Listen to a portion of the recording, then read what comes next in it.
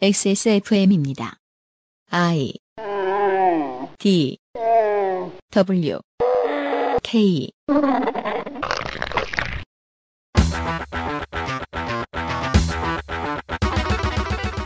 강남구와 서초구의 기록 18년 서울시장 선거에서 새누리당은 민주당에게 각각 7%, 11% 뒤졌습니다. 17년 대선 한국당은 각각 9%와 11% 뒤졌습니다. 지난 총선 새누리당은 서울 전 지역 중 이 두 곳에서만 50% 이상의 득표를 얻었음에도 불구 무려 지역구 하나를 내주고 맙니다. 부동산은 이 지역민의 나아가 이 나라 사람들의 가장 비싼 자산이 맞지요. 문제는 그간 무럭무럭 자라온 이곳의 유권자들은 상당수가 부동산 있는 집의 자식들이 아니라는 겁니다. XSFM 그것은 알기 싫다 특별기획 국회의원 선거 데이터 센트럴 서울특별시입니다. 그것은 알기 싫다 특별기획 제21대 국회의원 선거 데이터 센트럴 서울특별시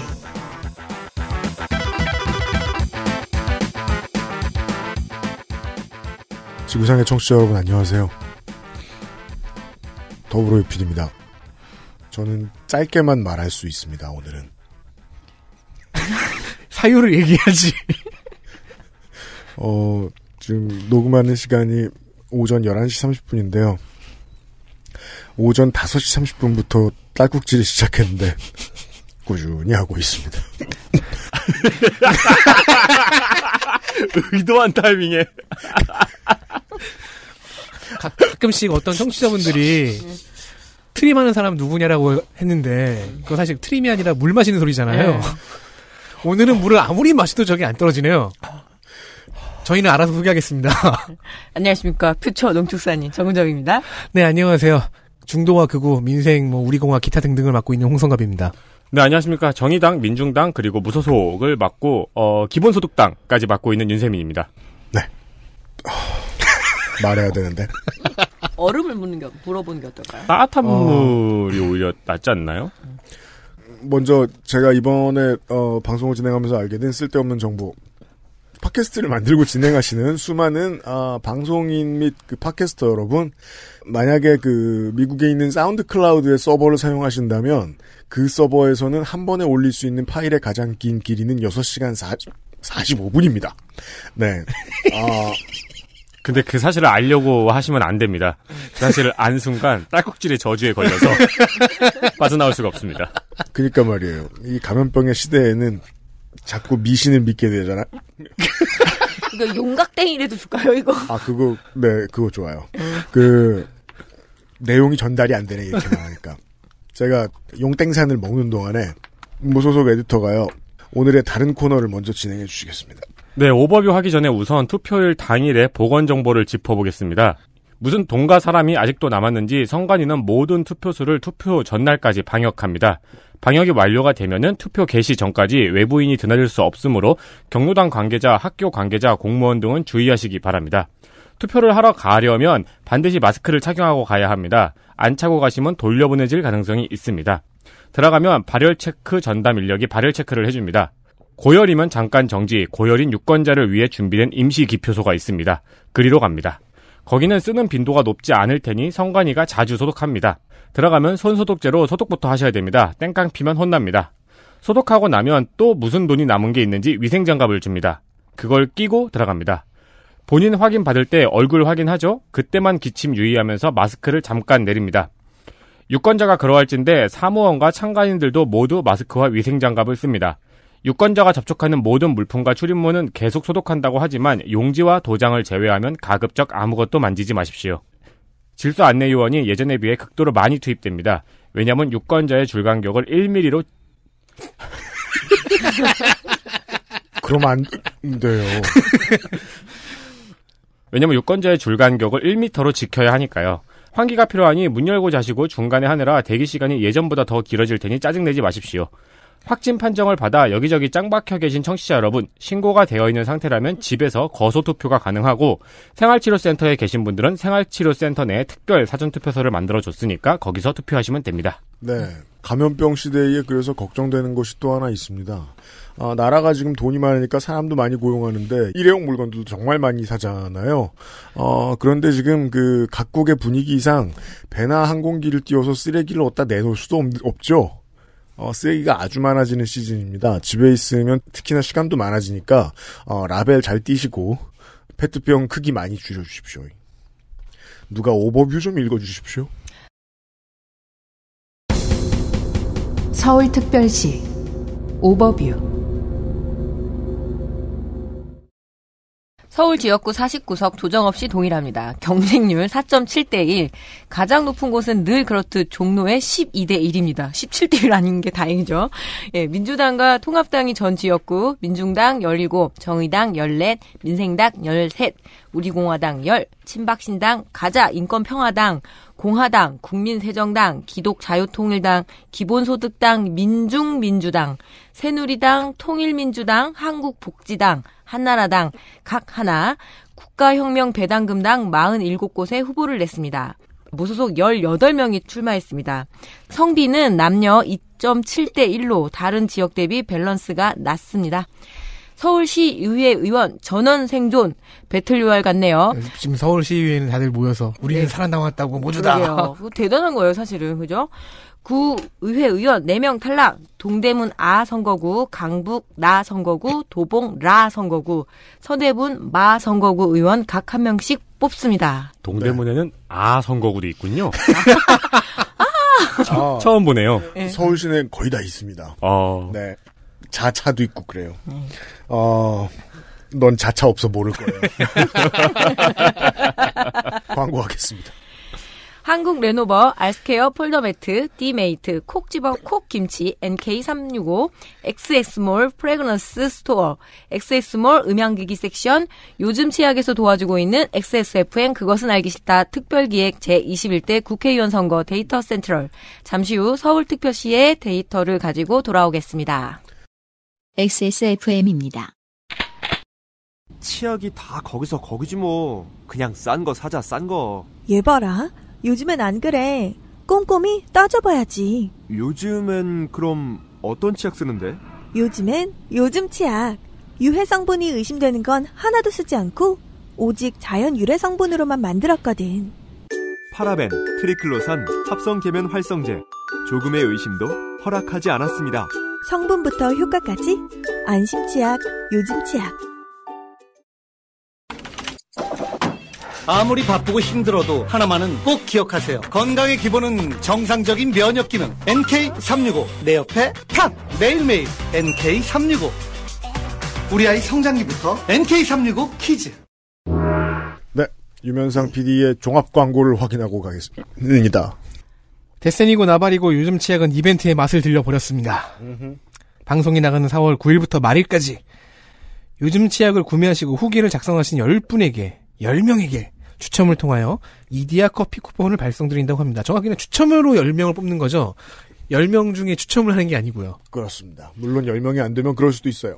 행여나 이벤트 참여자가 많을 경우 기본 10명 당첨에 총 후기 수의 30% 정도로 선정 인원을 더 늘릴 수 있다고 합니다.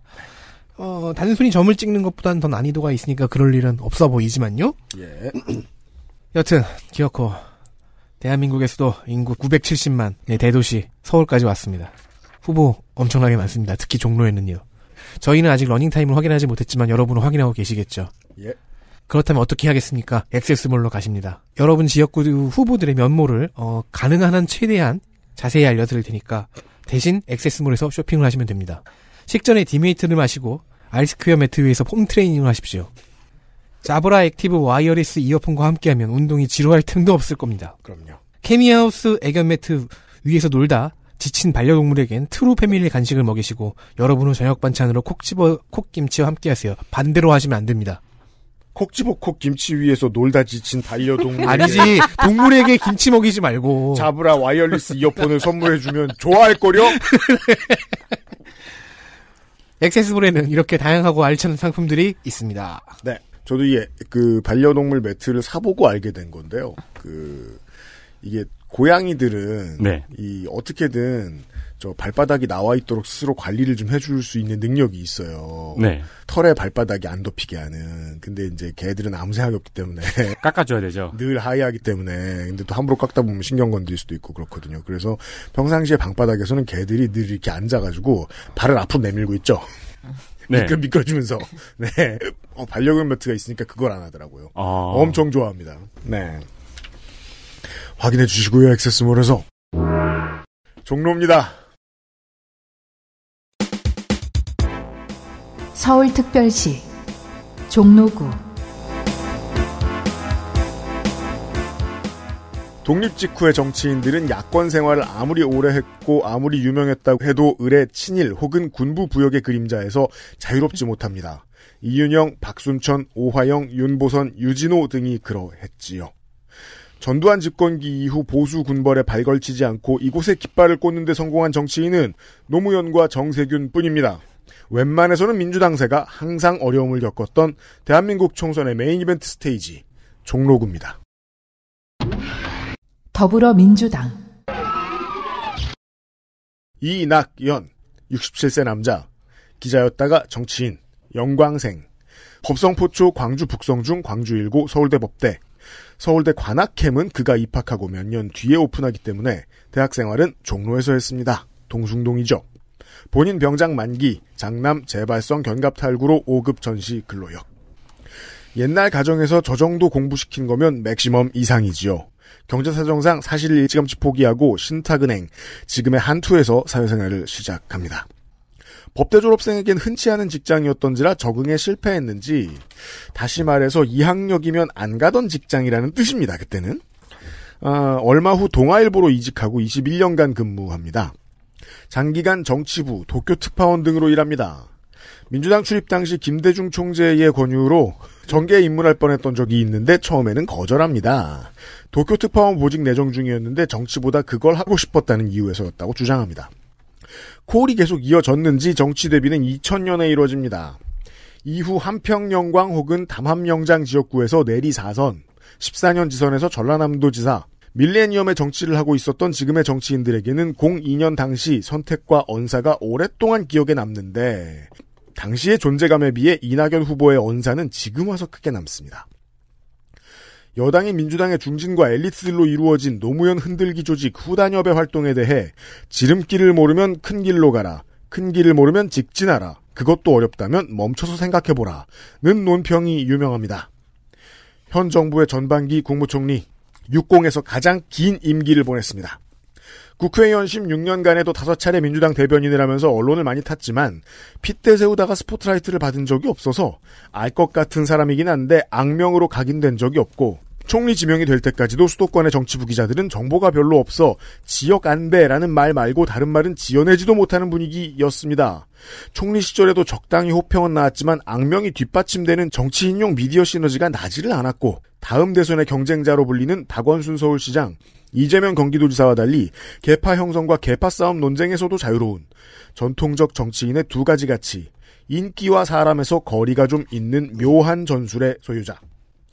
이번 총선 여당의 선대위원장이며 가장 많은 후보의 후원회장이기도 한데 그 후보들은 이재명, 박원순, 이광재, 이시종, 양승조, 김경수, 김부겸 등등 배경이 다릅니다. 사람 관리 패턴상 그나마 닮은 것이 이 지역구의 전임자 정세균 총리일 텐데 정 총리는 현 여당에 가져다 줄 자기 개파라도 있었지 그보다도 묽은 스타일로 읽힙니다. 통합당 후보 보시죠. 미래통합당 황교안 63세 남자 서울생 4살 터울이면 궁합이 괜찮죠? 예. 광성중 경기고 성균관대 법학과 졸업 종로구에 거주합니다. 병종 전시근로역 만성 아. 단마진인데요. 전 네. 국민에게 단마진이란 의료 상식을 알게 해준 아, 그렇죠. 큰 공이 있습니다. 황교안 후보가 이낙연 후보보다 4살이 어리군요. 네. 창남 육군 병장 만기, 재산 38억 493만 원, 어, 44대 대한민국 국무총리, 그리고 전 63대 법무부 장관이었습니다. 생각해 보니까 지금 이낙연 후보의 전임 국무총리가 그렇죠. 황교안 후보예요. 그래서 뭐 많이 비교되죠. 1981년 사법시험 합격, 주로 공안검사의 일을 해왔고요. 국가보안법 해설서를 펴내기도 했습니다. 사실상 그, 어, 그 후배들에게는 살아있는 국가보안법입니다. 미스터 국가보안법이라고도 부르기도 하고요. 네. 검사 때는요, 대민 서비스에 대한 개선 등으로 호평을 받은 바 있고 상당히 일은 잘했다는 평가가 있습니다. CCN 가수로 활동하는 부인의 인지도나 인상평이 대체로 낮기 때문에 지금 함께 선거 운동을 하고 있고요. 법무부 장관 재직 때는 이석기 내란 선동 사건 수사와 통합진보당 해산을 주도하기도 했습니다. 박근혜 탄핵 이후 국무총리로 대통령 대행을 했고요. 어, 좀 재밌었, 했었죠. 예, 그래서 뭐 차도 이렇게 되고. 본인은 대행이라 생각하지 않았을 가능성이 매우 높죠. 그렇죠.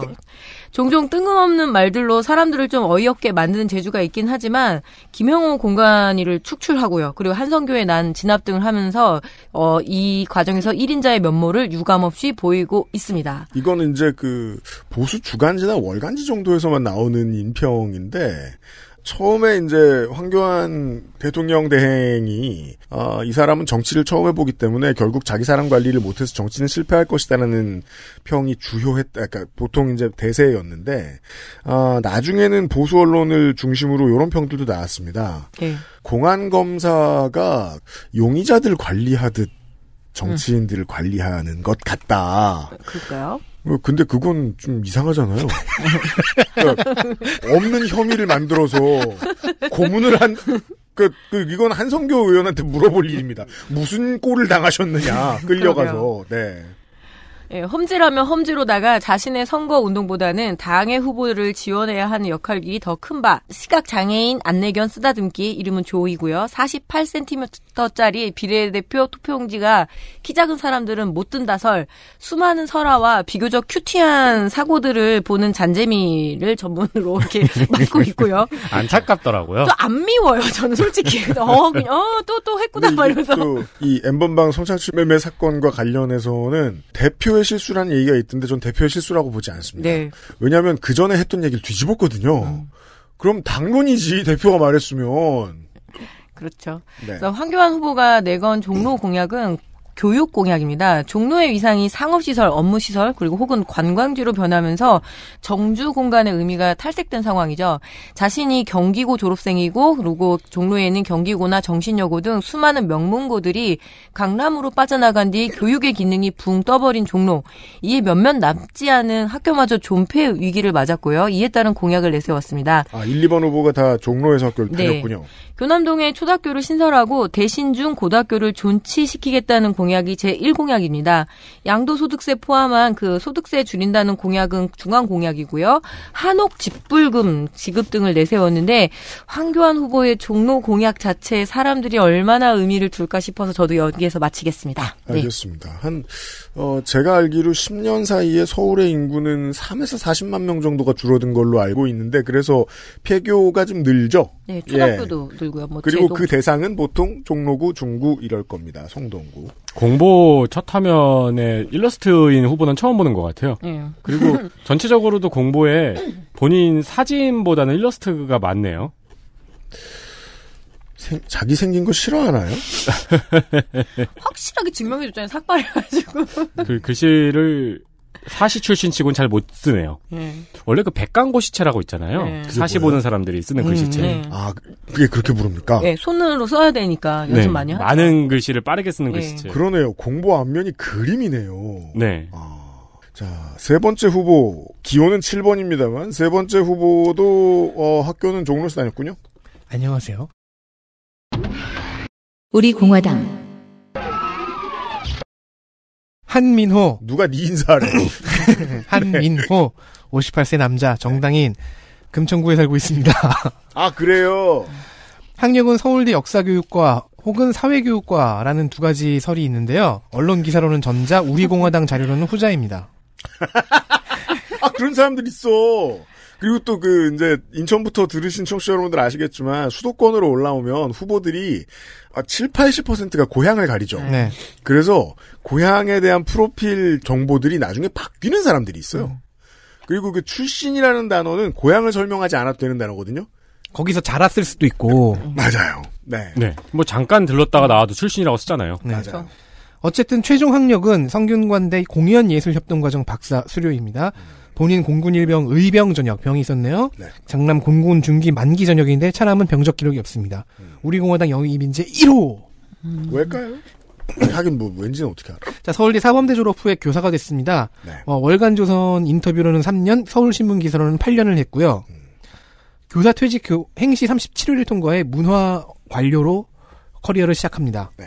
업무 능력은 좋았던 것 같습니다. 박근혜 정부 때는 미디어 정책국장을 거쳤는데요. 블랙리스트가 지나다 다녔을 것으로 추측되는 라인이죠. 관련해서 명예훼손 소- 소송을 건 게 있는데 후보가 졌습니다. 그게 작년의 일이에요. 근데 이해에 중요한 일이 또 있었습니다. 박근혜 정부 때부터 쭉 페이스북에서 중도와 진보를 비난을 해왔고 그래서 좌천됐다고 주장을 해요. 그러다가 이런 글을 쓰기 시작합니다. 뭔데요? 중공을 비롯한 세계 각국과 국제기구가 우길기의 사용을 전혀 문제시하지 않는다. 여기까지는 맞는 얘기인데 뭘 맞는 얘기야? 중공이란 나라가 어딨어? 어쨌든 우리만 그걸 전범기라고 모욕한다. 아. 모욕이죠. 중요한 건. 일본은 조선을 식민지로 수탈한 것이 아니다. 다만 조선인을 참정권이 없는 2등 국민으로 취급했는데 이해가 간다. 공화당 1번 영입 인재답네요. 결국 문체부는 인사혁신처의 중징계를 의뢰했고요. 민정수석실 산하 공직기강실에서도 조사에 착수합니다. 어머, 이게 공직에 있을 때 썼던 글이에요? 네. 어, 문재인 정권 들어온 다음에 나 내가 뭐 좌천됐다 뭐 그런 얘기를 하다가 이런 말들이 나온 거예요. 어. 당시 민정수석 민정수석은 조국이었죠. 그러니까 이 부처의 정책관 정도 되는 인사는 정부가 바뀐다고 막 우르르 바뀌고 그러는 자리는 아니에요. 네. 저 네. 늘공인데. 결과는 파면입니다. 그래서 이런 스토리가 완성됩니다. 문재인 정권 성립 직후에 직원을 하던 공무원이 좌천되더니 결국 조국이 나서서 목을 날렸다. 네. 그리고 1월에 입당하여 전략기획본부장이 되었습니다. 따라서 우리공화당의 전략의 한가운데는 앞으로 한민호 후보가 있을 것입니다. 그래서 종로에다 갖다 박았군요. 그렇습니다. 여기까지인가요? 네. 민중당의 후보 보시죠. 민중당 오인환 47세 남자 정당인 경희대 사과대 회계학과 4학년 재적. 전, 오, 이 양반 루트 특이하네요. 전 통진당 중앙위원이었고요. 현재는 민중당 서울시당 위원장입니다. 아, 제가 잘못 봤습니다. 민생당인 줄 알았습니다. 아이, 딸꾹질은 뇌에다가 피를 덜 보내네, 이게. 죄송합니다. 정가는 3건 97년 공문서 위조, 절도, 병역법 위반, 징역 1년에 집유 2년, 2008년, 2010년 일반교통방해 집시법 있습니다. 양심적 병역거부인가요? 모르겠네요. 병역법을 위반한 적은 있지만 군대는 육군병장 만기, 재산은 2억 조금 모자릅니다. 이것이 진정한 당직자형 출마자인가 싶을 정도로 정보가 없습니다. 아무래도 서울로 올라오니까 그런 거겠죠. 네, 일단 출마도 처음인 것 같네요. 네. 네. 그러니까 이제 데뷔하는 당직정 출마자인가 싶을 정도로 그래도 뭔가 이제 공약 정보라든가 어디 인터뷰 정보라든가 이런 거도 있어야 되는데 그런 정보들이 없더라고요. 아무래도 이게 제 기억이 맞다면 저 통진당도 그랬고 민중당도 그렇고 종로라고 해서 무슨 상징성이 있는 사람을 굳이 더 신경 써서 내보내지 않습니다. 네. 예, 그냥 그냥 쭉 풉니다. 사람을 사람을 방목하는 것 같잖아. 공수죠 공수. 그리고 어디 우리가 떨어질진 네가 알아서 해라. 우리가 지역 언론 타령을 하면서 서울까지 올라갔잖아요. 근데 이제 서울에 올라오면은 지역 언론이 있긴 있는데 네. 구 정도의 작은 언론이 있긴 있는데 아무래도 그 수가 확실히 줄어들고 하다 보니까 이런 후보들에 대한 정보가 되게 제한이 이제 되죠. 이제 서울 지방에 경기도 없고 인천에도 없는 수도권이라고 볼 수 없는 서울 지방의 특징입니다. 지역 언론이 활발할 수 없어요. 네. 예, 왜냐하면 지역 언론이 활발하려면은 지역 카르텔과 농협 축협 등이 필요한데 그게 우습기 때문에 서울은 네. 예 지역 언론의 장악력이 생겨나기가 아주 어렵다. 그러다 보니까 이렇게 상대적으로 물론 민중당이 뭐 작은 정당은 아니지만 상대적으로 주목을 덜 받는 후보에 대한 정보가 오히려 지역보다 더 적은 현상이 나타납니다. 아, 이해했습니다. 알겠다고 말씀드렸어요. 현재는 정보보다는 황교안 대표에 대한 비판이 더 많이 나오고 유세 현장에 사진만 많이 나올 뿐 공약은 보이지 않습니다. 코로나19 집단 감염이 발생한 콜센터의 원청인 에이스 손해보험사로 항의 서한을 들고 찾아갔다가 개선 방안을 내놓으라고 요구한 바 있습니다. 가자 평화인권당의 후보입니다. 가자. 평화인권당. 이정희 여러분이 아는 그분이 아닙니다. 아닙니다. 55세 여자 가자평화인권당 공동대표 문경에서 태어났고 종로에서 초등학교를 다녔다고 합니다. 고려대 국문과 재산은 마이너스 1억 4천 어, 영화 이태원 살인 사건의 작가라고 하고요. 음. 현재 우리결의 고유력, 마고력의 저자라고 합니다. 네. 환파라는 것이 밝혀져서 문제가 된 적이 있었죠. 아, 그래요? 네, 원래 가자평화인권당은 제가 이제 비례대표 시간에도 한번 정당 설명을 드릴 텐데 아, 예, 그렇죠. 더불어시민당에 참여해서 후보를 내놨습니다. 저는 저 무슨 저 어깨에 방금 사냥한 동물 가죽을 얹어놓은 줄 알았는데 자기 머리카락이네요. 웬만해선 머리카락으로 보지 않을까 싶은데요. 네, 딸꾹질의 영향이라고 알겠습니다. 고맙습니다. 그래서 더불어시민당이 후보를 내놓았는데 환파인 것이 밝혀져서 논란이 되어서 보수 언론이 더불어시민당 환파돼 있다 이러면서 깠었죠. 맞아요. 그래서 이후에 부적격 통보를 받았습니다. 그리고 독자 후보를 내겠다고 하고 종로구에 공동대표 중 한 명인 이정희 후보가 나온 겁니다. 그렇죠. 그때 그 더불어시민당의 비례에 추천되었던 원래 순번을 받았던 인물은 이정희 후보는 아니었어요. 제 기억으로는. 네네 그렇습니다. 네. 환파인 게 밝혀져서 문제가 됐던 발언은 과거 도종환 당시 문화체육관광부 장관이 환단고기를 읽지 않았다고 해명을 한 적이 있었죠. 네. 그러자 환단고기를 아직도 안 읽을 정도로 게으르고 무지한 사람이 이다지도 많단 말인가? 라고 발언한 적 있습니다. 후보의 공약은 이 펴- 가자평화 인권당이 처음에는 이제 원래 위안부 피해자나 일제 강제징용 피해자에 대한 인권을 수호하자라는 취지로 이제 창당된 정당이다 보니까 어 제일 첫 공약은 평화 통일? What? 비례대표 때를 기대하겠습니다. 근데 그 Why? 이거 두 번째 공약이 이제 위안부 피해 보상, 강제징용 피해 보상이 있고요. 네. 그리고 환단고기가 위서? 아니다. 예, 아니라고 주장하고 있어요. 네, 위서 환단고기가 위서가 아니라고 공보에다가 당당하게 받아 넣었습니다. 이 사람이 환단고기를 한단고기로 읽는 걸 보니까 굉장히 옛날에 환파가 된 게 분명합니다. 아, 그건 옛날 제목도 있어요? 아니 왜냐면 이 환자를 음.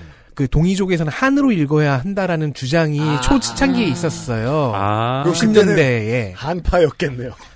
90년대 말 2000대 초에도 저- 저도 잠깐 환파였거든요. 그때는 그랬겠지. 화- 환단고기가 아니라 환 한단고기라고 읽어야 한다라고. 주장을 했었어요. 네. 네. 또 말씀하세요. 아 그래갖고 굉장히 연식이 오래된 환파임을 알게 되네요. 알겠습니다. 네, 이상입니다. 어, 우리 공화당을 우리 공화당으로 불러야 하는 이유가 종로에서 나왔습니다. 왜냐하면 공화당 후보가 있기 때문입니다. 그는 어, 스스로의 주장에 의하면 로열 패밀리죠. 공화당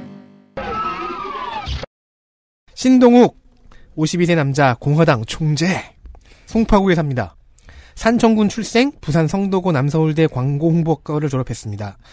서울벤처정보대학원에서 경제학 박사 육군 병장 만기 장남은 검사 대상입니다. 박근영 씨의 남편이라서 왕족을 자처하지만 박정희로 왕으로 본다 해도 신동욱 후보는 외척인 부마일 뿐이지요. 그렇습니다. 신부마세요. 영화 수입회사와 애견 사업을 한 적이 있고요. 백성문화대학교에서 광고 마케팅학부 겸임 교수였습니다. 하지만 이거는 그 박근영 씨와의 두 번째 결혼식을 통일교 합동 결혼식으로 했다가 잘렸습니다. 어, 저 백석대학교는 저 기독교 예, 기독교 예, 재단이니까요. 예, 예.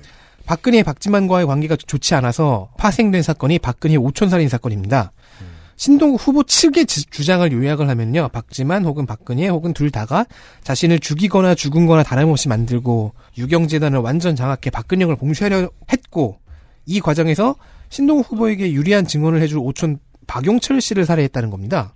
자신의 관종 행각 또한 생존 전략이라고 포장을 합니다. 그리하여 그 갑자기 이 사람이 필요하게 된 진보 언론과 대한 언론들이 이 사람을 적극적으로 섭외하기 시작했고 그 루틴을 통해서 이름값이 올라간 케이스입니다. 정치인입니다. 고 박영철 씨가 증언할 뻔했던 재판은 지금까지 말한 그 주장이 허위라는 박근혜 측의 명예훼손 재판으로요. 여기서 유죄가 나와서 징역 1년 6개월을 받아 복역했습니다. 예. 그 전에 하나의 전과가 더 있는데 2002년에 전 전기통신법 벌금 200만 있는데 대포폰 같아 보입니다. 와, 소명을 쿨하게 안 했네요. 네, 어, 220에 110을 꽂은 게 아니라 네. 네. 탄핵을 찬성했다가 반대했다가 문재인을 지지했다가 비난했다가 아 그렇죠. 문재인 대통령 지지했었죠. 공화당을 만들었지만 대한애국당 후보가 되려 했다가 자유한국당 비대위에 신청했다가 합니다. 네. 의외일 수 있는데요. 첫 선거 출마입니다. 음. 그리고 공화당 후보들이 대부분 했던 500만 원 선거 프로젝트를 하고 있습니다. 그게 뭡니까? 500만 원으로 선거 다 해버리자. 선거 운동을. 만약에 이제 종로에 계신 분들 지금 저 공보 안 오는 후보 있으면 그건 신동욱 후보겠네요. 500으로 어, 명함만한 공보 보내기도 쉽지 않을 텐데요. 그런데 본인의 유튜브에 들어온 슈퍼챗이 정치자금법 위반인지 선관위가 들여다보는 중입니다. 슈퍼챗 못할 건데 아마. 그러겠죠? 예. 네. 유시민 그리고 홍준표에 대해서 뭐 논란이 좀 있었죠. 홍준표 같은 경우에는 그때 경고를 받았었나 그랬을 거예요. 맞습니다. 공약은 탄핵 무효를 넘어서 박근혜의 청와대 복귀. 그럼 뭘로 복귀해야 되죠? 쿠데타, 쿠데타를 해야죠. 아 그렇군요. 네, 안 그러면 복귀할 수가 없잖아요. 그러니까 위화도 해군이잖아요. 네. 군대가 없을 텐데. N번방 해결책이라고 하는 성매매 합법화가 있습니다. 아유. 일관성. 뭐 전면 합법화는 아니고 구역을 만들자는 얘기지만 일단 고- 연인과 결과가 맞지 않고요. 그러니까 사실 뭐 이 사람 주변에 사람 없으니까 자꾸 다른 당 들어가려고 그러는 건데 이런 해외살이에 연구한 사람이 주변에 있겠습니까? 그렇, 그렇습니다. 뭐 그냥 남자를 고환과 음경으로만 이루어진 생물로 보는 것 같습니다. 아, 사실 이거 참고하려면 네덜란드를 참고해야 되잖아요. 그리고 얼마나 두꺼운 행정적 감시를 해줘야 되고 관리는 어떻게 해야 될 것이고 뭐 너무 말씀 심하게 하지 마세요. 공보 머리 옆에 Remember You라고 써 있잖아요. 무서워요. 진짜. 물론 이거는 이제 박근혜 전 대통령을 이야기하는 것 같은데 네. 저 종로에 와서 이거는 그 마치 이제 좀 문학적으로 표현을 하면 헌정 초기나 지금과 비슷한 문화인데요. 종로 길거리에 과- 자기 그 벽보가 붙는 것이 매우 중요한 정당들이 많습니다. 예. 국민새정당의 후보를 확인하시겠습니다. 김똑강 시절에 정말. 맞아요. 그 문화가 안 달라졌어요. 국민새정당 백병찬 64세 남자 그리고 후보 주, 백병찬 후보는 그때 찍은 사진 같기도 해요. 후보 주장으로는 66세로 보입니다. 국민새정당의 부총재 겸 수석 대변인이니 요약하면 정당인이네요. 이 넥타이 컬러는 찾기도 힘든데요. 후보 주장으로는 부여 출생입니다. 네. 학력을 미기재했는데요. 찾아보면 필리핀에서 한의학을 전공했다는 주장이 있습니다. 필리핀에서 한의학을요? 네, 거긴 필의학 아니에요? 그러니까요. 네. 그리고 전과는 2009년 의료법 위반 벌금 100만 원. 필리핀에서 한의학을요? 혹시 필리핀에서 받은 정과 아니에요?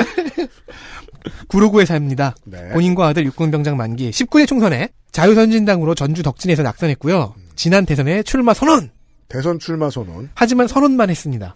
나도 왜냐하면- 내년에 선언, 나도 선언할 거야. 그러니까 지금 저 선관위에 등록한 재산 50만 원을 가지고는 출마까지 하긴 좀 다음 어렵습니다. 달 카드값도 못 메울 것 같은데. 대선 당시에 국민의 나라당을 창당 중이지만 시간이 촉박해 다른 당에 입당하겠다 했는데 받아준 곳이 없었나 봅니다. 네, 알겠습니다. 그래도 이제는 국민세정당이 받아줬네요. 네. 무예 도보 통제의 저자인 정조실의 무인 백동수의 후손이라고 자처합니다. 왕실 경호에 사용된 가문의 전래무술인 비금생법의 전인이라고 합니다. 무술 전문가 및 덕후들의 의견에 따르면 혼자 만든 게 분명하고 조잡하며 무술로서의 요건이 부족하다고 합니다. 아, 네. 무술 전문가민 덕후들의 평은 받았네요, 그래도. 음. 왜냐면은 무술 카 무술 덕후들이 모여 있는 카페 같은 데 가서 우리 가문 전래의 무술이라며 이렇게 올리고 막 그랬거든요. 아, 딸꾹질을 멈출 수 있다면 배워보고 싶습니다. 비금생법은요 무술인 비금과 미- 의술인 생법으로 나뉜데요. 그래서 가문 비전 침술도 배웠다고 합니다. 아, 이렇게. 저거, 저거, 침을- 아, 켄시로. 경혈 6,114개를 알고 있고 침술로 암도 치료하고 체중 조절도 된다고 주장합니다. 그것보다는 디메리트가 나올 것 같습니다. 근데 그게 사기가 아니라 의료법 위반이었단 말이야, 겨우? 일단 경혈 6,000개 가량은요 한의학에서 가장 많 경혈이 많다고 주장하는 것, 것보다 10배 정도 많아요. 아, 그래요. 9배에서 10배 정도. 예. 자, 그래서 이력에 노벨 의학상 진행 중에 들어 있습니다. 어이구, 그, 소리 박사님. 이쯤 되면 이제 가문이 궁금해지죠. 사실 수원 백씨인데요. 후, 후보 주장에 따르면 시조가 황제 헌원이라고 합니다. 뭐 한국 백씨, 중국 백씨, 싱가폴 백씨, 뭐 필리핀 백씨 이렇게 나뉘, 나뉘는 데 최종 시조는 황제 헌원이라고 하는데요. 환을 잘못 배웠습니다.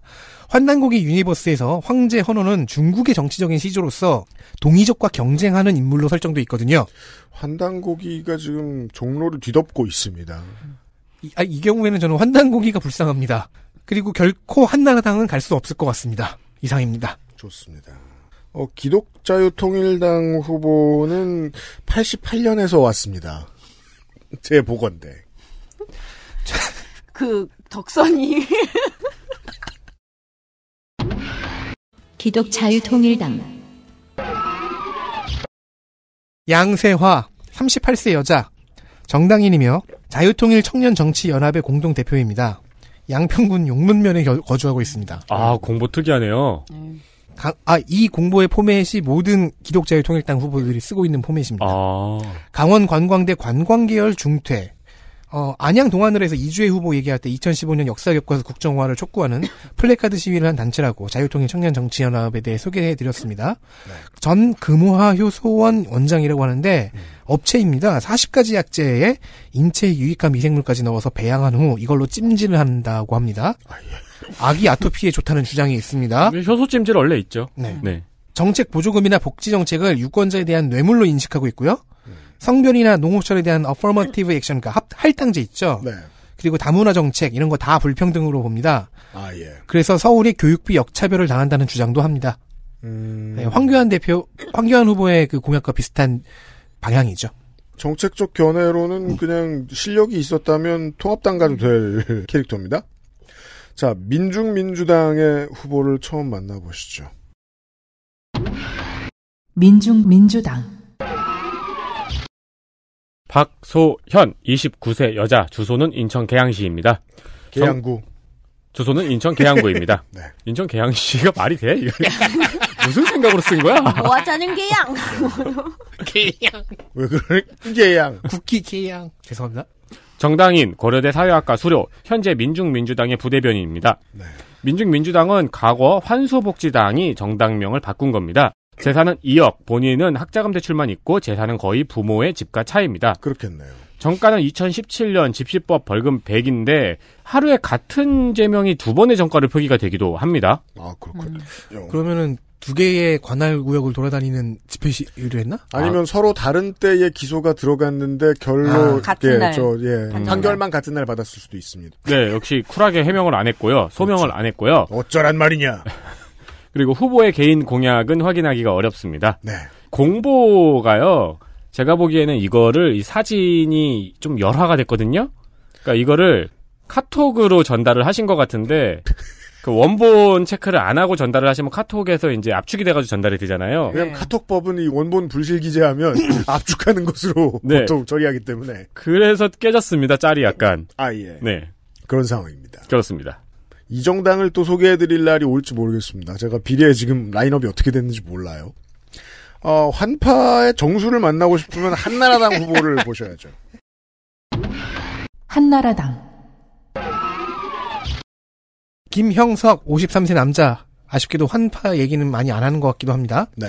방통대 바둑 지도사범이 직업이고 한국 기원의 아마 5단입니다. 방, 방통대 바둑 지도 사범이 어떻게 직업이에요? 그러니까요.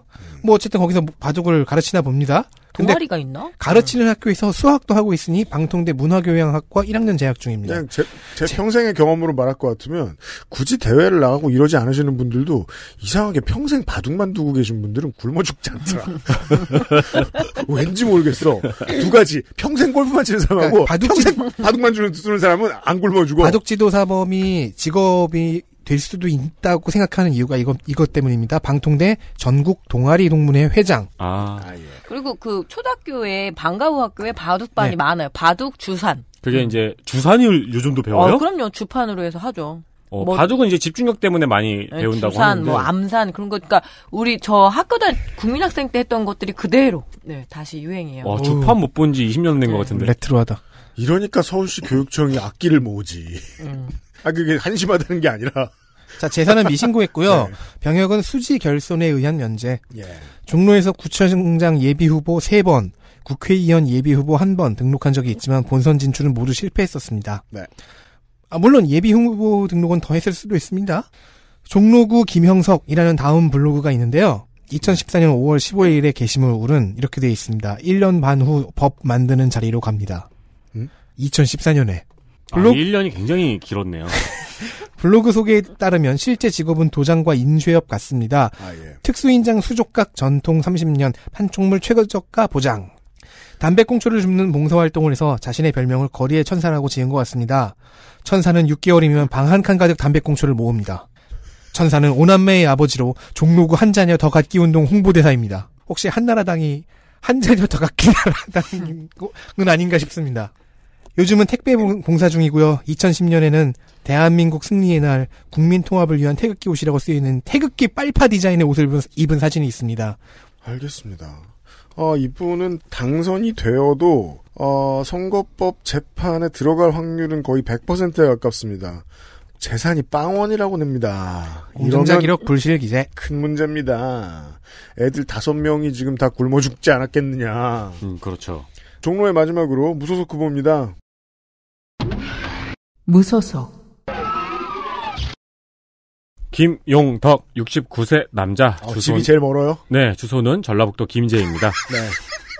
매일 아침 출퇴근 종로는 이런 상징성이 있는 지역입니다. 맞아요. 직업은 농업 토마토 농장을 하고 있네요. 음, 군장대학 졸업했습니다. 군산에서 학교를 네. 다녔습니다. 경력은 전 2015년 농협조합장 출마입니다. 그 후보 출마를 경력에 쓰는 경우가 많이 있죠. 네. 농협조합장은 좀 세긴 해요. 어떻게 세긴 보면 한데 결국 당선은 안 됐다니. 아, 그 당연하죠. 네. 네. 당선됐으면 농협조합장이 적혀 있었겠죠. 궁금한 건 당선권에 있었느냐죠. 그렇죠. 예. 당선권에 있어도 보통 경력에는 그건 안 적어요. 당선권까지 못 적습니다. 네. 재산은 1억 7,500만 원이고요. 최근 5년간의 납세 실적이 0원입니다. 네. 차납액이 없는데 신기하네요. 옛말로 영세민이라고 하는데요. 그렇죠. 면제, 세금 면제자. 정가는 두 건입니다. 2011년 교통사고 처리 특례법 위반으로 벌금 100, 그리고 2018년에 역시 교통사고 처리 특례법 치상으로 벌금 100만 원을 냈습니다. 이번에 사람이 다쳤어. 네. 네. 아이고야. 여긴 서울이고 종로다 보니까 무소속 후보의 정보는 달아주는 언론이 없습니다. 그렇죠. 성관이 제공 외에 정보가 없습니다. 네. 종로의 후보들을 모두 돌아봤습니다. 아, 다행히 한 시간까진 가지도 않았네요.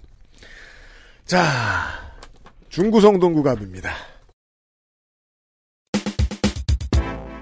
서울특별시 중구 성동구 갑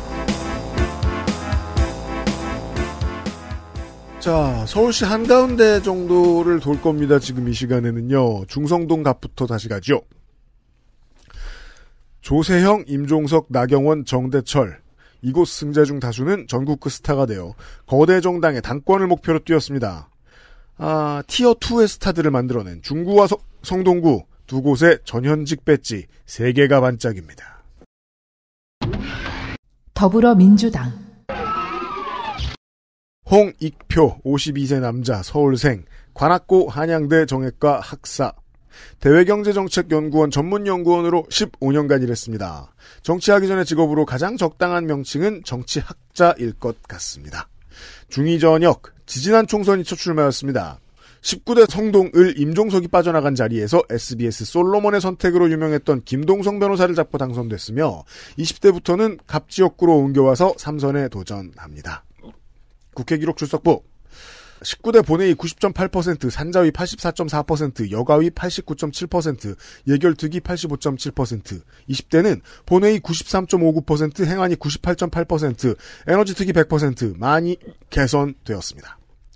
여당이 되었는데도 다선 의원들의 출석부가 전체적으로 좋아졌습니다.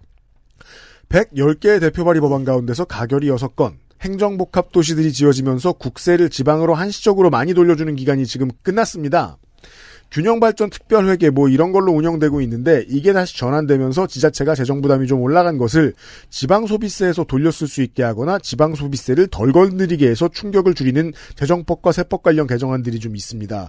여당이 전체적으로 이걸 좀 많이 추진했습니다. 이것을 가능케 한 지방 소비세 세율을 11%에서 15%로 인상한 법 역시 이 영감님네 방에서 처리됐습니다. 특별법으로 유지되던 지방 재정을 장기적으로 늘리는 작업에 투입되었다고 보면 좋겠네요. 그 외에는 진상규명위원회의 활동 기간을 연장한 부마 민주항쟁 관련자의 명예회복 및 보상에 관한 법 개정안, 그간 중국 마냥 해외의 특허 출원 심사에 협조를 잘 하지 않던 것을 고쳐서 외국과의 업무 협약용으로도 특허 출원 서류를 반출할 수 있도록 한 특허법 개정안도 있습니다. 한국에서 일부러 남의 브랜드 베끼면 도망 다닐 수 있었단 뜻이에요. 네. 통합당 후보도 전 국회의원입니다. 미래통합당 진수희 64세 여자 대전생이고요. 대전 문창초 대전여중고 연세대 사회학과 미국 일리노이 대학교 사회학 박사. 장남은 육군 병장 만기고요. 정가는 명예훼손 출판물에 의한 명- 그 벌금 600만 원이 08년에 있었습니다. 08년이면은 네. 이게 이제 한나라당 대선 경선 당시에 선대위 대변인 자격으로 캠프에서 발표한 성명명으로 인해서 기소가 됐던 거라고 하네요. 네. 대변인이어서 그- 다 이렇게 됐다. 친이 혹은 친박의 최전선이었군요. 네. 17, 18대 성동구 갑에서 국회의원을 지냈고요. 그리고 보건복지부 장관이었습니다. 공부하는 집안 출신입니다. 뭐 언니도 교수 그리고 오빠도 K대 총장이었죠. 네. 여의도 연구소 소장이고요. 보건복지부 장관을 지냈는데 한동안 언론과 관심에서 사라진 이유는 20대 총선에서 경선에서 패 공천을 받지 못했기 그런 때문이더라고요. 친이었겠군요. 예. 음, 저는 그냥 불출마 선언이었나? 저도 오랫동안 까먹고 있었던 사람이거든요. 그래서 탈당을 했고요. 바른미래당에 입당. 하지만 7회 지선에서 바른미래당에서도 골, 공천 갈등을 겪고 있더라고요. 예, 그래서 새로운 보수당에 참여를 했고 미래통합당에 합류를 해서 강효상 의원과 경선 승리를 해서 출마를 합니다. 그러나 여전히 유승민과의 사이가 굉장히 좋은 걸로 보이고요. 그렇죠. 예, 선보원의 유승민 대표가 지지 방문을 한 소식이 최근 소식입니다. 보건복지부 장관 출신의 경력을 굉장히 살리고 싶어 하겠죠. 지금 모든 이슈가 사실 보건복지 관련한 이슈니까요. 그렇죠. 그래서 가정상비약을 마트와 편의점에서 판매를 추진하고 싶다고 하는데 이 약사회에서 가만히 있을지 모르겠습니다. 자, 그냥 미국 따라하기인데요, 그건? 네. 네. 지금 미국을 따라할 판입니까?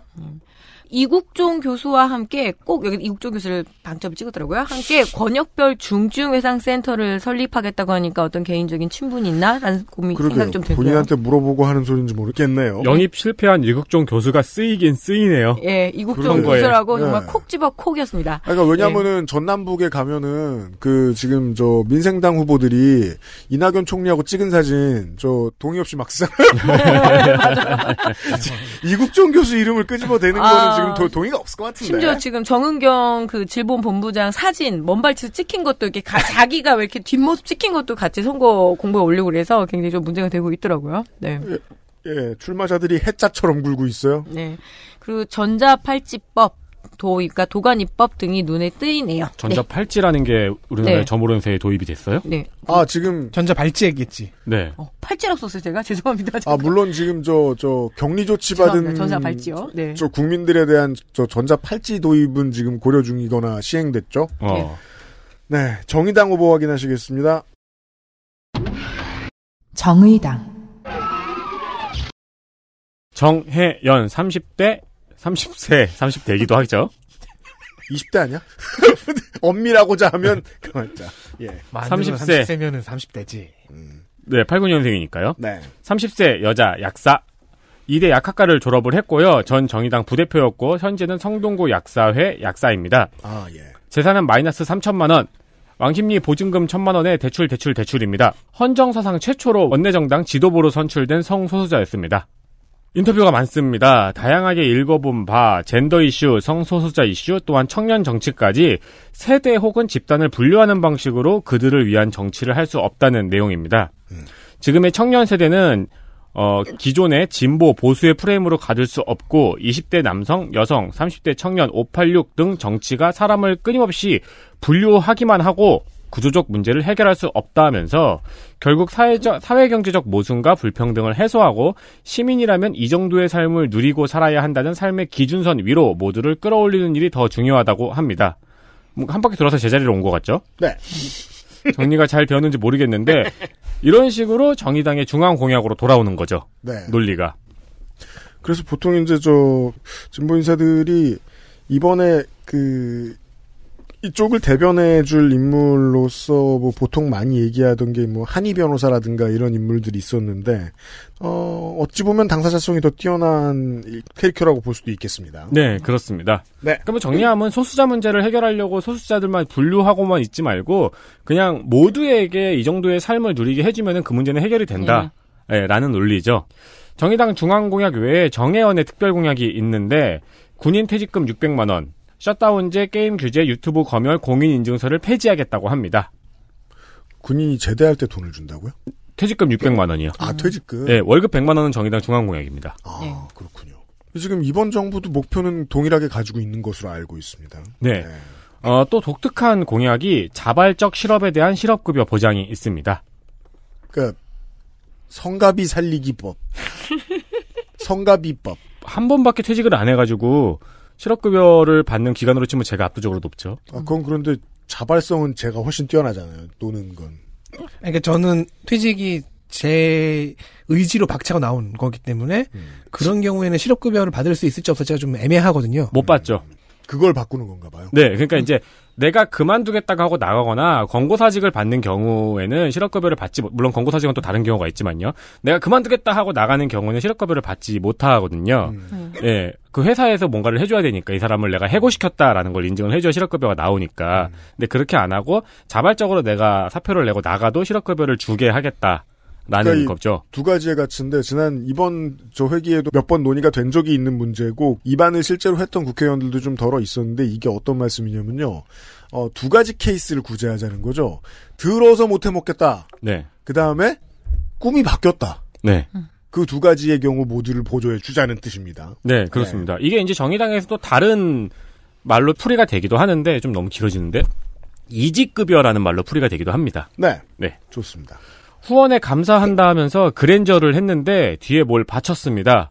뭘요? 이, 그러니까 뒤에 뭔가 이렇게 벽 같은데 발을 받치고 그랜저를 했어요. 아 진짜 그랜저를 하는 거군. 그랜절, 그랜절. 네, 이런 걸안 바치고 성공해야 하기 때문에 그랜저리 대단한 겁니다. 음. 그러니까요. 네, 네. 이건 그랜저리 아니야. 운동 많이 해야 됩니다. 아, 중구 성동구 을로 가겠습니다. 서울특별시 중구 성동구 을 홍익표가 옆으로 옮겨간 자리에 정치적으로 사연이 많은 이 지역구 챔피언이 돌아왔습니다. 도전자만 바뀌었습니다. 더불어민주당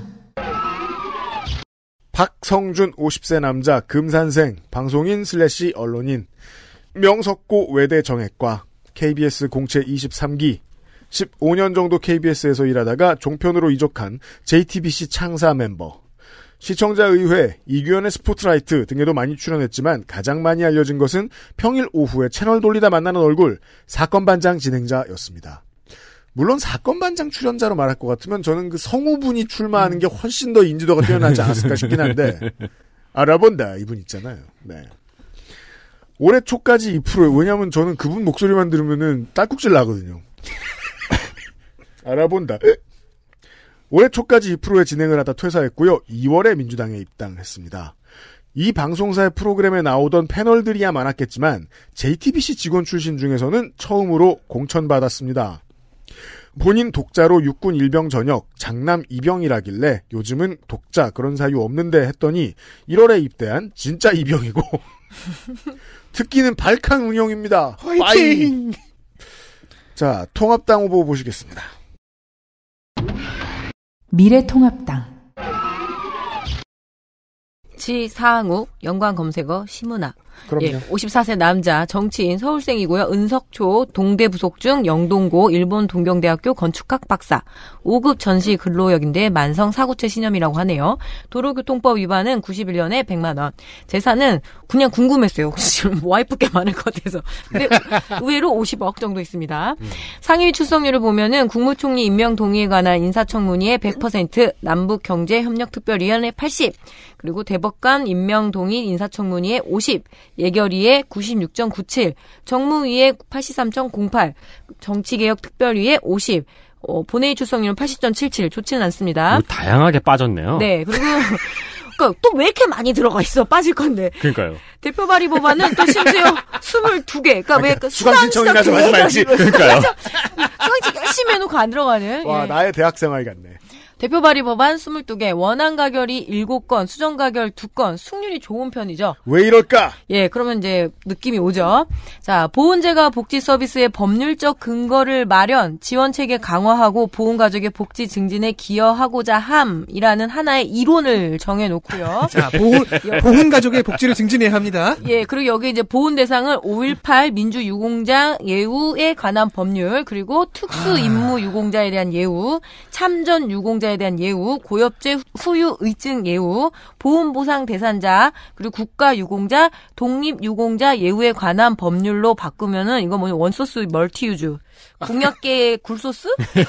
굴소스 하면 그- 모든 음식이 다 해결되거든요.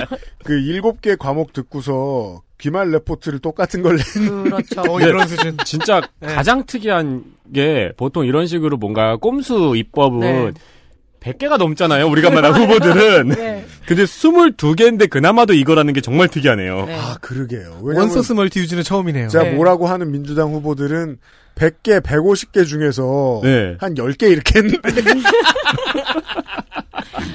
한, 뭐 그렇죠. 훌륭하다. 머리 어, 좋습니다. 예, 이거 건축학 박사. 음. 예. 건축은 좀 일관되게 세워, 세워야죠. 예, 2008년 정계에 입문했죠. 자유선진당 이해창 총재의 공보특보였고요. 자유선진당 대변인을 거쳐서 5회 지선에서 자유선진당 서울시장 후보로 출마를 했지만 낙선. 어, 오랜만에 다들 신문화 본다고 좋아했었습니다. 그렇죠. 20대 총선에서 당시 현역 국회의원이었던 국민의당 정호준 후보를 꺾고 당선이 됐고요. 유승민계 인사입니다. 유승민 의원이 선거 사무실에 지지 방문을 한 게 최신의 이제 보도인데요. 불공정 입시를 바로잡는 조국 방지법, 국가보훈의 정체성을 수립하고 서훈의 원칙을 명확하게 하는 상훈법 등이 중앙에서 다룰 만한 공약인데 굴소스법에 너무 탄력을 받은 거 아닌가 싶기도 하고요. 예, 그리고 채용 청탁 및 고용 세습을 근절하기 위한 공정 사다리법 등을 내세웠는데 늘 느끼는 거지만 지상욱이란 이름 하나로 온전히 인지되기엔 이회창과 심은하 그리고 유승민의 수렴 청정이 너무나 드리워진 느낌이 가득한 후보입니다. 이상입니다. 굴소스법 괜찮네요. 음. 네, 나 이거 연구 많이 했어. 그러게. 지역마다 하나씩 나오네? 네. 이제는 전체적인 인상을 좀 말할 수 있을 것 같아요. 본인의 네임 밸류에 비해서 그 출마 경력이 너무 부풀려져 있습니다. 네. 이제 그 반대에 해당하는 경우를 민주당에서 저 영등포 가서 하나 소개해 드릴 텐데, 저는 그렇게 봅니다. 네. 저는 이제 서울 변두리에서 태어났기 때문에 서울 시내라는 단어가 뭔지 몰랐거든요. 서울 시내를 소개해 드리고 있습니다. 마지막은 용산입니다. 서울특별시 용산구 사선의 진영 의원이 사선 도전제의 진영을 바꾸면서 실로 오랜만에 민주당이 선수 영입을 통해 탈환한 용산입니다. 아, 당의 입장에서 안타깝게도 그 선수는 한 게임만 띄워주고 불출마합니다. 그리하여 대진표가 바뀝니다. 더불어민주당. 강태웅 56세 남자 군산생. 용산중 용산고 서울대 도고교육과 행시 33회. 이번 총선 트렌드에 맞추어 30년간 서울시에서 일하다. 약해 약해. 38년. 그러니까 계산한 거죠. 90년에 들어가면서. 20대 총선 나가야지. 21대 20대 2020년이면 가능하겠군. 근데 80년대에 들어온 사람이 나올 줄이야. 1월에 퇴직하고 입당했습니다. 왜 1월에 퇴직했느냐? 30년 맞추느라고? 서울시가 민생사법경찰의 수사 권한을 확대해서 지자체 중에 처음으로 불법 대부업과 다단계를 수사하던 시절에 행정국장으로 좀 등장합니다. 서울시 행정국장, 서울시 대변인, 기획조정실장, 행정 1부시장 등등 급수가 위로 올라간 이후부터는 박원순 서울시장의 인사건화에서 쭉 일해왔겠죠. 여러 번 말씀드릴 게 있나요? 양당의 후보들은 거리에서는 종부세 대상 주택가격 상향을 말하고 있습니다. 안 그러면 뺨을 여러 번 맞겠죠? 그걸 공보에까지 넣느냐가 그의 정치 성향을 말해줄 거라고 볼 수도 있겠다라고 제가 대본에 썼는데 서울 시내를 한번 쭉 돌아보면 그렇지 않다는 걸 알게 됩니다. 아, 종부세 무조건 상향입니다. 내 집 하나에 전세 하나 정도 수준으로라도 이번 민주당 후보들은 1가구 1주택을 맞추고 있습니다. 본인 재산 얘기예요. 자, 통합당 후보가 제가 방금 말씀드렸는데 그, 저, 영등포에서 왔어요. 네.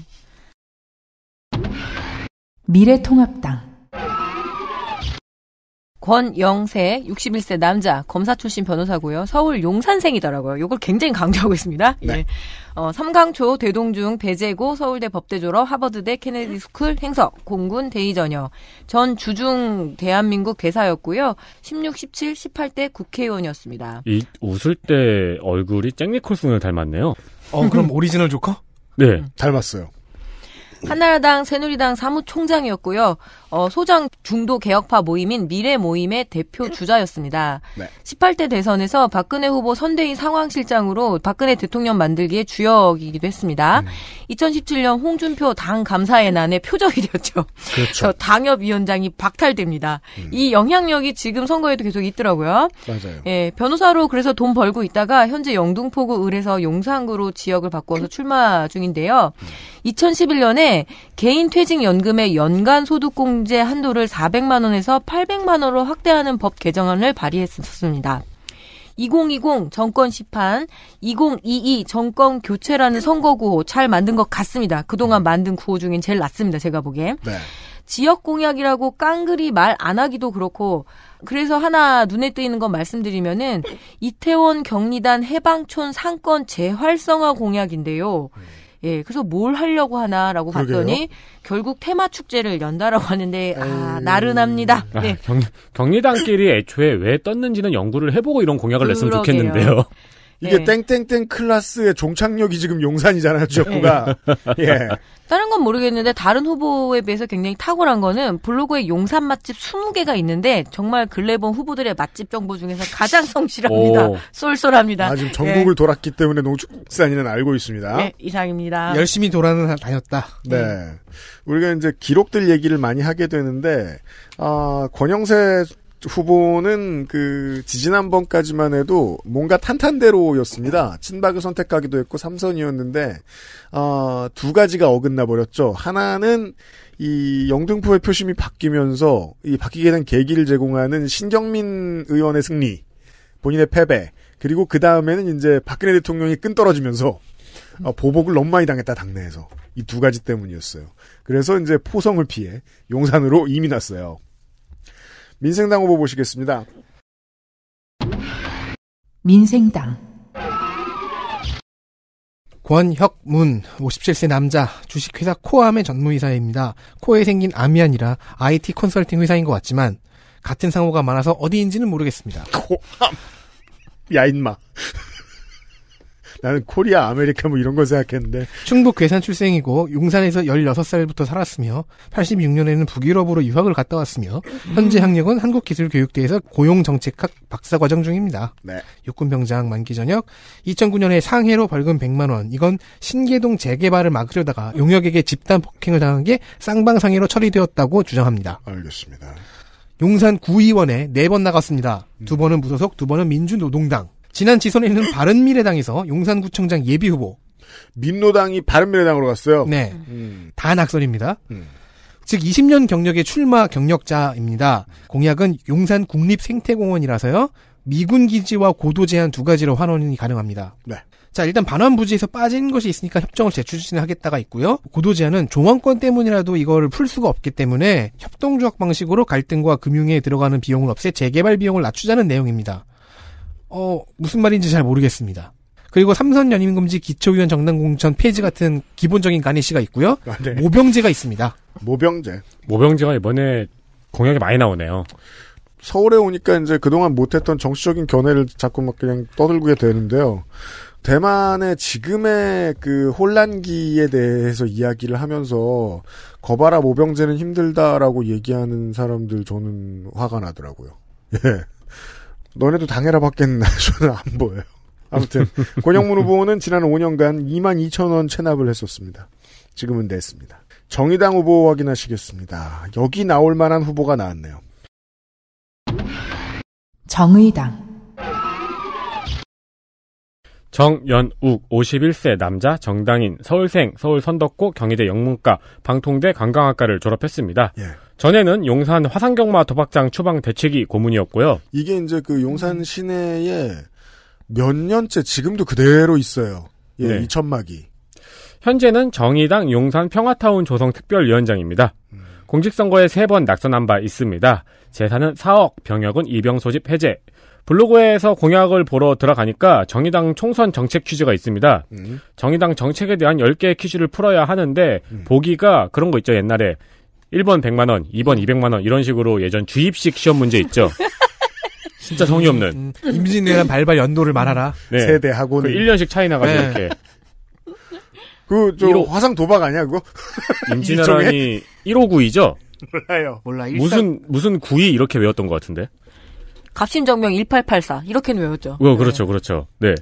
다 풀고 나니까 저한테 C등급이라고 합니다. 우리가 아는 게 안 나서 그래. 기분이 나빠졌습니다. 어셔 8701 무시인 이런 걸 외우고 있는데 우리는. 내가 그래도 네. 정의당을 전국을 돌았는데 어째서 C등급인가? 기분이 나쁜 상태로 다시 블로그에 들어가니까 2016년 게시물이었습니다. 그럼 C등급 나오지. 제일 최신 글이었다고요. 기분이 아주 나빠졌습니다. 국방, 검소한 네, 선거를 하고 있군요. 네, 국방부를 이전하고 거기에 용산 국제 평화마을을 만들겠다고 합니다. 아 캠프 용산 부지가 아니라 캠프 용산은 이전이 확정이 되었으니까 길 건너에 국방부를 내보낸다. 거기에 국방부가 있을 필요가 없다는 논리예요. 음. 그렇기 때문에 국방부도 같이 나가라! 아. 그럼 어디로 가? 아, 개인적으로는 용산 출신으로서 그게 보기가 좋았거든요. 전쟁 기념관 바로 맞은편에 국방부 건물이 있는 게 그게 얘기- 좀 어울린다는 생각이 들어요. 아 그리고 또 하나 또 중요한 점이 국방부는 국방부가 있다는 이유 때문에 그 삼각지 그 뒤쪽 블럭의 재개발을 어렵게 만들어놨어요. 하긴 그렇죠. 그렇죠. 그래서 올드타운이 그대로 살아있고 거기에 1층 가게들이 제대로 계속 아직까지도 네. 영업을 할 수 있는 이유가 대구탕. 골목하고 사- 삼각지 근데 맨션인가요? 그게, 예. 그게 오히려 삼각지에 땅 가진 사람들은 싫을지 몰라- 몰라도 그게 삼각지라는 동네의 특색이 되는데 민중당 후보 보시죠. 민중당, 김은희 43세 여자 사회단체 활동가 덕성여대 사회학과 졸업 어, 현재 용산 미군기지 온전히 되찾기 주민모임 대표입니다. 그리고 작은 도서관 고래 이야기 운영위원입니다. 고래 이야기. 그, 그 바다 이야기 말고요. 네. 네, 도서관 고래 이야기. 네네. 네. 재산은 1억 6천. 그 바다 이야기면은 재산이 이거밖에 없을 리가 없죠. 혹은 다 날렸거나. 그렇죠. 97년 5월에 집회 관련해서 징역 2년에 집유 3년을 받았다가 같은 해 12월에 역시 집회 관련해서 징역 1년을 받았습니다. 네. 2003년 업무방해로 벌금 200만 원을 받았습니다. 이건 대학 비리재단을 몰아내는 중 점거농성으로 인해 처벌을 받았다고 합니다. 독성여대 심했죠. 네. 익숙한 민중당의 모습입니다. 민중당 중앙 공약보다 박근혜. 용- 용산기지 환경오염 정화비용 청구에 대한 목소리가 더 큽니다. 약간 어, 어휘 멋있는데요. 잔당처리. 네. 소탕전을 하자. 네. 잔반처리도 아니고. 저, 저는 세스코골을 생각했어요. 네. 아, 근데 소탕전이 제일 힘든데. 미국 대사관의 이전을 막아내겠다고 합니다. 네. 이상입니다. 알겠습니다. 자, 아, 서울 시내를 확인해 봤고요. 저희들은 광고를 듣고 와서 어, 서쪽의 광진부터 시작하죠. 제가 이 김은희 후보가 여성이잖아요. 네. 어. 여기에 본인 병장 만기를 왜 썼을까요? 남편? 저 나이면 나랑 거의 나이가 비슷할 텐데. 일단 허위죠. 왜 그랬어? 갔다 왔을 수도 있지. XSFM입니다.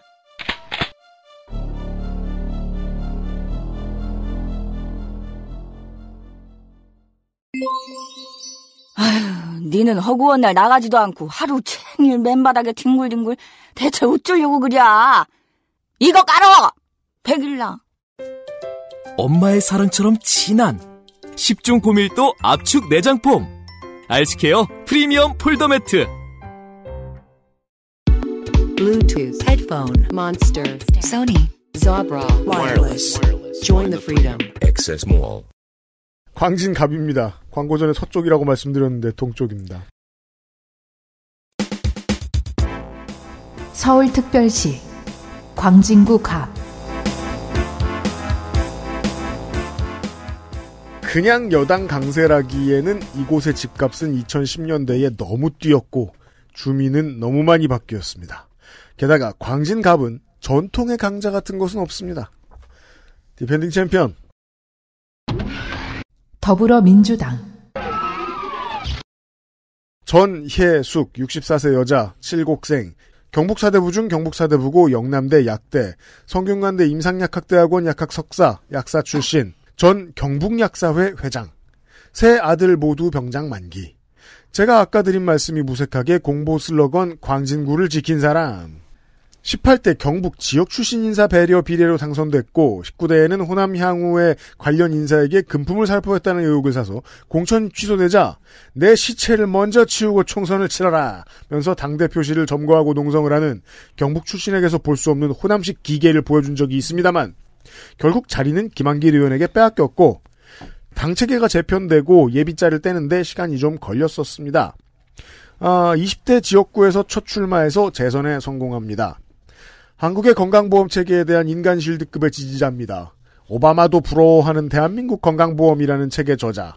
역근이도 전해숙 의원이었습니다. 돌아온 20대의 성적, 본회의 87.18%, 행안위 100%의 출석률 괜찮은 편. 114개의 대표 발의 법안 가운데 수정 가결만 4건.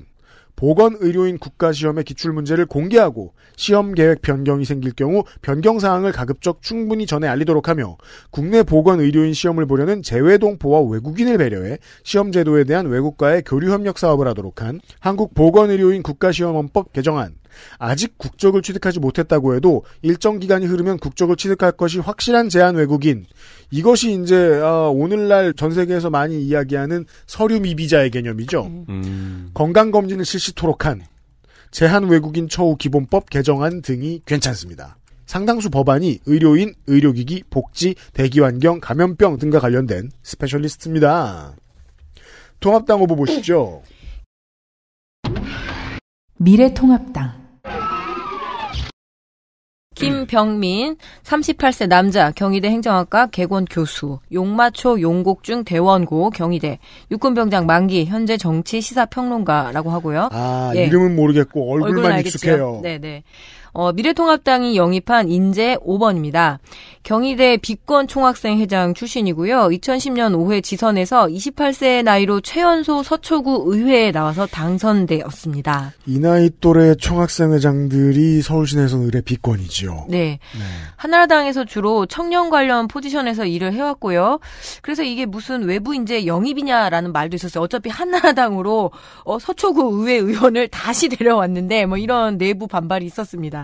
얼마나 비건이냐면은요. 네. 저는 비건이란 말을 서른 살 넘어서 알았어요. 아, 그렇구나. 네. 저는 그걸 이제 스무 살 때부터 알긴 알았는데 그때 비권이라고 생각하면 정치를 안 할 사람들이니까 비권인 줄 알았어요. 예. 근데 알고 보니까 한나라당 가는 게 비권이더라고요. 그러니까 20년이 지나서 그렇게 결론이 났어요. 네. 예. 채널A 신문, 신문 이야기 돌직구 쇼 같은 종편에 정치평론 패널로 출연했었고요.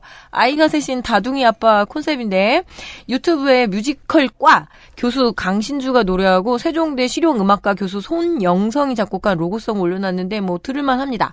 예. 지금 제가 본 국회의원 후보들 중 유일한 어, 시트로행 오너예요. 예. 네. 광진을에 출마한 오세훈 후보와 짝지어서 이렇게 돌아다니고 있고요. 그리고 그럼요, 광진을 자유 광진을 자유 우파의 아성으로 만들겠다는 포부인데요. 자, 청년 정책으로 보면은 1인 가구 지원에 관한 기본법 제정이 공약입니다. 이상입니다. 네. 좋습니다. 민생당 후보 확인하시겠습니다. 민생당 임동순 66세 남자 완주 출생 전주 숭실고 초양대 사회체육과 졸업 국민대학교 정석 직업은 정당인이지만 과거 직업은 동화건설 대표이사 월드건설 대표이사입니다. 재산이 21억이 넘는데요. 4년 전에 비하면 2배가량 늘었고 광진구에 연립주택이 엄청 생겼습니다. 야, 이거 뭔가요? 그런데도 재산이 21억인데 세금 5년간 납부액이 4천만 원밖에 안 돼요. 하나 빼고 다 미분양 상태입니다. 음. 임대 사업을 시작한 지가 얼마 안 된 것 같습니다. 위태 위태하군요. 네, 지금 그 재산 목록을 딱 열면은요. 미분양, 미분양, 미분양, 미분양, 미분양. 재산 재산세- 제가 지난 네. 시간에 말씀드린 공장 재고하고 비슷해요. 안 그러니까요. 네. 재산세와 종부세가 작년에 팍 뛰었습니다. 그렇겠네요. 작년부터 시작했다는 얘기겠죠? 네. 본인 육군 일병 소집해제 아들 육군 병장 만기. 전 서울시의원이라고 하는데 총 6회 출마를 해서 딱 한 번 당선됐습니다. 네. 시작은 95년 자민련부터고요. 당선은 98년 한 번. 17대 총선부터는 국회의원으로 바꿨습니다. 98년부터는 계속 민주당 지역위원장으로 있었는데 지난 총선에 국민의당 그리고 민주평화당 flow입니다. 대표 공약이 일정 주거지역 종상향입니다. 상임위는 국토교통위를 임- 희망합니다. 임종순 후보는 건설업자 출신의 임대사업자입니다. 임대사업자도 네. 거의 희망하는 수준이네요. 그쵸, 그쵸. 지금 재고만 잔뜩 들고 있어요. 네. 어우, 슬퍼라. 정의당 오봉석 46세 남자 정당인 용마초 건대 부속종 건대 부속고 강원대 정치외교학과 졸업 현재 정의당 광진갑 위원장입니다. 재산은 6억 대센을 하다 보면 다들 지방에 전답쯤은 있구나 싶어서 놀랍니다. 이 견해는 뒤로 갈수록 바뀝니다.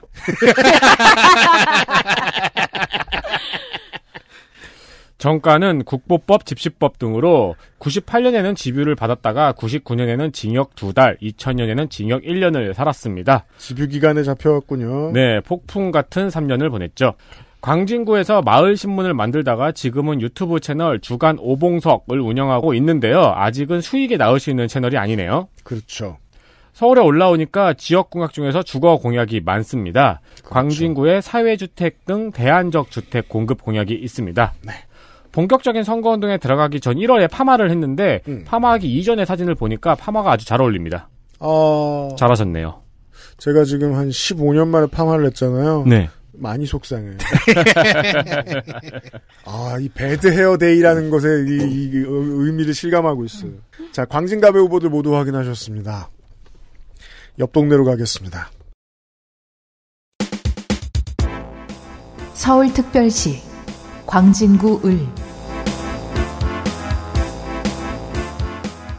광진구가 만들어진 후 이 지역구의 총선 역사. 추미애, 추미애. 모르는 사람, 추미애, 추미애, 추미애. 도미넌트 플레이어가 빠져나간 자리에 간혹 대선주자라 불리는 인물도 들어와 있습니다. 더불어민주당 고민정 40세 여자 중곡 동생 제주고씨 중마초 순회중 분당고 경희대 동아시아학과 방송인 KBS 30기 30기면 04년 4번입니다. 첫 직장이겠죠. 12년도에 KBS도 대차게 파업을 했죠. MBC와 달리 이 회사는 엄청 세게 싸운 새노조, 미온적인 원래 노조가 있는데 고민정 후보는 새노조 소속이었습니다. 17년 초에 퇴직을 하고 문재인 예비후보 경선 캠프부터 대변인 역할을 수행합니다. 그대로 청와대 부대변인, 대변인, 3년간 청와대 딕션 역할을 수행합니다.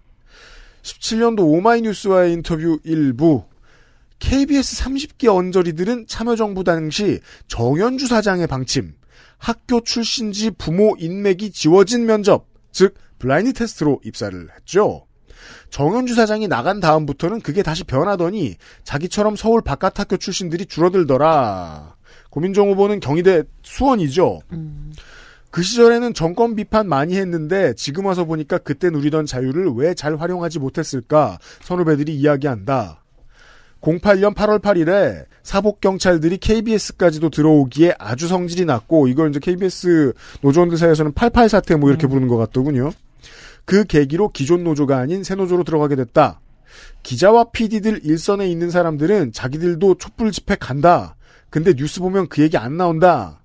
이때는 결국 방송법을 만져야 한다는 생각을 갖고 있는 듯 보입니다. 그런 인물이고요. 통합당 후보 미래통합당 오세훈, 59세 남자. 나이가 들었어요. 내년에 환갑이네요.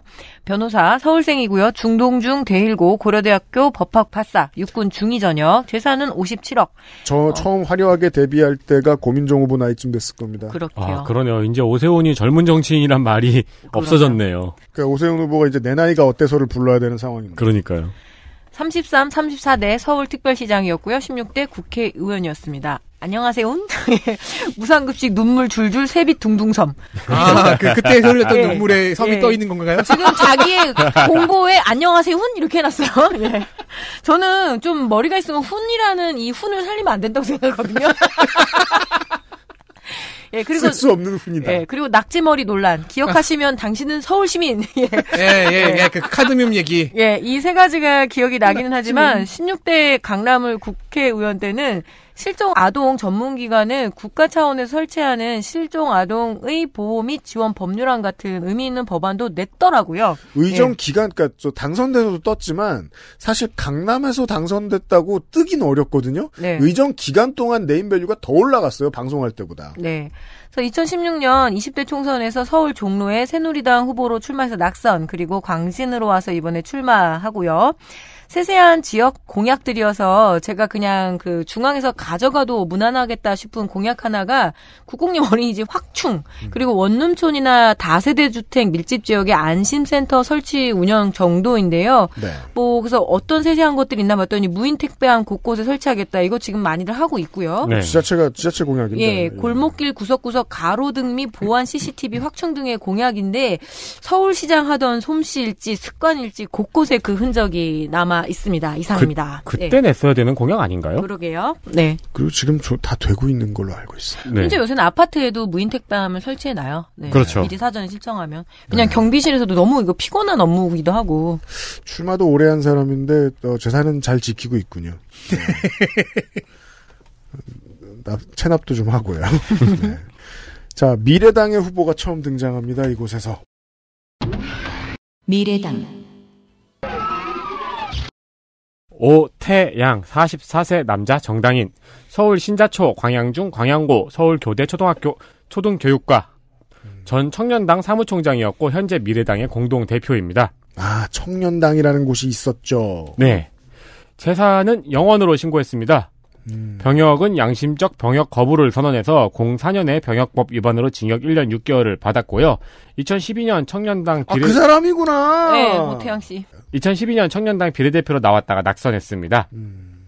미래당은 설명을 제가 몇 번 드렸었죠. 네. 안철수를 지지하던 청년들의 정당이었던 청년당에서 우리 미래당으로 그리고 미래당으로의 역사가 있습니다. 그 이후에는 이제 뭐, 이재명계 등으로 개파가 분류됐죠. 분화됐어요. 네, 안철수 대표가 점점 오른쪽으로 걸어갈 때 미래당은 당명이 변하면서 점점 왼쪽으로 걸어와서 지금은 전혀 다른 길을 걷고 있습니다.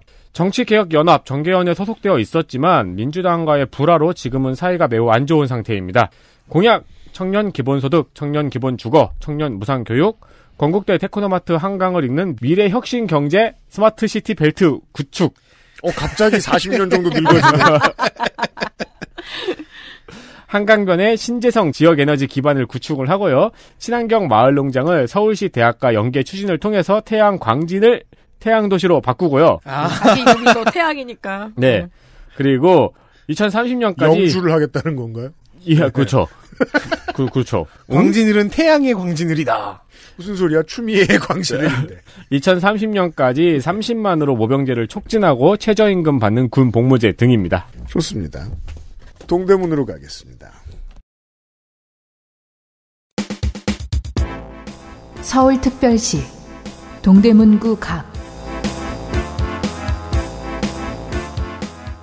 12년간 홍준표의 안방이었던 동대문. 지금의 홍준표는 그 안방은 사실 험지였다고 말하며 따뜻한 대구로 갔습니다. 안방에 깔아둔 가시방석.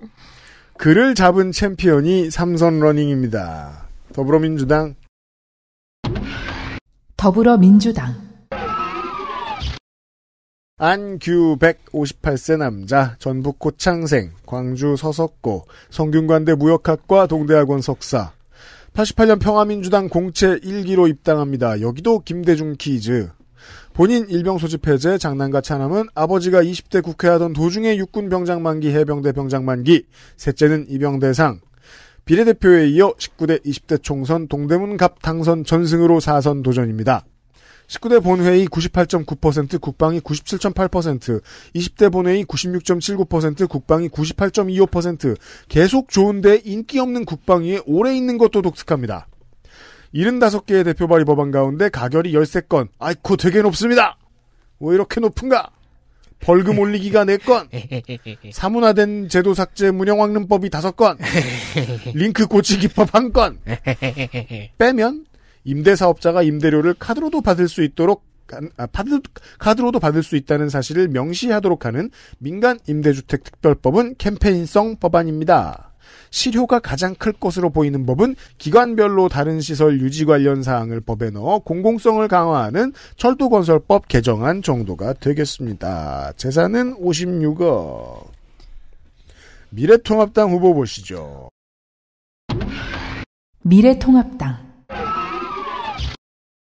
허용범 55세 남자 정당인 경북 안동생입니다. 안동중 안동 경일고 서울대 법과대학 하버드대학교 행석 육군 병장 만기, 장남 해군 병장 만기.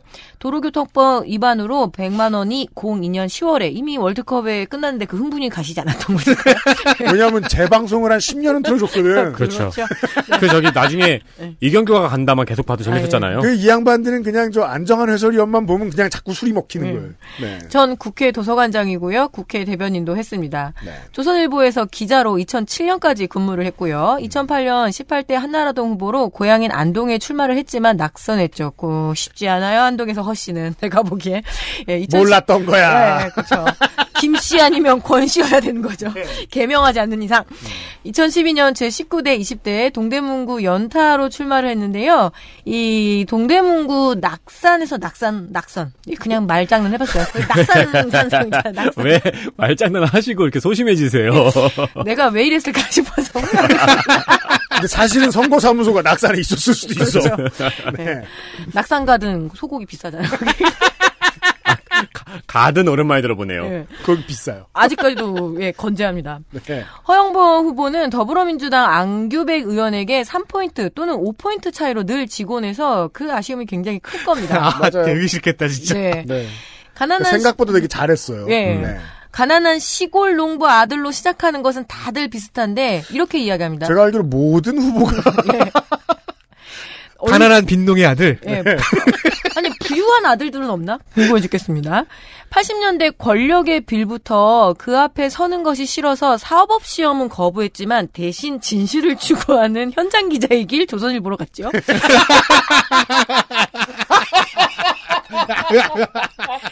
그리고 자기한테 어, 귀여운데, 야, 예, 이렇게 씨. 했습니다. 조국과 같은 학교, 같은 학과를 나왔지만 정 반대의 삶을 살아왔다는 허영범 후보. 나랑 되게- 같은 학교 같은 과 나온 사람들도 다 나랑 정반대의 삶을 살아.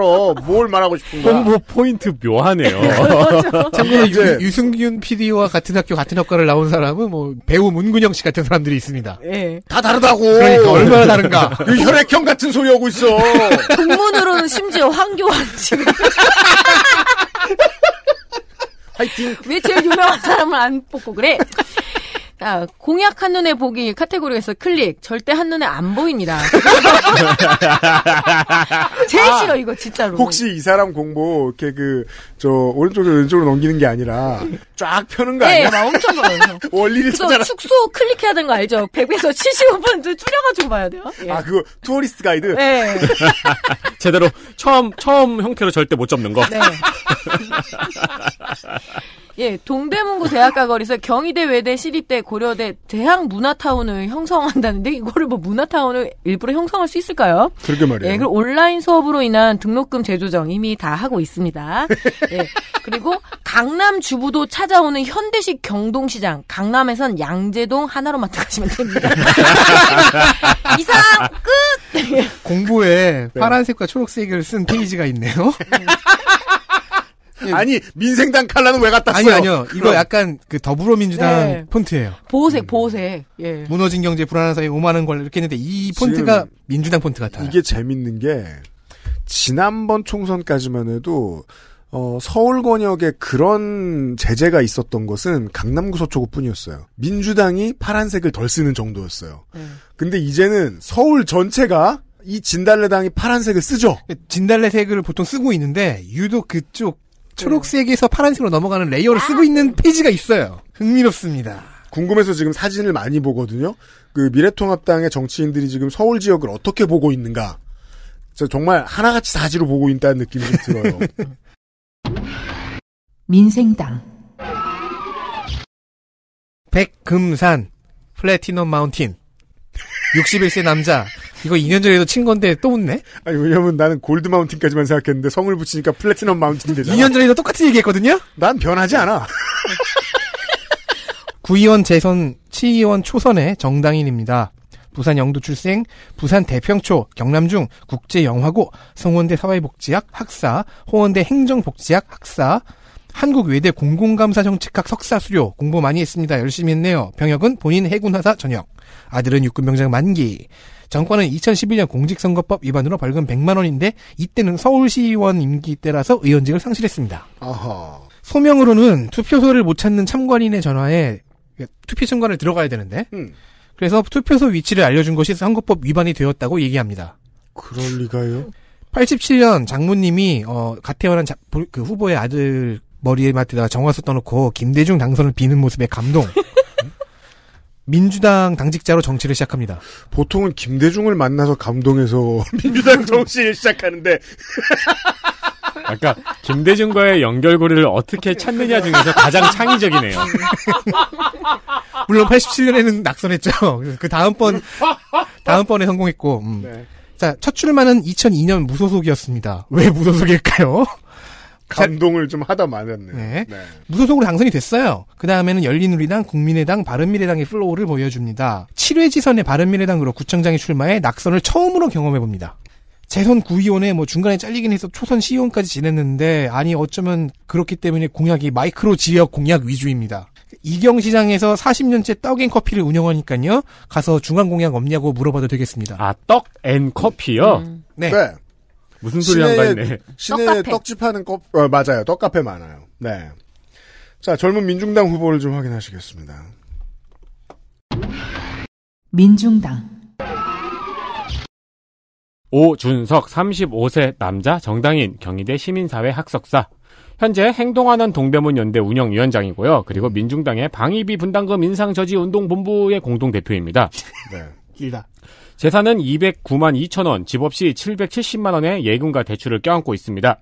병역은 이병 소집 해제. 2005년 세계일보 기사에 따르면 경희대 정경대 학생회장이었고요. 한 청년의 계보를 잇고 있다고 합니다. 15년이 지난 현재는 오프라인에서 현재 활발하게 선거운동 중입니다. 예. 온라인에서는 중고거래의 유명한 사기꾼인 오준석 씨보다 정보가 적은데요.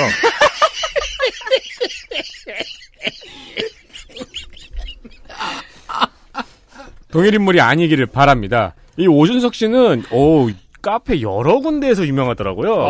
네, 뭐. 밀리터리 카페 무슨 카페 무슨 카페에서 뭐 오준석에게 사기 당했어요. 그럼 댓글에 그분을 아직까지 모르셨다니. 이 후보 얘기는 아닙니다. 아니, 확실하진 않지만 아닌 것 같습니다. 있잖아요. 나는 옷 씨랑은 거래도 안 해. 중, 중고나라 회원들이 있어요. 어, 거의 그 수준으로 사람들이 치를 떨더라고요. 네. 선거 포스터 힙합니다. 마미손에 가면을 쓰고요. 그 비슷한 옷을 입고 이걸 할까 말까 내가 고민하는데 그 저기 소년 챔프에서 백이성 씨 파트 있잖아요. 네. 위성 정당 거대 정당 악당들아 기다려라 아, 이렇게 하면서 그거. 네, 네 그렇게 그 적어 놓았습니다. 네, 오케이 그런- 계획대로 되고 있어요. 네, 그 포스터를 찍었습니다. 네. 아, 마미선이 뭔지 모르신다. 검색하셔야 됩니다. 그렇습니다. 지금 만난 후보 중에서 때깔이 가장 힙합니다. 어, 이게 민중당 공보라고는 2년, 4년 전까지만 해도 상상할 수 없던 수준이네요. 예, 되게 많이 발전했죠. 그렇죠. 네. 왜냐하면 민중당이 돈이 없어서 홍보를 못하는 곳은 아니란 말이에요. 실탄은 있는데 그 creative가 부족했던 거였는데 좋네요. 네. 그렇습니다. 민중당도 그렇고 통합당도 그렇고 이 격동 고딕은 다 쓰네요. 이게 민주당이 많이 쓰는 네, 폰트거든요. 이게 이제 그 한국인의 어, 그러니까 한국의 문화랄까요? 어, 폰트는 돈 안 쓴다. 그러니까 무료 폰트들이 있는데 무료 폰트들이 아주 많은데 네. 이렇게 다들 격동 고딕을 쓰진 않았거든요. 나눔 그러게요. 스퀘어를 많이 썼지. 맞아요. 확실히 폰트는 트렌드를 보여주죠. 네. 그러니까 민주당이 처음으로 썼는데 거의 다 이 폰트를 쓰고 있네요. 네. 공약은 거의 민중당의 중앙 공약인데요. 안 보이던 게 보입니다. 뭔데요? 물, 전기, 가스, 생활에 필요한 만큼은 무상 공급 공약이 있습니다. 알겠습니다. 그러니까 완전히 다 무상이 아니고 어느 정도까지. 무소속 이가현 27세 여자 페미니스트 활동가 서강대학교 정치외교학과 졸업 현 불꽃 페미 액션 활동가이고 전 페미당 창당 모임의 준비위원이었습니다. 네. 재산은 6억 8,800만 원인데 거의 부모님 재산이고 본인 재산은 700만 원 정도 된다고 합니다. 2015년 일반교통방해 두 건 모두 벌금 100 시위 관련 정가입니다. 어, 유튜브에서 라이브로 아무도 안 열어줘서 내가 여는 토론회 방송을 열었다길래 확인해 보려고 눌렀더니 그때 라이브 중이었습니다. 아 그래요? 네. 그 인사했어요? 여기서 본인 재산이 700만 원이라는 사실을 알았어요. 아하. 제가 들어가기 전에는 시청자가 20명이 넘어서 우쿨렐레도 쳤었네요, 이벤트로. 아 그래요? 네. 조금 보다가 나왔어요. 우리 아버지가 우쿨렐레 보니까 사촌동생 사줬거든요. 했더니 좀 비싼 것 좀 사지 그게 작은 거 사줘.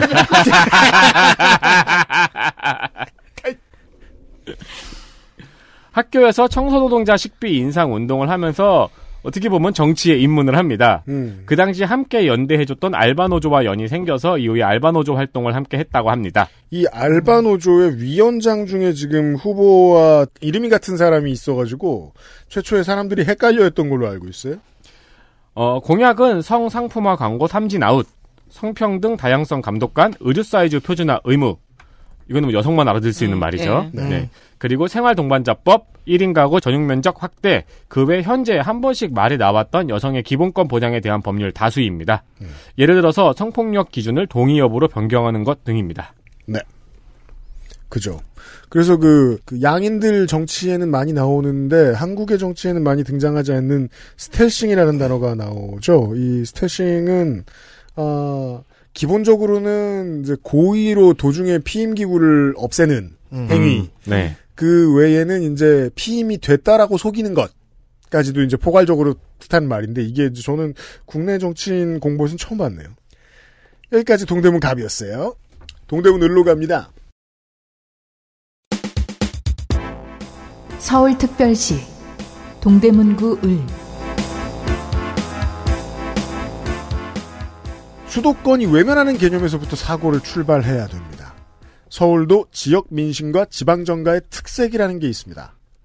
안 그래도 기울어져 가는 균형추가 조금만 더 기울어져도 당선 가능성이 높은 당의 예비 후보들 중에서는 분노 억울 탈당 무소속이 늘어날 겁니다.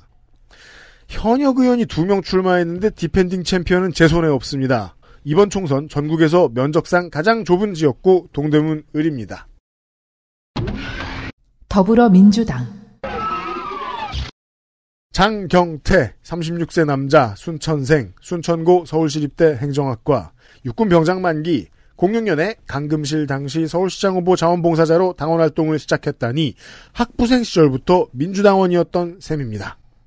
민주당 중앙당 대학생 위원장 민주당 전국 청년위원장 민주당 팜에서 키운 육성형 정치인 정도로 부를 수 있을 것 같습니다. 70년대생들까지는 볼 수 없던 모델입니다.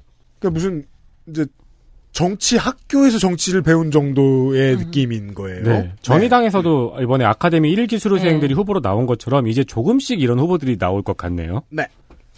26이던 2010년 서울시의회 비례대표로 낙선, 14년 지선에는 민주당 공심위 중에 재심위원을 했었는데 공심위는 불출마를 선언한 정치인들도 있지만 학계나 시민사회 위원들, 아예 정치를 안 하던 사람들도 잠시 불러 쓰기도 합니다. 지난 총선 민주당 비례는 24번으로 낙선, 모친의 소원은 작년까지는 후보가 공무원 시험 보는 거였다고 합니다. 지금 보고 있네요. 예.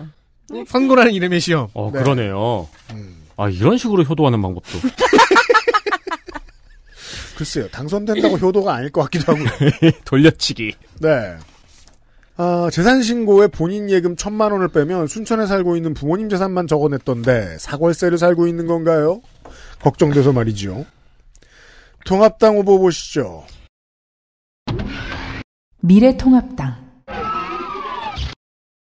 이해훈 55세 여자 국회의원이죠. 17, 18, 20대 서초갑 삼선이었습니다. 창원생이고요. 마산 제1여고 서울대 경제학과 UCLA 경제학 박사. 장남 육군 병장 만기, 차남 육군 입영 복무 만료. 삼남은 사회복무 요원 복무 중입니다. 상임위 출석률은 국교위의 97.73%, 본회의 출석률 86.54%, 대표 발의 법안은 총 26개 중에서 수정 가결 1건, 원안 가결 2건, 여러 가지로 좋진 않죠. 온실가스 배출권의 할당 및 거래에 관한 법률, 그래서 중요한 문제니까 한번 클릭했더니 정부위원회의 민간위원회에 대한 처벌 규정을 규정을 두자는 그저 그런 내용이었습니다. 수정가결 법안은 건축물 관리법 일부 개정 법률안을 보면은 건축물 해체 시 안전 점검 의무화를 명시한 법안인데 오히려 이게 조금 더 의미가 있어 보이네요. 네.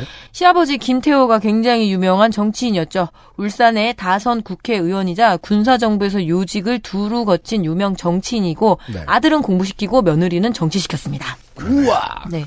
자타공인 유승민계, 유승민계 바른정당 대표까지 했고요. 지난 총선에 고생을 많이 했죠. 예. 공천 심사 과정에서 김형우가 갈수록 이상해지네라는 문자를 이혜훈과 주고받은 것이 기자에게 포착이 되었습니다. 그렇죠. 어, 일부러 포착당한 것 같습니다. 제가 보기엔. 이현주나 새 보수당이나 왜냐면 공관위원장한테 내가 가가지고 당신이 점점 이상해지네. 라고 말하기는 자, 자살이죠. 예. 이현주나 새 보수당이나 통합은 마찬가지인데 이현주는 험지인 경기 광명을 피해서 부산으로 단수공천 받고 이혜우는 컷오프, 지상욱, 민현주는 수도권 경선, 하태경은 경선이라며 공천 형평성을 지적하는 내용이었는데요. 이혜훈 후보는 서초갑에서 컷오프 당하고 지금 동대문구로 오게 된 거죠. 네.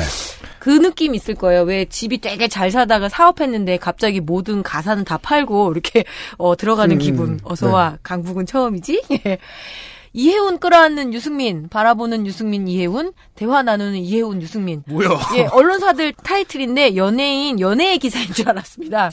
예, 자칭 이유 남매라고 부르면서 블로그에도 친분을 과시하는데요. 이 정, 신유의 핵심입니다. 예, 이 정도면 이른 궁합 한번 보고 싶습니다. 네. 그, 네. 말씀하세요. 예. 재난 기본소득에 관한 의견은 당연히 선별적 지원이 합당하다라고 이야기를 하는데요. 아, 지금 중앙당정은 맞지 않습니다. 그렇죠. 이게 며칠 전에 한 거여가지고 지금 어떻게 주어자 주어 아니요, 담아야 될 텐데요. 중앙당론도 계속 바뀌고 있기 때문에. 네.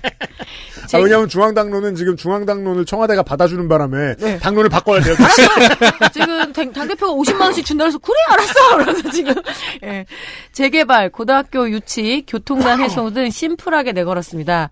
고등학교 유치는 있던 학교가 없어지기도 하는 등 하죠. 하지만 이 아파트가 새로 지어진 지역의 경우에는 난데없이 학교가 모자라서 긴 통학거리가 문제가 되긴 하고요. 네. 또 콩나물 그 교실도 문제가 되기도 하거든요. 동대문구는 중구성 동구 종로하고는 달라요. 네. 인구가 늡니다. 교육 정책 차원에서 보면은 학교도 구조 조정을 해야 합니다. 왜냐하면 아이들이 너무 많이 줄었기 때문이죠. 신규 수요가 있는 곳에 새롭게 학교를 짓는 일이 생기곤 하는데 이게 생각보다는 쉽지 않다는 거죠. 왜냐 하면 학교는 또 부지를 확보를 해야 되고 여러 가지로 문제가 있는데 예, 어떻게 될지 모르겠습니다. 이 정도입니다. 알겠습니다. 네.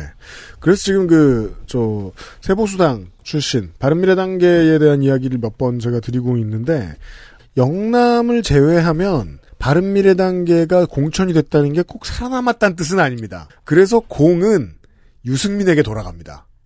여기서 생활하는 의원들이 많으면, 유승민은 조금 더 유리해지겠죠, 대선 가도에서. 네. 그런 그림으로 보시면 좋겠습니다. 아, 수도권의 저, 친유계의 공천들은요. 민중당 김종민 34세 남자 정당인 서울시립대학교 국사학과를 졸업했습니다. 서울시립대의 총학생회장이었다고 하고요. 현재 청년 전태일 대표이며 민주노총 방가호 강사 노동조합원입니다. 재산은 2,900만 원 정도 됩니다. 병역은 병장 만기. 2011년에 서울시립대에 다니던 고 황승원 씨가 이마트 탄현점에서 냉동 창고 수리를 하다가 질식사한 일이 있었습니다. 당시 많이 문제가 됐었죠. 김종민 후보는 당시에 총학생 회장이었습니다.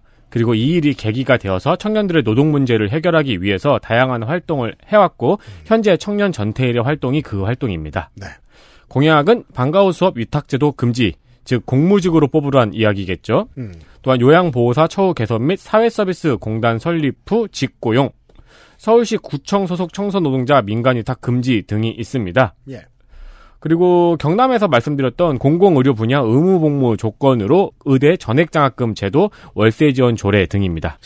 아, 제 바가지에서 새 나온 무소속 한 명 있습니다. 깃발. 무소속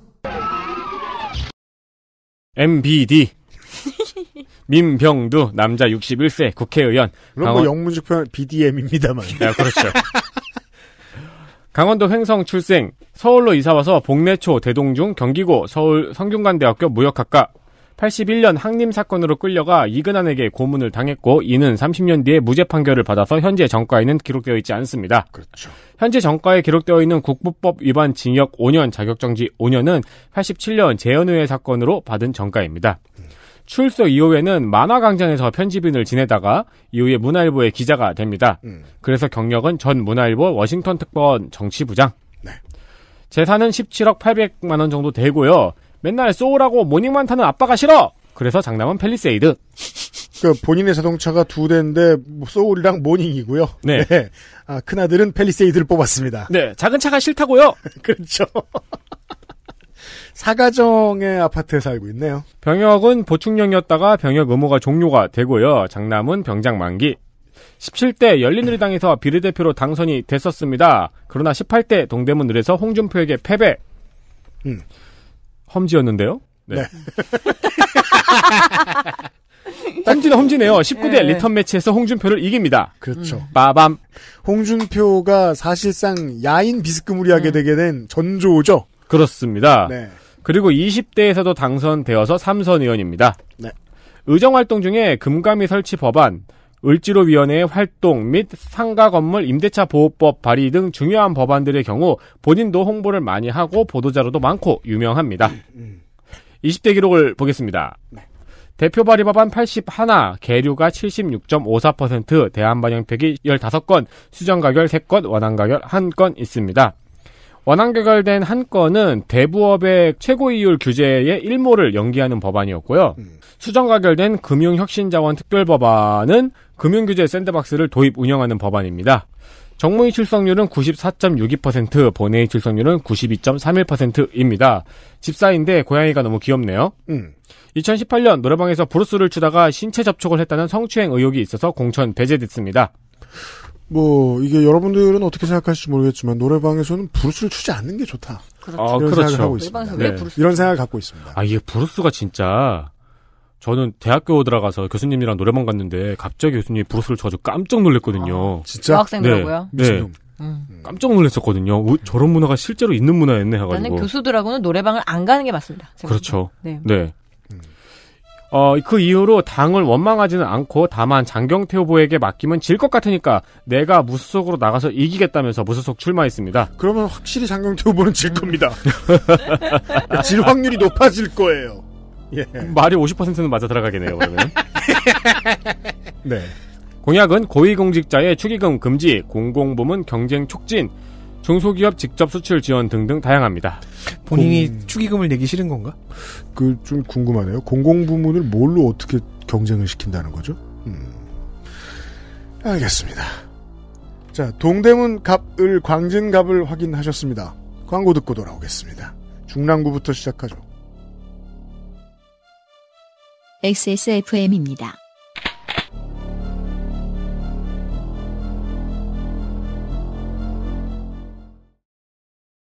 건강기능식품 광고입니다. 물과 결합해 40배로 팽창해서 장운동을 촉진하는 질경이 씨앗 껍질 차전자피. 차전자피 식이섬유가 들어있는 당신의 새로운 비움 친구. 디메이트를 만나보세요. 이번만큼은 제대로 마음먹은 당신. 과식과 야식을 피할 수 있다면 가르시니아 캄보지아 추출물이 함유된 건강한 비움 친구. 디메이트가 도움을 드릴 수 있습니다. 식사 조절, 운동, 수분 섭취, 그리고 비움 친구 디메이트. 평산네이처.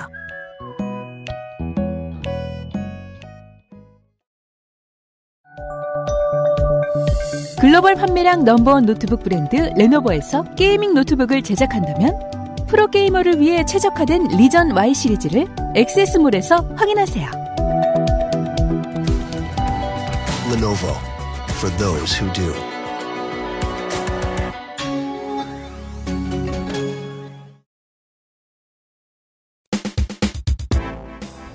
서울특별시 중랑구 각 SBS 출신 정치인들 중 초기 세대인 유정현 의원이 잠시 보수의 새 지역구를 개척하는 듯 했지만 21세기에 민주당이 자리를 내준 기간은 딱 4년 뿐입니다. 4선에 도전하는 챔피언이 나왔습니다. 더불어민주당 서영교 55세 여자 상주생 달성서 씨 486 유닛. 중곡초 면목여중 회원여고 회원여고 총학생회장 이화여대 정액과 이화여대 총학생회장. 저는 세월을 후보들 장남의 병역사항으로 느낍니다. 17년 봄에 입대한 장남 육군 병장 만기. 87년 국가보안법 위반 집시법 위반 호헌 철폐 투쟁의 기록입니다. 6월 항쟁으로 특별 사면. 참여정부 청와대 춘추관장 수배 중이던 본인 생일날 본인처럼 수배 중이던 남친을 만나러 가다가 체포 국보법 직시법으로 징역 1년 6월 집유 3년 민주화 관련 전과죠 요파시적 엔딩 지금 그가 남편 졸업 후에는 시민 그 보면 그 사실 후보들 제가 다 소개 안 들어서 그렇지 꼭 그 데모하다 그 연애합니다. 네. 그렇죠. 그것은 손이상 이론이죠. 네. 졸업 후에는 시민운동을 하다가 00년 새천년 민주당에 들어와서 중앙정치를 시작합니다. 20대 도중에는 선거운동을 도와준 가족들에 대한 의혹, 그리고 허위사실 공표가 문제가 되어 재판을 받으면서 탈당했다가 선거법 위반 무죄를 받고 복당합니다. 18대에는 그때나 지금이나 절대 안 될 비례 33번을 받아 선거운동만 했고 19대 민주통합당에서 공천을 받아 당시 분노 억울이 식지 않은 탈당 무소속 유정현 의원을 잡고 초선 이 지역구 3선에 도전합니다. 그리고 유정현 의원은 은퇴했죠. 19대 본회의 92.5%, 법사위 96%, 20대 본회의 91.03%, 교육이 100%의 출석률 좋습니다. 20대 149개의 대표 발의 법안 중 가결이 5건, 논의는 여러 가지 방향으로 진행될 수 있겠지만 민주당의 경우 수도권 의원들은 일하는 척과 실제 일 둘 다 더 많이 합니다. 국립대 교원의 영리 업무와 겸직 금지에 관한 특례를 명시한 인천대 설립 운영에 관한 법 개정안, 고등학교 무상교육에 필요한 비용 중 97.5%에 달하는 비용을 땡겨오는 근거를 마련한 지방교육재정교부금법 개정안, 도서 벽지 교원의 근무 환경 실태를 파악하도록 하고 교육감의 보고를 의무 의무화한. 약간 약간 두꺼비 같기도 하고 사람은 괴로운데 자꾸 웃음이 두꺼비 수시 출몰 지역입니다. 의무화한 선마을 집단 성폭행 사건 직후 나온 교원의 지위 향상 및 교육활동 보호를 위한 특별법 개정안이 괜찮고요. 나머지 두 개는 단어를 고쳤습니다. 작년은 회사마다 수십 주씩 사보면서 연습을 하고 있는 꼬마 주갤러입니다. 자, 미래통합당의 후보 보시죠. 미래통합당 김삼화 57세 여자 변호사입니다. 충남 보령생이고요. 대전여고 서울시립대 행정학 학사 장남 육군 병장 만기 차남 현역 병역 병입 병입 현역병 입영대상 병입은 병, 병입은 보틀러잖아요. 그 맥주 코카콜라 콜라 코카콜라 병입이 아니라 예. 병입 이영 대상이에요. 원래 뭐 젊었을 때 군대 가는 입영대상. 겁니다. 예, 그죠. 네. 제사 그죠. 원래 하기 전에 그냥 정말 그 맥주를 그냥 꼭지들도록 먹겠죠 전날. 예, 재산은 100억입니다. 예, 전 20대 국회의원이었는데 비례대표였더라고요. 한국 성폭력 상담소 이사, 대한 여성 변호사의 이 회장입니다. 사시 27회 20대 국회 비례대표였고 성폭력 방지 및 피해자 보호 등에 관한 법 개정안에서 이 보게 되면 성폭력 범죄 피해에 대한 민사상 손해배상 청구권의 소멸시효를 연장했습니다. 어, 소매, 손해미 가해자를 안 날부터 3년이었는데 이걸 5년으로 늘리고요. 피해 발생일로부터는 10년을 20년으로 늘리는 굉장히 의미 있는 법을 만들었고요. 업무상 이력 등에 의한 간음 추행죄의 경우 고용 관계가 유지되는 동안 소멸시효가 정지될 수 있도록 하는 법안을 발의했습니다. 스토킹 방지법, 가습기 살균제, 피해자 구제를 위한 특별법 등을 발의해서 굉장히 열심히 일한 비례의원이었습니다. 네. 안철수계 비례의원이었는데요. 바른미래당은 지금 탈당을 하고 국민의당에 합류를 하면서 바른미래당 의총에서 제명을 했죠. 하지만 민생당의 그 셀프 제명 취소 가처분 신청이 있었고 이게 또 용인이 되잖아요. 어, 그래서 미래통합당 입당이 무, 무효가 됩니다. 그리고 민생당 소속이 되었다가 3월 19일에 탈당을 하고 그리고 통합당에 이제 들어갔죠. 이래 가지고 그 의원을 사퇴한 상태라서 우리가 이용하는 그 출석률 시스템에서 안 나오잖아요. 예, 그러게요. 그리하여 지금 이 사람의 독특한 레주메가 완성됩니다. 지금이 20대 국회인데 전 20대 국회의원이라고 써 있습니다. 스스로 직을 버려야 통합당으로 출마할 수 있었던 거였죠. 서울 강남병에서 지역구를 닦아 왔었거든요. 근데 통합당에 들어가면서 경기 고양 그리고 이제 수도권 출마를 타진할 것으로 알려져 있었지만 지금은 중랑 갑으로 왔습니다. 바른미래당 계들에게 강남병 같은 자리를 내주진 않았습니다. 지금 통합당은. 어, 중랑과의 2년 정도는 그래서 시립대도 동대문에 근처기는 하지만 그렇게 큰 인연 없는 거죠. 소상공인 정책으로 소진공, 중, 중진공 직접 대출 확대로 두 달 걸리는 현재 대출 심사 기간을 원스톱으로 해결했다, 해결, 해결하겠다는 공약이고요. 나머지는 굉장히 짜잘한 동별 맞춤 공약인데요. 제가 자랐던 곳이어서 괜히 참견하고 싶어져서 그냥 여기서 끝내겠습니다. 네. 좋습니다. 공보 한 페이지를 서영고 후보 네거티브로 썼네요. 네. 민생당 후보 보실까요? 민생당 이기현 64세 남자 정당인 해남 출신 광주고 졸업 한양대 국어국문학 학석 박 한양여고와 한양대와 동덕여대에서 가르친 교사 및 교수 출신이고요. 부동산업을 잠깐 한 적이 있는 것 같습니다. 본인 육군 일병 소집해제, 아들은 비공개 질병으로 면제. 정과는 07년 공동 재물손괴로 벌금 150만 원. 건물 관리인이 엘리베이터실을 잠가놨길래 자물쇠를 절단하고 엘리베이터를 작동시킨 것 때문에 받았다고 합니다. 근데 사우나 전용 엘리베이터실을 잠갔다는 거는 사우나에 갇혔었던 건가요? 사우나에 가고 싶었던 거 아닐까요? 모르 둘중 하나는 확실합니다. 네. 지난 지선에 바른미래당 중랑구청장 후보가 됐지만 왜인지 사라졌습니다. 이 중랑 쪽의 어떤 그 지역 언론에 사람들이 그냥 올리 기사 비슷하게 올릴 수 있나 봐요. 거기다가 뭐 후보 확정이라고 음. 한 줄짜리 기사 비슷하게 올라가 있던 게 몇 개 있어요. 예비 후보 확정, 후보 확정, 공천 확정. 근데 안 나왔어요. 음. 페이스북은 이미 버려졌고 부동산 특급이라는 부동산 업자들의 카페를 만들었지만 여기도 방문수 0. 이번이 첫 본선인데요. 온라인 선거 활동은 전무하고요. 공보에도 공약이 없습니다. 알겠습니다.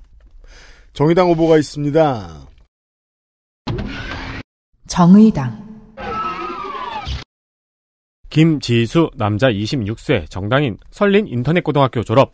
서울에 오니까 확실히 20대 후보들이 많이 보입니다.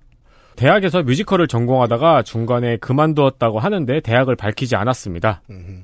현재 정의당 중랑구위원회 위원장이고요. 그리고 심상정 대표 사회복지 특보, 전 쿠팡 택배기사, 동대문에서 배달 등의 아르바이트를 하다가 진보정치 4.0 아카데미를 통해서 정치에 입문합니다. 이후 정의당 청년 부대변인을 맡기도 했습니다. 중랑구 옥탑방에서 살고 있다고 하네요. 재산을 보니 보증금이 500만 원인 것 같습니다. 재산이 전체가 500만 원이라고 써냈는데 어, 정의당처럼 오래된 원내 정당 얼마나 오래됐냐면요. 그 이름으로 원내 정당인지 가장 오래된 정당입니다, 지금. 네. 에서 후보들한테 재산 써내는 법 이렇게 안 가르쳐 주는 아마추어를 보여주면 어떡합니까? 여튼. 병역은 공군 병장 만기, 본인 1호 입법안이라고 밝힌 법안은 차별금지법, 그리고 공약은 국가 책임 여성 청소년 생리대 보편 지급, 만 16세 선거권과 피선거권, 플랫폼 노동자 보호법 제정입니다. 알겠습니다. 민중당의 후보도 20대예요. 민중당 성치화 남자 28세 정당인 서울시립대학교 철학과 졸업. 경력은 현재 청년 민중당 집행위원장이고 그리고 민중당 기후위기 특별위원장입니다. 재산은 3,700만 원. 공군 병장 만기 헌병을 나왔네요. 지난번 지선에 서울 시의원에 나왔다가 낙선했습니다. 네. 공약이 보이지 않는데 가장 많이 하는 이야기는 지옥고 이야기입니다. 지하 옥탑방 고시원. 그렇습니다. 그래서 선거 사무실에도 지하 옥탑방 고시원의 전시장을 꾸몄습니다. 반지하는 이렇게 창문을 낮은 위치에 예. 놓고 그 안에다가 기생충의 한 장면을 기생충처럼, 넣었고 그리고 고시원은 실제로 고시원 방을 이렇게 구현을 해놨고 그렇게 해놨더라고요. 네. 지옥고를 탈출한 청년 임대주택에 대한 강한 의지가 보입니다. 알겠습니다. 무소속 후보가 있네요. 무소속 이성복 63세 남자 현재 카페를 운영하고 있다고 합니다. 육군사관학교 기계공학과 졸업. 육군 중령으로 전역을 했는데 또 경력에 컴퓨터 프로그래머도 있네요. 이걸 전이라고 했으면은 지금은 프로그래머가 아니다. 지금은 카페를 운영하고 있습니다. 프로그래밍을 까먹었다. 지금은 카페를 운영하고 있습니다. 네, 왜냐하면 사관학교에서 배웠으니까요. 네. 그러면은 특기가 전산인가? 설마? 기계공학과. 아. 지금은 카페를 운영하고 있습니다. 그러니까 안 해도 될 질문을 세 번 했다는 뜻이에요? 재산은 2억 8천, 장남은 24세 이전 출국으로 국적 상- 상실입니다. 어, 갑자기 출마한 후보여서 아무런 정보가 없습니다. 라고 포기하려던 찰나! 육해지선 새누리당 서울시장 예비후보 간담회 구석에서 박수치고 있는 사진을 찾아냈습니다. 아이고 카페에서 이 선거비 보존될까? 그나마도. 사진만 있네요. 네. 그래도 재산이 2억 8천인데요, 뭐. 알아서 하시겠죠. 공보를 보면 공보엔 얼마나 많은 정관과 정책을 써야 됩니까? 술에 말을 기르는 자는 닭, 돼지를 살피지 않는다라고 크게 써 있고요. 밑에 저 체크포인트 체크포인트에는 오리 알에다 제똥 묻혀서 굴러가듯 해야 합니다.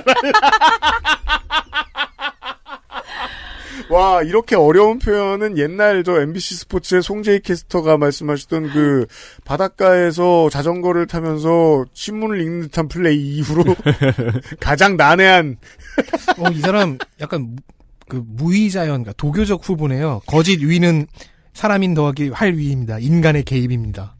잘못된 인위적인 개입을 분명하게 드러냄으로써 실천에 있어서 올바른 방법을 제시할 수 있습니다. 어, 제시 확실히 했네요. 아, 저 사람 맞네, 이 사람. 그, 저기, 캐나다에 이민 갔다가 2008년에 한국으로 복귀를 했네요. 한국말을 좀 잊어버리지 않았나. 자, 중랑을로 가겠습니다. 서울특별시 중랑구 을 중랑 갑과 을 모두 90년대의 총학생회장 post post 386 간혹 586이라 불리는 인물들입니다. 양쪽 다 지역 3선 도전 경기입니다. 더불어민주당 박홍근 45세 남자 고흥생 순천 효천고 경희대 국문과 수형으로 인한 제2국민역 92년 경희대 총학생회장으로 교내 집회 주도 중에 집시법 위반으로 각각 징역과 집행유예 전대엽 의장 대행 486 이후 세대의 선두주자들 중 한 사람이지요. 19대 총선에서 지금 사람들이 이 사람 입김이면 새가 떨어지는 줄 아는 양정철 민주연구원장을 경선에서 잡고 초선 의원이 되었습니다. 같은 지역 삼선식이고요. 20대에는 19대 때보다 많은 업적을 남기지는 못한 을지로위원회 위원장 일을 했습니다. 진보정당보다는 늦게 달려갔지만 파인텍 LGU 플러스의 쟁의를 해소하는데 어느 정도 역할을 했습니다. 19대 본회의 96.6%, 교문이 97.5%, 20대 본회의 국토교통이 코로나19 대책 특위 100, 100, 100. 민주당 후보 중 재계는 네 번째 퍼펙트 출석부. 157개의 대표 발의 법안, 가결 22건, 대한반영 폐기를 합하면 타율은 3할 4푼 4리. 교직원 공제회 사칭 사기 사건 이후 입법한 땡땡땡땡 공제회 같은 명칭을 지맘대로 사용하는 경우에 과태료를 물리는 공제회법 개정안들이 여러 개가 있고요. 공제회가 회계 점검 결과 등을 외부에 공개하도록 하는 공제회법 개정안 몇 개가 있고요. 각 과학기술원에 연구시설과 토지, 기자재를 기부하는 사람들이 있는데 기부한 사람들이 이것을 공동으로 사용할 수 있도록 하는 즉 과학기술원 내에 공용시설 연구를 유치하는 과학기술원법의 개정안들이 있는데 이게 왜 여러 개냐면 울산과학기술원법, 광주과학기술원법 음. 이렇게 있기 때문이죠. 복붙 한 그러니까 이것도 one source 오리지널, multi-use. 네, 오리지널이에요. 그래도 네. 형사처벌 편차를 줄이는 법안 다수가 있고요. 그리고 라오스 세피안 세람노이댐 참사 이후 입안한 해외 공사에서 손실을 냈을 경우에 처벌을 10년 이하로 확 올린 해외 건설 촉진법 개정안, 버스 택시의 의무 교육 내용 중 소화기 사용법을 추가한 여객 자동차 운수사업법 개정안, 택시 기사의 근로 시간 기준을 운행 기록 장치와 운행 정보 관리 시스템을 통해 확인한 뒤에 교통부 장관이 정하는 택시 운송 사업법 개정안 등의 법들이 박홍근 의원실 발로 가결되었고요. 최근에 가장 주목을 받은 것은 대한반영 폐기된 승합차 임차 운영 시 대여 시간이 6시간 이상이거나 대여 또는 반납 장소가 공항 또는 항만일 경우에만 운전자를 알선할 수 있도록 하는 여기에서 보면 신기술 탄압, 저기에서 보면 노동권 확보, 여객 자동차 운수사업법 일부 개정안 AKA 타다금지법이었을 겁니다. 제가 말씀드린 서로 다른 가치를 각각 하나씩 짚은 여야의 중진들이 총대를 맸었죠. 미래통합당 후보 보시겠습니다. 미래통합당 윤상일 65세 남자 정당인 중랑구생입니다. 서울 중화초 경희중고 성균관대학교 중어중문학과 졸업했고요. 육군 상병 만기입니다. 장남은 육군 병장 만기고요. 전과가 있습니다. 건축법 위반으로 87년 아주 오래전에 120만 원. 세다. 예. 80, 87년 전가면 우리가 웬만해서는 민주화 그렇죠. 운동 관련 정가인 것 같습니다라고 이야기하는데 건축법 위반은 그렇게 말할 수 있는 방법이 없네요. 그러게요. 그, 그 민주화 운동을 한다면서 거기다 가건물을 짓지 않는 이상은 예. 그리고 06년에 범인 도피 200만 원이 있어요. 지금 제가 봤는데요. 범인 도피인데 이게 뭐죠? 그러게요. 저도 이거 해명이 그때 제가 원고 쓸 때는 없었는데 지금 있나요? 이게 본인으로부터 건물 관리 위임을 받은 A씨, 건물 관리인 A씨가 임차인 B씨와 임의로 이중개혁을 체결한 뒤에 잠적 도피했다고 합니다. 그래서 이 관리인 A씨가 도피를 했잖아요. 근데 이 관리인 A씨가 도피를 했기 때문에 건물주인 본인이 억울하게 책임을 졌다고 주장을 하네요. 그 범인 도피라는 거는 보통 더 많이 쓰는 단어는 범인 은닉죄라고 네. 하는데 그, 뭐, 재산은 91억 정도 있네요. 뭐 뭐두 개 다 건물에 관련한 거면은 네. 계속해서 뭐 건물 집상사. 노릇, 노릇을 했다. 네. 중랑구에 많이 있습니다. 이런 경우. 아, 예. 그래요? 왜냐하면은 중랑 뉴타운이 그 안 됐잖아요. 그러면서 네. 이제 조금 그 연립 그러니까 빌라를 굉장히 많이 지어요. 지어서 분양하고 지어서 분양하고 네. 뭐 이런 형태들이 좀 많은 거죠. 아파트를 못 세우는 대신에 업자들이 굉장히 많은 동네입니다. 그렇군요. 예, 2008년 국회의원 선거에서 친박연대 비례 10번으로 출마를 해서 낙선합니다. 친박연대 후신 미래희망연대 사무 부총장을 지내다 양정래, 서청원, 김노식 등이 공천헌금 사건으로 국회의원직을 상실하죠. 어, 그래서 그때 그 다음번에 우리가 지정생존자라고 하는데 의원직을 승계하려고 했지만 이게 불발되자 헌법 소원을 제기를 합니다. wow. 그래서 예, 그래서 국회의원직을 승계합니다. wow. 헌법이 만들어준 진정한 예 국회의원입니다. 예, 이후 미래희망연대가 한나라당의 흡수 통일되죠. 네. 이후 한나라당 비례대표 국회의원 신분을 유지를 했어요. 그래서 한나라당 국회의원이 와. 네, 경력이 생긴 이게 거죠. 나름 기구합니다. 친박연대 비례로 들어와서 네. 들어와서 예. 선거는 안 치렀어도 소송으로 소송으로 의원을 경험했고요. 와 천재다. 네, 2012년, 2016년 중랑을 공천에 계속 밀리자 2016년에는 아들을 대신 공천에 내보냈습니다. 내가 늙어서인 것은 아닌가. 예. 그때 신내 지구라고 이제 새로운 그 아파트도 들어오고 그런 데에다가 아이돌 밸리를 유치한다는 이 아드님의 허황된 공천 때문에 아니, 아이돌을 때문에 왜 계곡에 몰아넣는 거예요? 그래서 예, 그래서 호연이 있었지만 약간 낙선됐죠. 그러면 약간 김홍도의 그림처럼 아이돌화 뭐 이런 게 가, 네. 능한 건가? 예, 결국 탈당. 그럼 어떻게 될까요? 예, 바른 정당으로 가죠. 입당을 하고요. 이후 새로운 보수당에 들어왔다가 다시 미래통합당으로 복귀를 했습니다. 중랑천에서 많이 볼 수 있는 어떤 도리뱅뱅이 유형의 철새 유형인데요. 예, 지금은 어쨌든 지금 어쨌든 유승민계로 분류가 됐습니다. 중랑천에 철새가 많죠. 네. 네, 아, 예쁘게들 생겼어요. 그래서군요. 네. 어, 근래 지지 방문이 있었다는 기사가 눈에 띄고요. 중랑이 낳고 중랑의 아들 그리고 중랑 진또백이라고 이렇게 자기를 밀고 있는데 심지어 400년 동안 중랑에 살았다라고 하는데 400년이요? 네, 400년 전 역사를 뭐 확인할 수 아, 없고요. 집안이 네, 본인이 네. 400년 산 게 아니고. 네. 물론 중랑은 90년대에 생긴 것으로 알고 있습니다. 네. 아니요, 의외로 80년. 아 그래요? 제가 처음에 이사 왔을 땐 동대문구였는데 저 국민학교 한 5, 6학년쯤 되니까 중랑구로 바뀌더라고요. 그럼 400년 중에 엄청 싫어했어요. 40년은 중랑구예요. 네, 중랑천의 이미지가 있어서 그, 그렇죠. 때 지역 구민들이 엄청 반대했던 기억이 저도 어렸을 때 당신은 납니다. 중랑천이 더러웠죠. 아, 또 그리고- 읽, 을때 실수로 범람천 이렇게 부르고 그랬어요. 학교를 잘 안 갔었어요. 장마철 때. 음. 특별히 이렇게 속보로 자막이 떴어요. 오늘 중랑구 학생들 학교 가지 말라고. 그냥 이게 되게 좋, 좋지 않나요? 나머지 지역. 서울의 학생들은 저 뉴스에 중랑 뜨면은 비 오나 보다 그냥 생각하고 어, 학교도 못 간 적도 몇 번 있어요. 그래서 네, 저 그- 때까지만 해도 그 기억이 있네요. 네. 그래서 중랑구 정체만 그득한데 counter partner가 그렇게 센 사람이 나왔는데 왜 세웠는지 솔직히 저는 잘 모르겠습니다. 이상입니다. 네. 그리하여 그 코드 하나가 읽히죠. 이 윤상현 후보는 바른미래당에서도 존재감이 그렇게 큰 선수가 아니었는데 바른미래당의 중진들로 볼 수 있는 사람들도 나가 떨어지고 공천 잘못된 데 받았단 말이에요. 근데 이 사람이 공천을 어쩌다 받았을까 생각해 보면 예. 민중당 후보 보시죠. 민중당 이소영 33세 여자 정당인 중하초 신현중 송공여고 36대 사회복지학과 졸업. 현재는 민중당 중랑 지역 위원장이고요. 민중당 중랑구 불평등 해소 특위 위원장입니다. 송국여고에는 유명한 사람이 두 명 있습니다. 누군데요? 유은혜 장관, 농축사님. 아무래도 후자 쪽의 네임빌러가 너무 높네요. 네, 전자와 비교해서. 네. 어, 둘 다 지금 저 공천을 포기했다는 네, 공통점이 있죠. 불출마 선언하겠습니다. 그리고 현재 중랑구의 캣맘입니다. 고양이 4마리에 인보도 포함해서 있는데요. 어, 너무 귀여워서 질투가 날 정도입니다. 재산은 마이너스 8천만 원 정도이고요. 대출이 너무 많아서 마이너스입니다.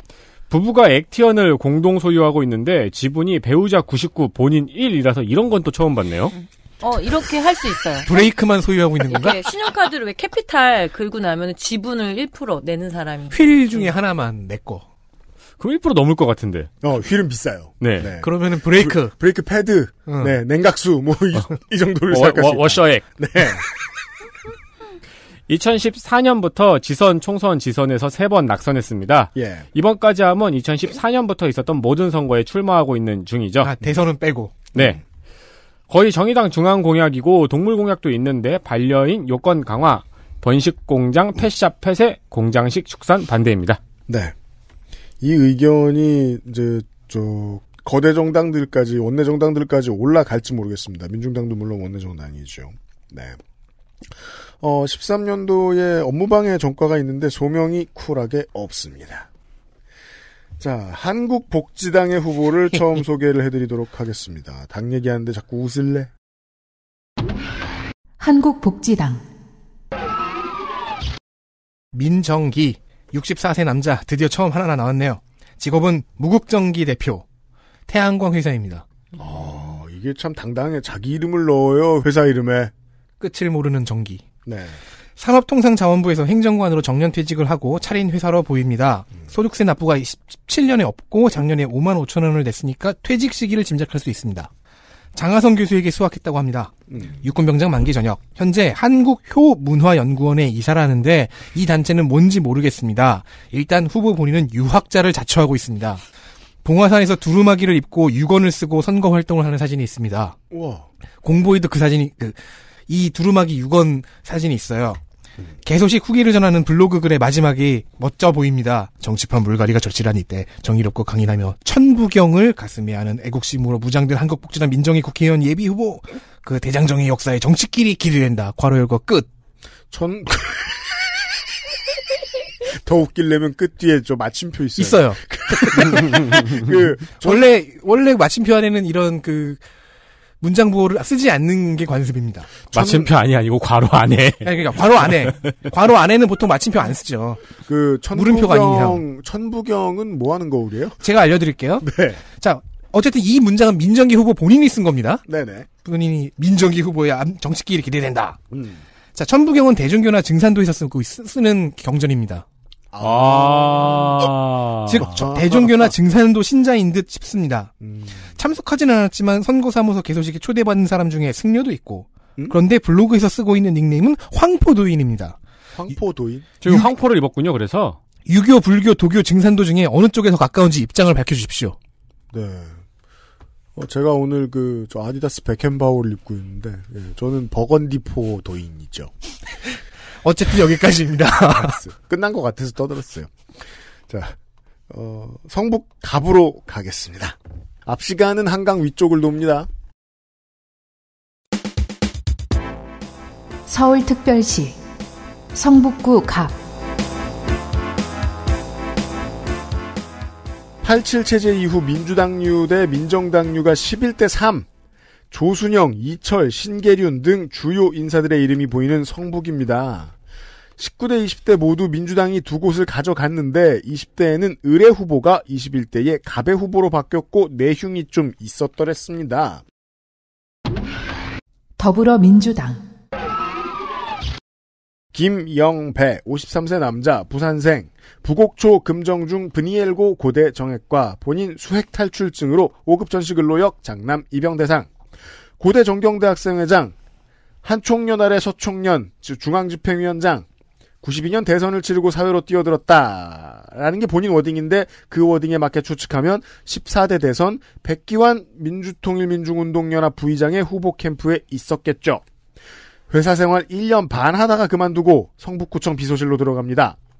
유학을 다녀와 02년 대선 캠프에 합류, 신계륜 당시 후보 비서실장에 있었습니다. 이후 참여정부 행사 비- 기획비서관을 거쳐 여러 번 예선을 두들겼고 2010년부터 본선에 참가해 당선만 두 번 된 재선의 성북구청장. 아직도 민주당 구청장 지역들에서만 주로 볼 수 있는 사회적 기업, 협동조합, 소규모 창업 지원센터를 선제적으로 운영했었습니다. 지난 지선을 일찌감치 포기하고 청와대로 가서 정책조정비서관, 민- 민정비서관 업무를 보면서 조직을 관리, 원래 이 지역구 국회의원인 유승희를 경선에서 잡았습니다. 좋은 소식보다는 나쁜 소식이 원래 크게 들리죠. 경선에서 패한 유승희 의원이 서울 북부지검에 김영배 후보를 고소했습니다. 김영배 후보 지지자들의 방으로 보이는 단체 대화방에서 어느 지역은 마감되었습니다. 어느 지역으로 응답되어야 여론조사 투표하실 수 있습니다. 정도의 대화 내용을 캡처한 화면들이 현재 돌아다니고 있고 유승희 의원은 이것이 경선 조작의 증거라면서 제출한 상황인데요. 언론이 덥석 물어 이달 초에 여러 차례 보도했고 3월에 일주일 정도 당대표실 앞에서 단식 농성을 한 유승희 의원은 현재는 공천 결과에 승복했지만 검찰은 김영배 후보를 계속 수사하고 있는 것으로 보입니다. 미래통합당. 한상학 58세 남자 치과의사 조선대 치대 졸업 고려대학교 신소재공학과 졸업 이 신소재 공학이면 이렇게 임플란트 뭐 이런 걸 했을까 뭐 이렇게 잠시 궁금했네요. 그럴지도요. 예. 어, 그럴 것 같네요. 예, 그러니까 그 되게 중요한 소재들 네. 육군 중위 복무 만료. 장남 4급 사회 복무요원 소집 대상입니다. 배임 중재 100만 원으로 98년 4월 29일에 예, 전가가 나 있고요. 서울은 이, 저, 아, 우리가 모르는 범죄가 많아. 그냥 음주운전이나 하지. 범인은 아 음식은 있습니다. 보며. 그래서 예. 기대에 맞춰 주긴? 예, 03년 5월 6일, 예, 월드컵 1주년 기념으로 100만 원. 네. 그리고 05년 3월 3일에, 예, 150만 원. 이렇게 음주운전도 두 건 있습니다. 이거를 농축산인이 음주 1, 음주 2라고 썼네요. 헷갈릴까봐. 예. 재산은 56억 정도고요. 그리고 이천- 예. 그 소명을 시원하게 안 썼어요. 네. 이 배임 중재는 소명 좀 해주지. 아, 그러게요. 2006년 지선 무소속으로 성북구 의원의 선거에 나왔지만 낙선했고요. 그러니까 뭐저 배임을 하려는 사람들 사이에 껴가지고. 예. 야, 여기 해봐, 해봐. 얼만큼 해먹어라. 이렇게. 어, 그렇죠, 그렇죠. 배임 중재 뭐야. 예, 그리고 2014 찾아보고 있어 지금. 예, 2014년에 서울시의원 새누리당에서 낙선을 했습니다.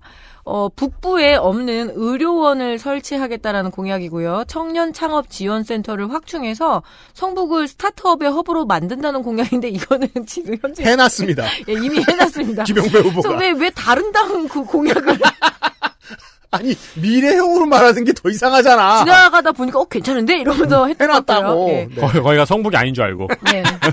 아, 지지역구 아닌 줄 알고. 어, 좋은데? 블로그에 좋은 글귀, 좋은 말들이란 카테고리가 있지요. 보통 뭐 50대, 60대는 이제 야생화거나 이렇게 좋은 글귀에 좀 관심이 생길 나이죠. 그 왜, 예. 뿌연 야생화 배경. 예. 어, 근데 보통은 그냥 지나치지만 눌러봤습니다. 근데 아유. 만화 스누피에서 그 찰리 브라운이 음. 누워있는데 거기서 이런 말이 있대요. 침대는 내 편이구나. 라는 글귀를 올렸습니다. 왜냐면은 그쵸. 요즘에 스누피는 잠을 깨우는 화신이거든요. 네. 그 스누피 그 커피 우유 때문에. 어, 그래서 후보님 떨어지더라도 언제나 침대는 당신 편입니다. 이상입니다. 원래 이 스누피는 이 미국사의 그 가장 어 유명한 동양 철학자인데 한국에서는 커피의 신으로 쓰이고 그 있어요. 누가 이거 이제 인터넷에서 봐서 짜, 짤을 본 거 있는데 누가 스누피 우유를 먹고 잠들었대요. 네. 자고 있는데 꿈에서 스누피가 나타나가지고 잠에서 당장 깨라고 싸대기를 때려서 깨웠, 깼대요. 설득력 있어요. 배임 증제와 배임 중재가 있는 것 같아요. 네. 근데 이 후보는 중재가 아니고 증재 같습니다. 아. 중재가 있는지는 확실치 않은데 어쨌든 배임 증재, 배임 수재는 있네요. 뭔지 지금 제가 이해 못하고 있어요. 아, 법, 근데- 근데 법적인 증- 글 쓰기는 너무 어려워요. 증재나 수재면 배임 한 사람이에요. 네, 근데 오, 오, 오, 오해가 생길까봐 말씀드리는데 공보에는 배임 중재로 나와 있습니다. 민생당 박춘림. 네. 58세 여자, 정당인, 조선대여고 방통대 문화교양과 국민대 정석. 선거 출마한 14년 6회 지선에 구의원 무소속 낙선이 시작이고요. 지난 총선에 출마 시도 흔적이 있고 지난 지선에는 민주평화당으로 성북구청장 낙선했습니다. 지역 봉사활동과 마을 잡지 창간 등 지역 커뮤니티 활동을 젊어서부터 해온 것으로 보입니다. 이번에는 그 동북아시아에서 가장 오래된 신문제 타파 슬로건이죠. 왕후장상의 씨가 따로 있습니까? 우리네 평범한 사람은 국회의원이 될 수 없습니까? 라며 당사자성을 강조하고 있습니다. 근데 당사자성을 강조한다고 해서 하는 말이 국회의원이 되고 싶다 말고는 다른 의도가 안 보이잖아. 예. 가장 앞에 내놓은 공약들은 정당 공약이고요. 네. 주거와 일자리에 대해서는 어, 성북구에 있는 대학이 7개니까 문화예술 창작 분야의 문화산업단지를 만들자는데 네이밍이 K산업입니다. K산업단지. 뭐 전체적으로 약간 한 10년 전의 공고를 보는 것 같네요. 네. 네. 그리고 저 그, 저 머리통 뒤에 그 오라 있는 듯한 형태의 저 증명사진 있죠? 네네. 이것도 10년 전 트렌드죠. 성북 을로 갑니다. 서울특별시 성북구 을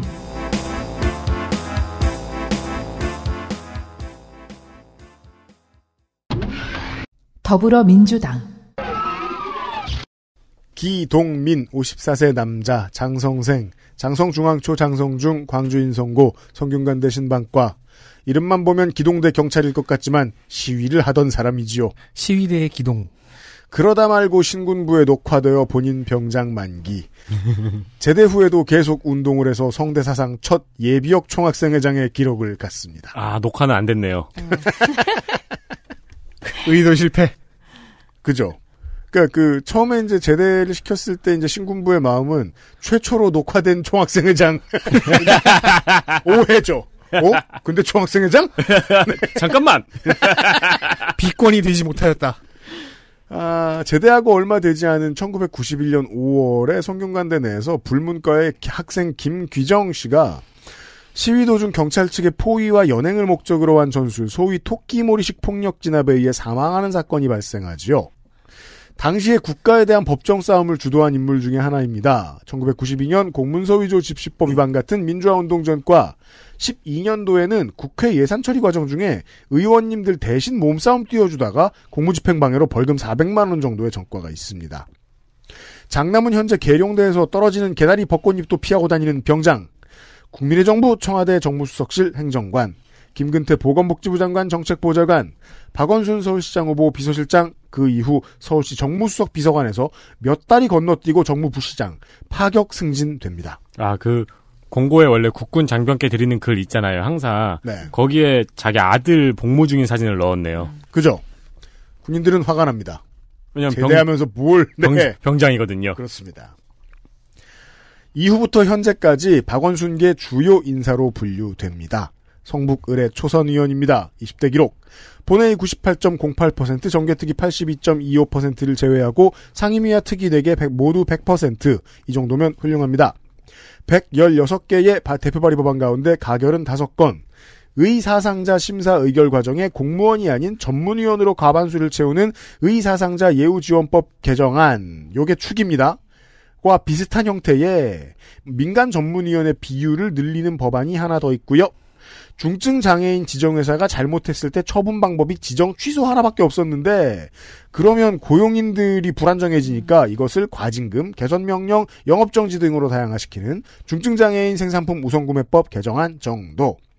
대안 반영 폐기된 법안들이 상당히 많은데 그중 아주 다수가 심판을 하는 위원회에 민간 위원 별도 구성 비율을 넣는 개정안입니다. 서울시 출신 인사라는 걸 생각하면 납득이 되는 스타일의 법이고요. 가결 법안의 수가 좀 부풀려졌지만 시민 참여와 전문가 참여를 유도하는 법안들 되겠습니다. 통합당 후보 만나보시죠. 미래통합당 정태근 56세 남자 시민을 위한 정책연구원 이사장입니다. 서울생이고요. 홍대부고 연세대 졸업이고 본인 수형으로 인한 소집 면제 장차남 모두 해군 병장 만기. 전과는 86년 집시법 국가보안법 위반, 94년에 도로교통법 위반으로 150, 음주운전으로 one more time 술 한 번 더 먹고 2004년에 음주운전 100만 원. 예, 제 18대 국회의원이었고요. 전 서울특별시 정무부시장이었습니다. 타이밍이 어찌 되었는지 모르겠습니다만은 오세훈 시장의 정무부 시장이었을 가능성이 높습니다. 네네. 그러면 서울시 정무부 시장들끼리 붙었네요 지금. 오 연세대 총학생회장 출신으로 민중당에 잠시 몸담았다가 91년 민주당으로 서울시 의원 선거에 출마해서 낙선합니다. 아, 우리는 이 루트를 알죠, 이제. 네, 그리고 이제 한나라당으로 2000년에 나왔다, 2000년에 나오고 2004년에 성북 갑에 총선 출마했다가 낙선. 2008년에 드디어 한 번 당선됩니다. 이 이후에 세대의 총학생회장들은 3당 합당 때 의원님 따라가느냐 안 따라가느냐로 나중에 인생이 갈립니다.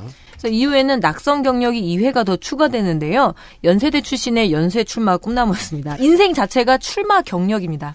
아, 와, 오세훈, 예, 오세훈 시장이 그러네요. 아니라 예, 이명박 시장 때 정무부시장을 아, 지냈었고요. 그렇군요. 그래서 오리지널 친이계로 분류가 돼 있었습니다. 지금 30년째 출마를 하고 있어요. 네. 아직 환갑이 안 되는데 계속 출마. 그러네요. 예. 그런데 이상 이명박 그 형, 형의 이상득에게 들이받았다가 완전히 찍혀서 떠돌았습니다. 아, 재떨이 맞았겠네요. 예, 그래 다시 돌아왔지만 옛 땅의 추억 만만치 않아서 안철수계로 전향을 했다가 2000, 예, 2016년 절친 정두원과 함께 바른정당에 합류합니다. 어, 의원 재직 당시 정두원 의원과 함께 원자력 안전 강화 법률을 굉장히 많이 발의를 했는데요. 네. 이 분야에 관심이 굉장히 많은가 봅니다. 탈원전 기조에 대한 반대 정도가 자신의 전문 분야이고요. 1인 기업에 대한 지원에 관심이 많습니다. 이 정도입니다. 그리고 블로그에는 맛집 대신에 꽃과 식물 사진이 올라오고 있는데 노년의 징후이지요. 호르몬, 호르몬의, 네. 아, 호르몬의. 영향이죠.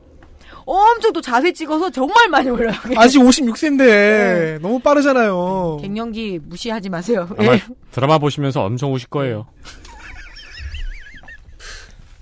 저, 우리 여기 앉아 있는 우리 노동자들이나 청취자 여러분들도 그러십니까? 저는 20대 때까지만 해도 꽃이 예쁘다는 생각도 해본 적이 없어요.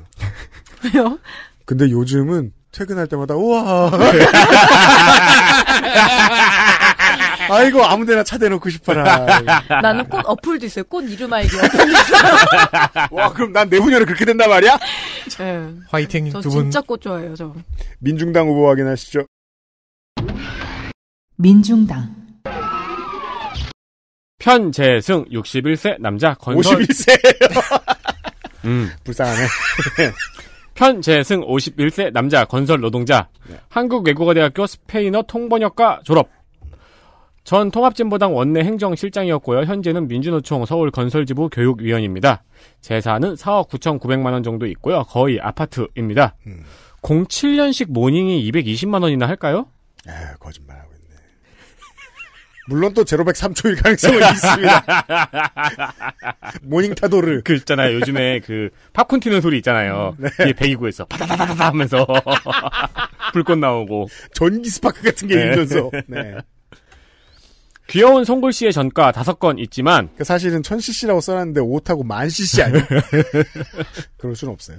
귀여운 송골 씨의 전가가 다섯 건이 있지만 89년에는 민주화운동이고요. 2001년부터 2013년까지도 폭처, 공무집행 방해, 국회 회의 장소 공용 물건 손상 등은 노동운동이나 시민운동 관련입니다. 특히 자세하게 써놨네요. 네, 특히 국회 회의 장소 공용 물건 손상 같은 경우에는 어, 이정희 대표의 보좌진으로 박근혜 정권의 반민주 악법 국회 날치기 통과 저지 관련 전가라고 하네요. 그러니까 국회에서 이제 뭔가 막 저지를 한 거죠. 네. 네. 아, 폭처법은 민주노동당 모욕 관련 행인들과 다툼이네요. 와, 되게 당당하고 자세히 써놨습니다. 네, 태권도학과 학생들과 다툼 이런 것도 있고요. 아, 그러니까 무서운 놈들이랑 싸웠다라는 걸 지금 아. 소상히 밝히고 있는 거죠. 그렇죠. 네, 어떤 건지 알겠습니다. 네. 네. 본인은 수영으로 인한 전시근로였고요. 장남은 작년 3월에 입대해서 K9을 타고 있습니다. 아, 네. 차 말고요. 자주포. 155mm 자주포. 그건 들고 다니는 게 아니고 탄다고 말하는군요. 그래야죠. 어, 캐터필러 돌아가는 거니까요. 2018년 2월 18일에 기름역 근처 집창촌에서 성매매를 위해 들어가는 사람을 발견해가지고 신고하고 신고를 했어요. 신고를 하니까 경찰이 출동을 했어요. 그 포주가 나타나 너 뭐야 하면서 항의를 했어요. 이 위협을 느껴가지고 핸드폰을 꺼내서 동영상을 촬영을 했어요. 근데 경찰이 초상권 침해로 편재승 후보를 체포합니다. 아. 그래서 왜 포주 편을 드냐고 항의를 막 했는데 경찰 모욕죄로 벌금 200만 원을 받았습니다. 왜냐면 경찰은 그 질문에 대답할 수 없거든요. 내가 왜 포주 편을 들게 됐냐면요. 아 그렇죠. 저희 대포집 가서 얘기하실래요? 그럴 수가 없으니까. 아무한테도 소문내면 안 돼요. 정직하게 얘기해주고. 어, 이 200만 원은 최근 항소심에서 무죄를 선고받았다고 합니다. 네. 그때부터 지금까지 종암경찰서 앞에서 오전에 1인 시위를 계속하고 있습니다. 아, 억울할 일이 많았군요. 네, 또 3월 5일에는 선거운동을 하고 있는데 지나가는 30대 남성이 빨갱이라며 욕설을 하고 여러 차례 폭행을 가했습니다. 음. 범인은 그 자리에서 바로 체포가 되었습니다. 그래서 공약은 성북구 기름역 10번 출구 집창촌 철거입니다. 알겠습니다. 성북구 후보들 보셨습니다. 강북구로 가겠습니다. 서울특별시 강북구 갑 김원길, 조순형 같은 과거의 큰 이름들도 오영식, 최규식 같은 알듯말듯한 요즘 정치인들도 이곳에서의 최다선 기록은 재선입니다. 두 현직이 모두 초선이라 이번에도 그 기록은 깨지지 않을 겁니다. 더불어민주당 천준호, 49세 남자, 동대문생, 용두초 대광중 대광고 경희대 사학과 경희대 총학생회장, 육군 병장 만기, 구사단에서 박격포했습니다. 저는 정과 말씀 안 드리면 없는 거고요. 재산 말씀 안 드리면 죽을 정도로 가난하지 않고 김병관 재산 100분의 1 수준의 부자도 아닌 겁니다. 20대 때는 현역 김기식 의원을 경선에서 잡고 본선에 올라갔지요. 지금 와서 돌아보면 당시로서는 획기적이 돼 씨알이 안 먹히던 아젠다, 남성 육아휴직, 파파코터스 같은 공약들을 앞세워 싸웠지만 새누리당 정양석 후보에게 낙선, 경선을 다시 치르고 올라온 이번에는 경선 상대였던 남요원 청와대 문화, 문화비서관을 선대위원장에 이지역 전 바른미래당 위원장 이승훈 변호사를 선대 본부장에 세웠습니다. 와 대타협 대통합이네요. 서울시가 몰려온다 박원순의 비서실장 천준호. 서울시가 강북구를 다굴하러 간다는 것 같기도 하고 인해 전술 같기도 하고. 어 근데 몰, 몰려오긴 하네요. 조심해라 같잖아요. 아니, 내 경선 상대 그리고 이- 이전에 다른 당 사람까지 다 데리고 와서. 천준호 후보의 공직 생활은 박원순의 서울시입니다. 서울시장 후보 캠프 유세단장, 서울시장 기획보좌관, 서울시장 비서실장, 서울시장 정무보좌관. 시장실 한쪽 벽을 빽빽히 채운 포스트잇 캠페인, 유세차 없는 배낭 유세 등의 선거 전략을 본인이 기획했다고 얘기합니다. 통합당 후보 확인하시겠습니다. 미래통합당 정양석 61세 남자 전남 보성생 벌교초 광주 사례시오고 살레시오 중고 전남대 물리학과 육군 소위 전역 장남 해군 중위 만기 현 국회의원이죠 18, 20대입니다. 상임위 출석률에서 외통위의 91.67 본회의 출석률 94.23 대표 발의 8개 수정 가결 한 건입니다. 우와 예. 최소 네. 꼴찌 여, 여, 여덟 개? 근데 또 출석률은 괜찮아요. 그냥 뭐. 왜 있잖아 학교에서 뭐 공부는 특별히 잘 안 하지만 학교는 열심히 나오는? 네. 그저저 가운데 줄 창가에 있는 애. 야, 그렇죠, 그렇죠, 그렇죠.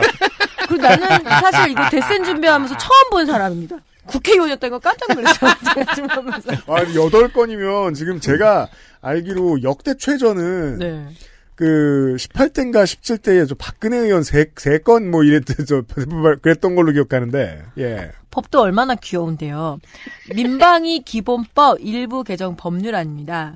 지금은 민방위 통지서나 입영 통지서 자체를 본인 직접 전달이 원칙이래요. 어, 그럼요. 혹은 맞아요. 아니면 이제 그 가족들인데 1인 가구의 확산 등으로 본인 부재 시 대리 수령할 수 있는 가족조차 없어서 본인에게 직접 교부하기 위해서 재방문하는 것이 행정력 낭비다. 그래서 이를 이메일과 문자로 하자라는 문자에서 확실히 하자 하는 정도의 법입니다. 이거 반대하기도 쉽지 않은 법. 사실 이거 법에 안 해도 법이 아니어도 시행령이나 그러니까 이거는 병무청의 령으로 얼마든지 할수 네. 있는 일이라서 아주 귀여운 체급이죠. 아니 이걸 어떻게 반대합니다 이럴 수도 없잖아요. 그렇죠. 토론 붙여야 됩니다 이럴 수도 없고. 의사복 뺏고 막. 그래서 왜 갑자기 예, 그런 생각이 좀 들었어요. 본인 수령을 안 한다니 민주주의의 폭거입니다. 그러니까 저희 친오빠가 이 동방이 통지서 날르던 사람이거든요. 현역인데 그런 거를 했었어요. 아, 대구, 예. 대구 54에서. 네, 분들 되게. 힘들었다고 그러면서 자기 되게 자기 보직 아. 힘들었다고 맨날 지금도 얘기하거든요. 동장님이 그 통지서 네. 가지고 제 얼굴 보면은 되게 표정 안 좋으세요. 네. 내가 너를 몇 번 만에 보는 줄 아니? 약간 이런 표정. 맞아요. 맞아요. 맞아요. 네. 예. 전남 출신으로는 이력이 좀 독특해요. 1984년 민주정의당 중앙사무처 공채 5기 출신입니다. 더러 그런 사람들이 있죠. 네, 당직자형 후보고요. 2008년 18대 선거에서 강북 강북구 갑에 출마해서 당선한 이후에 정몽준계로 활동을 했습니다. 네. 2012년에 재선 도전에서 낙선했고요. 2016년 20대엔 당선됐고요. 비슷한 사연으로 탈당 그리고 바른정당에 합류를 했고 그러나 비교적 일찍 2017년 판, 바른정당에서 탈당을 합니다. 그리고 빨리 반성하고 자유한국당으로 복당합니다. 빠른 회심. 네. 남부지검은 지난 1월 정량석 후보를 특수공무집행방해, 공동감금, 공동퇴거 불응, 국회회의장 소동, 국회법 위반 혐의로 기소를 했는데요. 이때서야 생각났습니다. 아, 그때 주동자였구나. 라는 생각이 들었습니다. 그죠. 그러니까 지금 제가 봤을 때한세 명 이하 처벌받는다. 네. 그럼 들어갑니다. 네. 무조건 들어갑니다. 그. 당직자 시절의 한가닥이기도 하죠. 그리고 대정부 질문 때 강경화 장관에게 일본군 위안부 강제동원 배상 판결에 대해서 국내 사법부 판단을 무조건 존중할 거면 외교부가 왜 필요한가라는 굉장히 묘한 말을 했습니다. 사법부 무시한다. 네, 정부의 가이드라인만 따라서는 안 된다라고 했다가 위안부 망원 명단에 들어가 있습니다.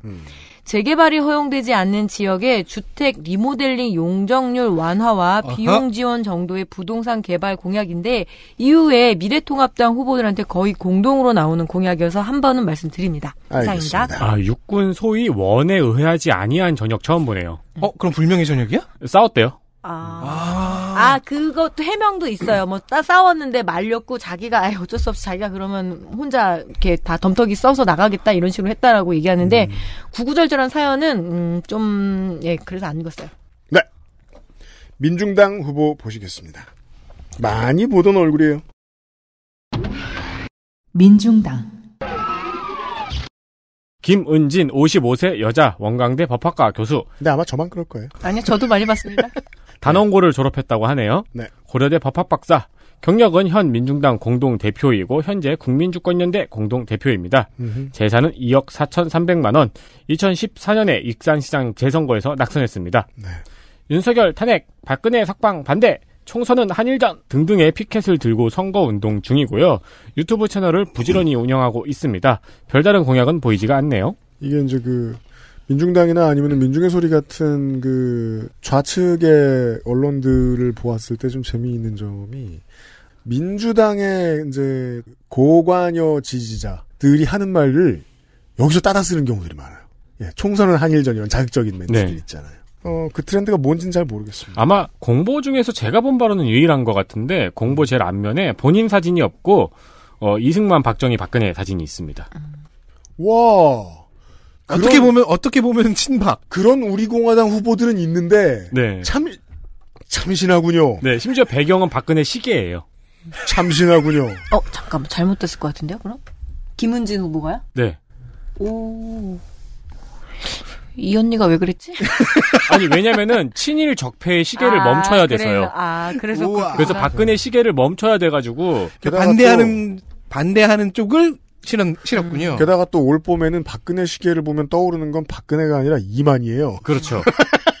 한 사람을 더 집어넣네요. 네, GMO법 관련 전공자거든요. 네. 그래서 예, 농축산계에서 많이 예, 선수죠. 자, 무소속 후보 만나보시겠습니다. 무소속 선계선 남자 65세 음악인 음악인? 네. 처음 나왔어요. 학력을 미기재했습니다. 네. 지난 지선에서 강북 구청장에 출마했을 때는 경력을 각종 음악 심사위원이라고 냈었습니다. 어, 기억나요. 네. 그래서 제가 막 아니 뭐 무슨 심사위원 막 그랬었죠. 지금은 전 강북 구청장 후보 출마 현 충무공 이순신 장군 동상 독도 건립 추진 위원회 대표이사로 경력이 바뀌었습니다. 이사가 필요한 일인지는 제가 알기가 좀 어렵습니다. 1989년 4월에 낸 기다리는 님이라는 앨범이 있습니다. 네. 네이버 뮤직엔 등록이 안 돼 있고 지금은 지코의 아무 노래가 1위, 1위입니다. 그리고 요즘 흔히 보기 힘든 4.5 대 5.5 가르마. 그렇습니다. 네. 잘 채용되지 않아요, 이 스타일은 요즘은? 이게 이제 5대5가 안 되는 사람이 이렇게 하죠. 저도 그렇거든요. 되게 전 공감이 가는데 실제로 저러고 밖에 다니다니 이런 생각을 하고 있어요, 전 지금. 네, 그렇습니다. 제가 지난번 지선 때 소개를 드렸었거든요. 그때는 이 똑같은 문장으로 볼빨간 사춘기가 1위였습니다. 데이터가 쌓인다는 것은 재산은 2억 2,500만 원이고요. 병역은 공군 입영 소집 해제, 장남은 육군 병장 만기 전역했습니다. 이상입니다. 좋습니다. 강북구로 가죠. 무슨 심사위원일까? 전국 노래잖아? 꼭 좀 알아보고 싶어요. 서울특별시 강북구 을 지난 20대 총선 강북 지역은 강남 지역과 달리 결과만 놓고 보면 국민의당이 새누리당의 표 일부를 가져간 남북 데칼코마니의 상황입니다. 강북 을도 마찬가지였고 2위 새누리당과 1위 민주당의 표차는 2위 새누리당과 3위 국민의당 표차와 큰 차이가 없을 지경이었습니다. 더불어민주당 박용진 48세 남자 장수생 화계초 신일중고 성균관대 사회학과 성대 총학생회장 한총련 북부총련의장 성균관대는 서울에서 가장 빠르게 당시 말로는 비권, 지금 돌아보면 반운동권이라기보다는 미래의 극우가 총학생회를 차지한 곳입니다. 아, 이연주계 한 명 있잖아요. 우리 지금 경기도에서 봤죠? 예전에는 상당한 왼쪽인 기동민, 박용진 같은 사람도 있었지만 그 후에는 이연주계가 당선되기도 했죠. 아무튼 후보는 육군 병장 만기, 이 집회 저 집회 하다가 전과 3건, 00년 08년 민노당 진보신당으로 강북을 낙선한 후 2009년 어느 봄날에 아이고 진보 정치 힘들어 죽겠네 음주운전 100. 1997년 졸업학기 때 기동민 후보 시간에 말씀드린 김기정 추모사업회 사무국장으로 활동하고 그해 말에는 권영길 민노총 위원장을 대선 후보로 옹립한 국민승리 21 캠프에 있었으며 00년 민노당 창당 멤버입니다.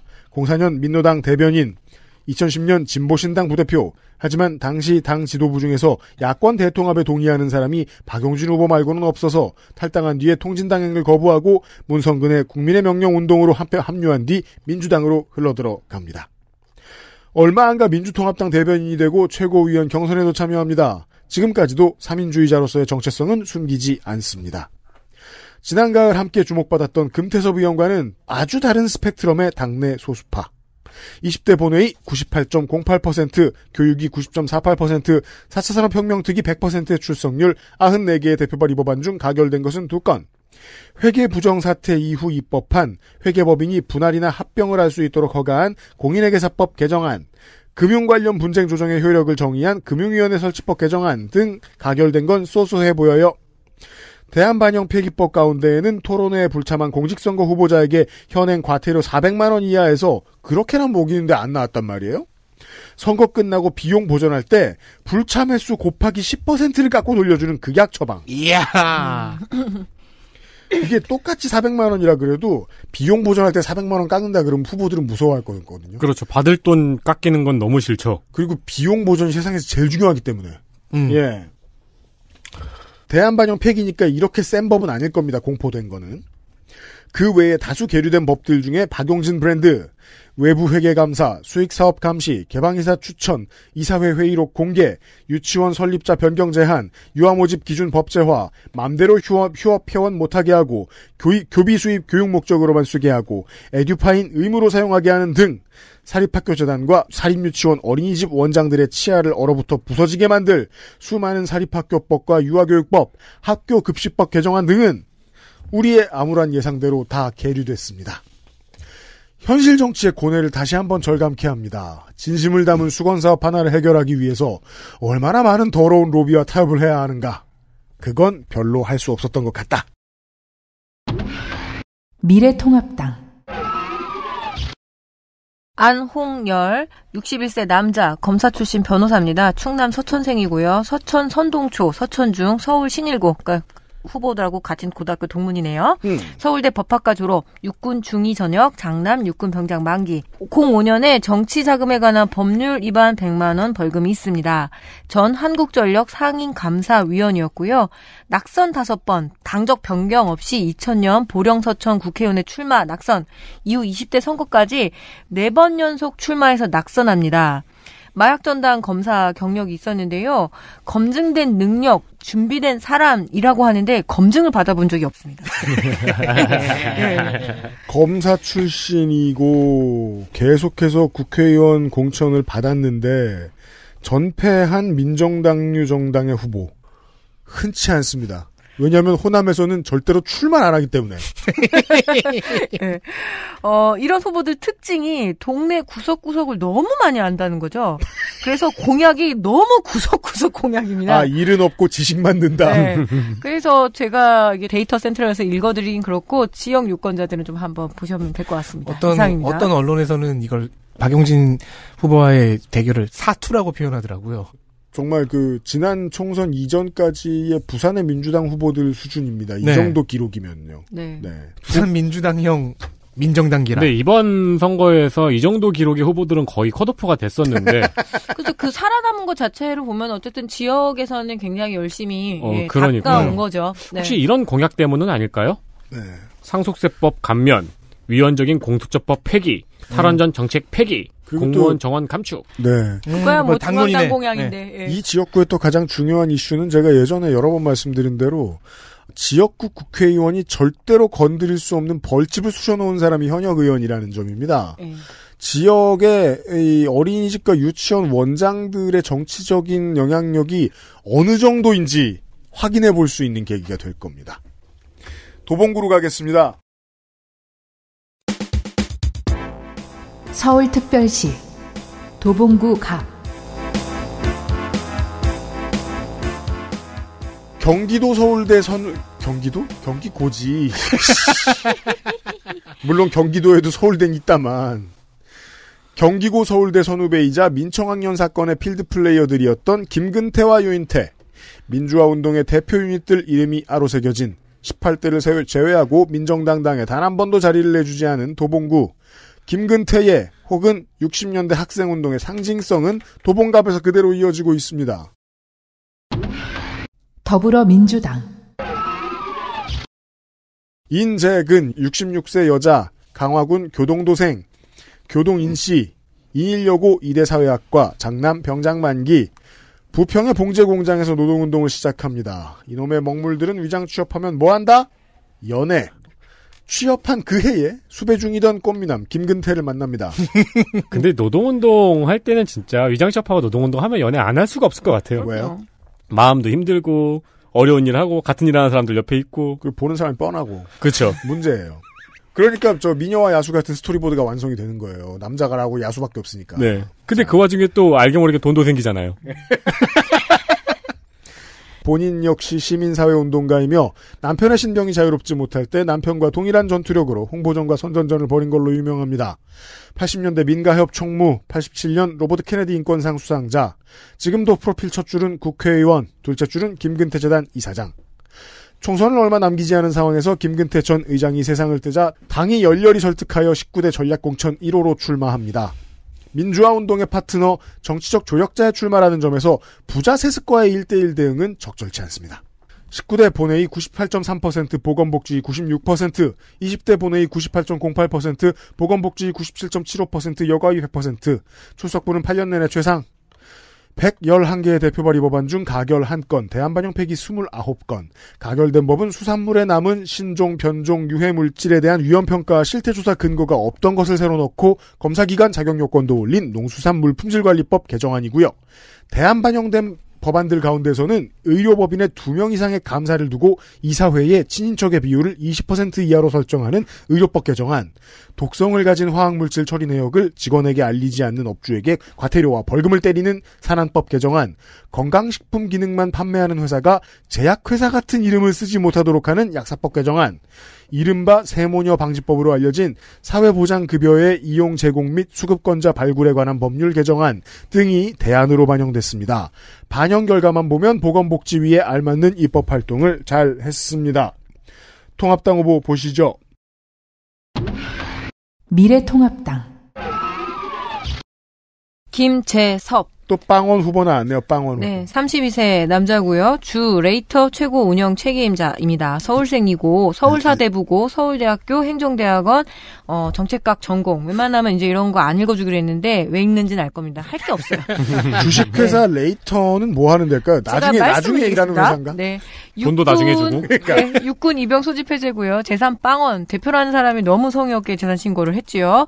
현재 정치 플랫폼 그리고 주식회사 흥정망정 대표 그리고 레이터 흥정망정? 예 청년 공천 3인방 중 한 명이에요. 어, 레이터는 모바일 유언 플랫폼 회사라고 하네요. 유언을 모바일 남겨요? 네, 모바일 유언을 남기는 건데 그거를 이제 플랫 그래서 찾아는 봤는데 제 자세한 그 기업 정보는 잘 모르겠습니다. 아, 그러면 여기서 레이터는 못 간다고 전해라라는 네. 뜻이군요. 음. 이것도 그 후보 본인 인터뷰에서 제가 찾아낸 거고요. 방금 찾아봤는데 그냥 IT 회사다. 예. 그러지만 나오네요. 근데, 이게- 근데 그 우리가 저 경기도에서 많이 말하던 퓨처 메이커는 아닌 거죠. 네. 아니 근데 대표인데 주식 한 주가 없나요? 네, 청, 청년 공천 개인 3당 중에 회사인가 하나가. 이준석 후보도 같이 들어가 있거든요. 아, 네. 퓨처메이커와는 별도로. 네네. 비체대 출신으로 서울대 럭비부 주장단이라고 하고 마르티스 콩이 오빠. 준비된 후보라는데 뭘 준비한 건지는 현재 파악 불가능하고요. 마르티스 사료. 예. 이거는 제가 그냥 하도 할 게 없어서 말장난이야. 그러니까 재선내 블로그를 제가 아무리 이렇게 뒤져봐도 없습니다. 안타깝습니다. 지금 최초로 최초이죠. 그러니까 그 저기 선거권 그러니까 피선거권은 아니지만 선거권이 만 18세 청년들에게도 가 있잖아요. 청소년들에게도 네. 그런 관련한 워딩 하나 뽑지 못하는 이번 청년 후보들은 도대체 뭘 하고 싶은 건지는 너무 빤해서 그 청, 이게, 네. 선배 정치인들 그대로 답습해서 가겠다라고 하는데 내세울 건 또 청년 하나뿐인 것. 예, 그런 거에는 조금 제가 좀 안타깝습니다. 이게 지금 어, 제 기억만 따라가면은 사실상 지금 여러분들이 지금 들으셨을 때에도 농구 용어로 지금 garbage time 벤치 선수가 나왔어요. 네. 호남의 통합당 후보들까지 다 합해봐도 가장 헐렁한 네. 그렇죠. 느낌의 캠프 같습니다. 와 서울에 이렇게까지 성의 없이 준비한 후보가 나오네요. 이번에 통합당에서. 미래통합당 선거가 쪽 예, 강북 쪽에서 특히 그러니까 그렇습니다. 아니 본인이 대표로 있는 주식회사만 두 개인데 네. 재산을 영원으로 적어냈다는 게 그리고 이제 기업 정보 같은 것들도 공개가 안 돼 있고요. 예. 네. 제가 성의가 없었던 거 아닙니다. 정의당 후보 확인해 보시죠. 정의당 윤오 52세 남자 정당인 신창초 신일중 경동고 성균관대 정액과 현재 정의당 정책위원회 부의장이고요. 그리고 정의당의 도봉구 위원장입니다. 예전에는 광고회사인 FCB 코리아의 재무관리사였다고 합니다. 재산은 3,290만 원 정도이고요. 병역은 상병 복무 만료. 시의원 선거에서 두 번 낙선한 적이 있습니다. 그 두 번에는 윤오, 윤오라는 슬로건을 썼었는데 이젠 안 쓰네요. 그러니까 이름이 이거면 어쩔 수 없는데 네. 네. 지금은 이 동방신기의 상품성 예전 같지 않기 때문에 그, 그렇기도 하고요. 네. 네. 안 그래도 좀 위험했고요. 그건 맞아요. 늘 위험했어요. 그쵸. 네, 네. 언제 카시오페아로 날아가 버릴지 모르니까. 네. 페이스북 소개는 이왕 태어난 거 잘 먹고 잘 살자. 세명 운동 같은데? 아무리 선거 기간이지만 사진밖에 없는 여성의 계정이 친구 신청을 하면은 받지 않는 것이 좋습니다.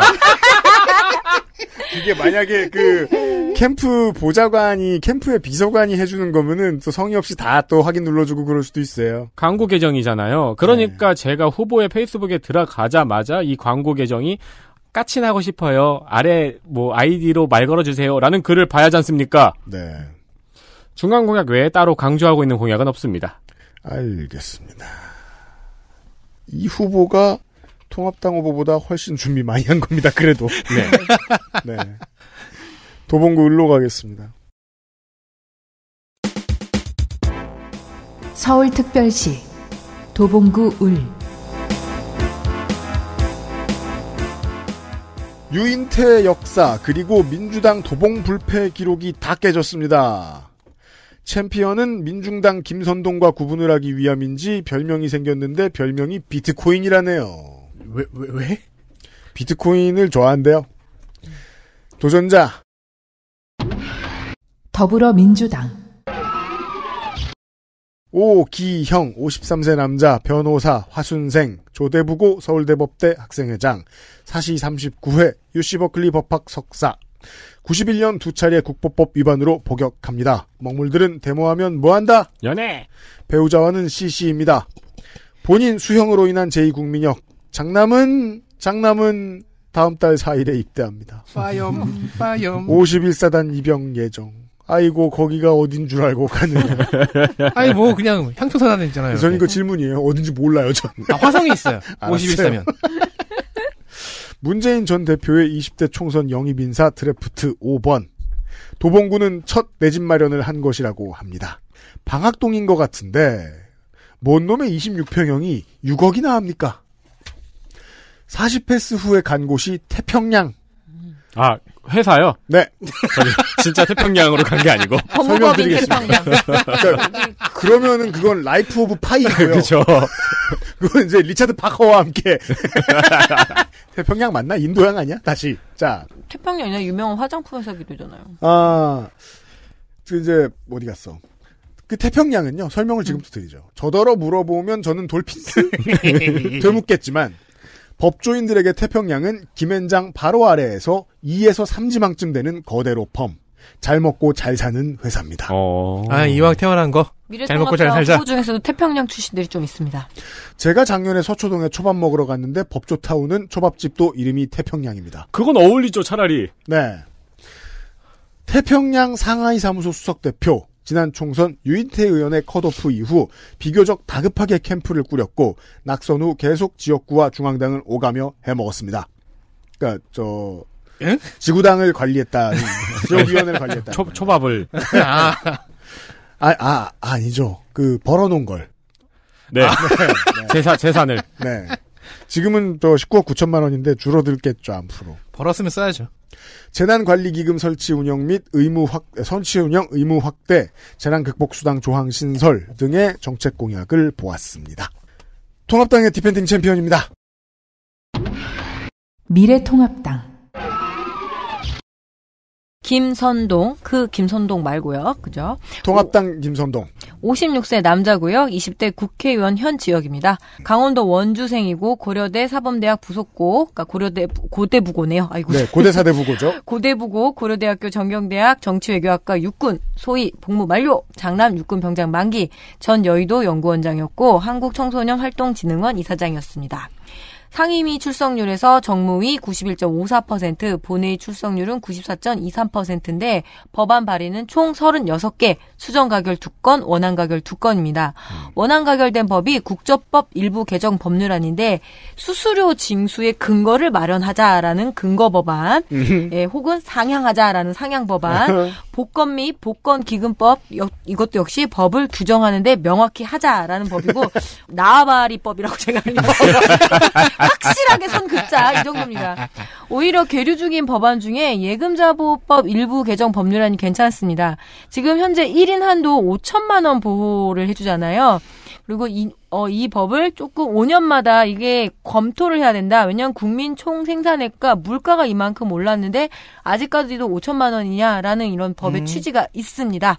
이게 이제 그 법률의 이제 입안의 quality 같은 걸 보셨 보실 때는 요런 거를 또 봐주시면 좋은 게 벌금 올리기라든가 잘해보자 나와바리 이런 것 같은 것을 통칭해서 언론에서는 어, 무쟁점 법안이라고 부르는 겁니다.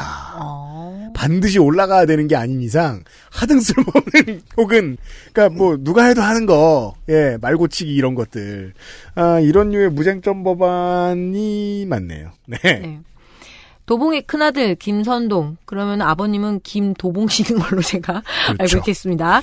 2008년부터 2016년까지 당적 변경 없이 당선, 낙선, 당선. 아니면 고길동 씨 아닌가요? 아 제일 유명한 네, 제일 유명한 도봉구의 아버지. YS 때 청와대 비서관으로 정치를 입문했고요. 공약은 의정활동 보고와 그간 도봉구의 자신의 치적을 이야기하는데 방학용 엘리베이터 설치도 자기의 성과로 이야기를 하는데요. 지금 어느 전철역이든 다 엘리베이터입니다. 그렇죠. 본인이 용직으로 일한 게 아닌 이상 네. 이건 구청장이나 구의원한테 줘야죠. 네, 이 정도입니다. 이상입니다. 네. 자, 여기에 향후 매우 더 자주 볼 수 있을 것으로 보이는 꾸준 출마 후보가 있군요. 무소속 최순자 여자 66세 주 우정 트레킹 여행사 대표이사 어, 찾아보니까 왜 우리가 걷다 보면은 국내 여행 일정 쫙 적혀 있는 전단지 같은 거 있죠. 예. 전잘 몰라요. 그런 게 있어요? 그 되게 많죠. 아, 걷, 걷, 걷다 보면 음. 마치 새벽 7시에 어디서 집합해가지고 같이 관광버스 타고 아, 12시 어디서 점심 먹고 그 다음에 지리산 꽃 구경 가고 이렇게 해가지고 막 무슨 구경 가고 무슨 구경 가고 무슨 구경 가고 저녁에 도착 이런 거 그리고 제- 2 2만 2천 원 이렇게 써 있는 거. 아, 그래요? 네. 제가 그래서 그 저 안승준 군하고 그 화개장터 촬영 갔다가 되게 깜짝 놀랐던 거 아니에요. 그런 버스들이 줄줄이 와 있으니까. 그런 형태의 관광 상품들이 있죠. 옛날에는 당일치기 패키지 전 그런 걸 몰랐어요. 버스도 있고 기차 패키지도 있고. 그렇죠. 네. 그런 식으로 해가지고 이제 찜질방 같은 데서 하룻밤 자는데 거기 이제 장사꾼이 와가지고 옥장판 파는 경우도 많고, 네 그런 식으로 다단계랑 연결이 많이 돼 있고 옛날에는 이런 여행 상품으로 묻지마 관광도 많이 가고 그랬죠. 그러니까 물론 뭐 이 이 분의 업체가 그랬을 거라는 건 아닙니다. 네 아닙니다. 그랬다면 일찍 망했겠죠. 네. 네. 어쨌든 그런 여행 상품을 많이 운영하고 있습니다. 음. 서원대학교 정치외교학과 제적당했습니다. 어, 전 15대 16대 국회의원 출마. 출마. 현 우정산악회 회장인데 공직선거 출마는 이번이 여섯 번째입니다. 네. 무려 25년 전부터 시작했어요. 그렇습니다. 95년 구청장 선거에 나갔었고요. 이후에 국회의원 구청장 선거에 네 번 연속 무소속 출마 낙선했습니다. 이후 16년간 절치부심해서 2016년 총선에 나갔습니다. 그러나 자료 미제출로 등록 무효가 됐습니다. 아, 이 등록 무효 뭔가 했더니 무슨 단일화 사태 이런 게 아니군요. 새로운. 근데 등록 무효되면은 돈 당연히 돌려주겠죠? 그러니까 지금 저, 저, OMR 미기재로. 어, 그렇죠. 납세가 0원이더라고요. 그래서 네. 어 이- 이분도 납세가 0원이네. 그러니까 재산이 3,300만 원 정도 되거든요. 네. 납세가 0원이네라고 멍하니 있다가 살펴보니까 2016년도 기사에도 5년간 납세 실적이 0원이라는 기사가 남아 있네요. 그러면은 지금 9년 동안 최소 9년 동안 납세가 없는 거네요? 그렇죠. 어떻게 그렇게 되죠? 영세민. 그러게요. 체납액이 적혀 있지 않다는 건 영세민이란 얘기입니다. 이게 맞다면. 네. 정가는 3건으로 재작년부터 작년까지 집중적으로 정가를 쌓았습니다. 아, 이거 뒤늦게 마무리 공부한 거잖아, 남은 공부. RPG 게임 할 때 열랩이라고 하죠. 그죠, 그죠. 내가 전과가 없어서 떨어졌나 봐. 2018년 정보통신 이동 촉진 및 정보보호에 관한 법률 위반 명예훼손 벌금 200. 인터넷으로 누군가의 명예를 훼손했어요. 2018년 지선에서 인천교육감 후보 최순자 씨가 보수 단일화 과정에서 비밀 문건을 공개해서 명예훼손으로 고발당한 건이 있었거든요. 네. 면밀히 살펴보면 결과 상관없습니다. 순자는 흔한 이름이죠. 그렇죠. 작년 지선에서 결국 보수 단일화 과정에서 서로 물어뜯던 후보는 낙선하고 도성원 후보가 당선되어서 업무를 보게 되었죠. 음. 이게 이제 그 인천 교육감 후보 때 이야기인데 그래서 도성원 후보가 결국 당선이 돼서 업무를 보게 되었다는 게 중요합니다. 왜요? 도성원 후보가 업무를 보고 있던 2019년 5월에 누군가의 재물을 손괴해서 벌금 200만 원을 받았거든요. 아, 그러네. 평행 이론이구나, 이거는. 네. 도성원 교육감이랑은 상관이 없습니다. 그리고 4개월 뒤에 또 누군가의 명예를 훼손했습니다. 그리고 심지어 업- 명예를 훼손하는 동시에 업무도 방해했네요. 네, 명예를 훼손하면서 그러니까 업무를 못할 정도로 훼손을 한 거죠. 방해하면서 네. 가기. 내 얼굴만 보란 말이야? 그러면서 얼굴, 얼굴을 붙들고. 넌 나쁜 명예- 놈이야. 아. 명예를 훼손한 거 아니야? 아, 동영배. 예. 넌 나만 바라봐. 얼굴 그럼 옆에 술 먹고 내가 술을 마셔도. 벌금을 100만 원 받았는데요. 네. 소명이 아주 독특합니다. 일단 명예훼손은 사실 증거가 없거나 사실을 잘못 알고 문자를 보내서 명예훼손을 당했다고 했어요. 음. 그 밑에 줄이 하이라이트인데 거짓이 일상인 여행업계인데 고소를 당했을 때 사실대로 말해 벌금 냄. 와. 제가 이거- 지금 반했죠. 여행업계에서 고소를 한 번 더 당해야죠. 독특합니다. 거짓이 일상인 여행업 업계인데 고소를 당했을 때 사실대로 말해서 벌금 냄. 그러니까 지금 저 이 소명서를 보는 순간 그 아래 페이지에 있는 본인, 본인 의 기구한 삶에 대한 소개를 하나도 믿을 수 없게 되었습니다. 크게 쓰임을 받으려고 그토록 시련의 연속이었나 봅니다. 예. 아, 그러니까 이거를 제가 지금 저 참고하지 않는 게 좋겠다. 예, 그러니까 지금 증거 폐기. 어, 잠깐만요. 최순자는 1%도 거짓말을 하지 않습니다라는 문장이 있거든요. 그럼 이제 0.99%잖아요. 거짓말할 확률이. 이토록 탁월한 인재인 최순자를 놔두고 300명 중에 한- 한 명일 뿐인 임- 한 명일 뿐인 인물을 자기 대신 국회로 보내는 어리석은 선거를 또 할 건가요? 뭔 말이야? 일단 문장이 틀려서 어려운데 이게 무슨 뜻이냐면은 기껏해야 국회의원 뽑느라고 나를 안 뽑는 게 말이 되냐라는 뜻이에요. 국회의원 후보의 변입니다. 나 우리 스타일이다. 우리가 애정하는 후보. 케이블카를 만들겠답니다. 와 서울에서 간만에 보는 자, 네. 어, 이거 이거 그만 보자. 자, 다 했죠? 빠져 들어갈 것 같아. 종로보다 더 보고 있어 지금. 다 했죠? 어, 네. 충남 당진군 면천면 송악리 자신의 출생지를 밝혔는데 이 출생지의 이 3D 사진 같은 건 뭔가요? 마치 그만해. 그 아미산과 송악리를 초음파로 찍은 것 같은 아이 있을 때 초음파 사진 찍는 거 있잖아요. 그렇게 찍은 것 같은 이거 이런 류의 느낌은 그 제가 그 인터스텔라에서 그 바다밖에 없는 별. 어, 그렇죠. 에서 본 적이 있는 듯한 느낌인데. 아니, 아이고. 와 공보, 그러니까 돈을 쓰지 않습니까? 정치라는 건, 그러니까 선거라는 건 돈을 써서 만들어낸 공보에 페이지의 절반에 자기 고향 지도 그려놓은 후보가 있군요. 그 밑에 도봉구에 사는 게 챙피해요라고 써 있습니다. 전 도봉구에 안 사는데도 창피합니다. 근데 지선도 마찬가지지만 이 총선 보니까 한번 다시 한번 그 피선거 건에 그러니까 우리 중에 누가 대체 우리 중에 누가 그런 얘기했어? 국회의원 후보들 왜 이렇게 멀쩡하냐고. 제가요. 똑바로 안 찾은 거 아니야? 예? 맨 마지막 문단 이거 아니야? 한 송이 국화꽃을 피우기 위해 봄부터 소쩍새는 그렇게 울었나 보다. 이씨 이런 천재가 있는데 그동안 안 찾고 뭐한 거야? 이제 나온 거지. 제일 마지막 문장은 이겁니다. 선거운동 기간 동안 오전 10시부터 12시까지 도봉산 입구에 연설 방송차를 대고 당신을 기다립니다. 네. Waiting for you. 이런 후보였습니다. 잠시 후에 노원부터 시작하겠습니다. XSFM입니다. 살짝 아쉬워할 때도, 목 놓아 울 때도, 가족이지만 모든 말을 이해하진 못하니까. 좋은 것만 골라서 True Family. 가장 수준 높은 반려동물 간식 True Family. 사랑하는 가족에게 True Family를 주세요.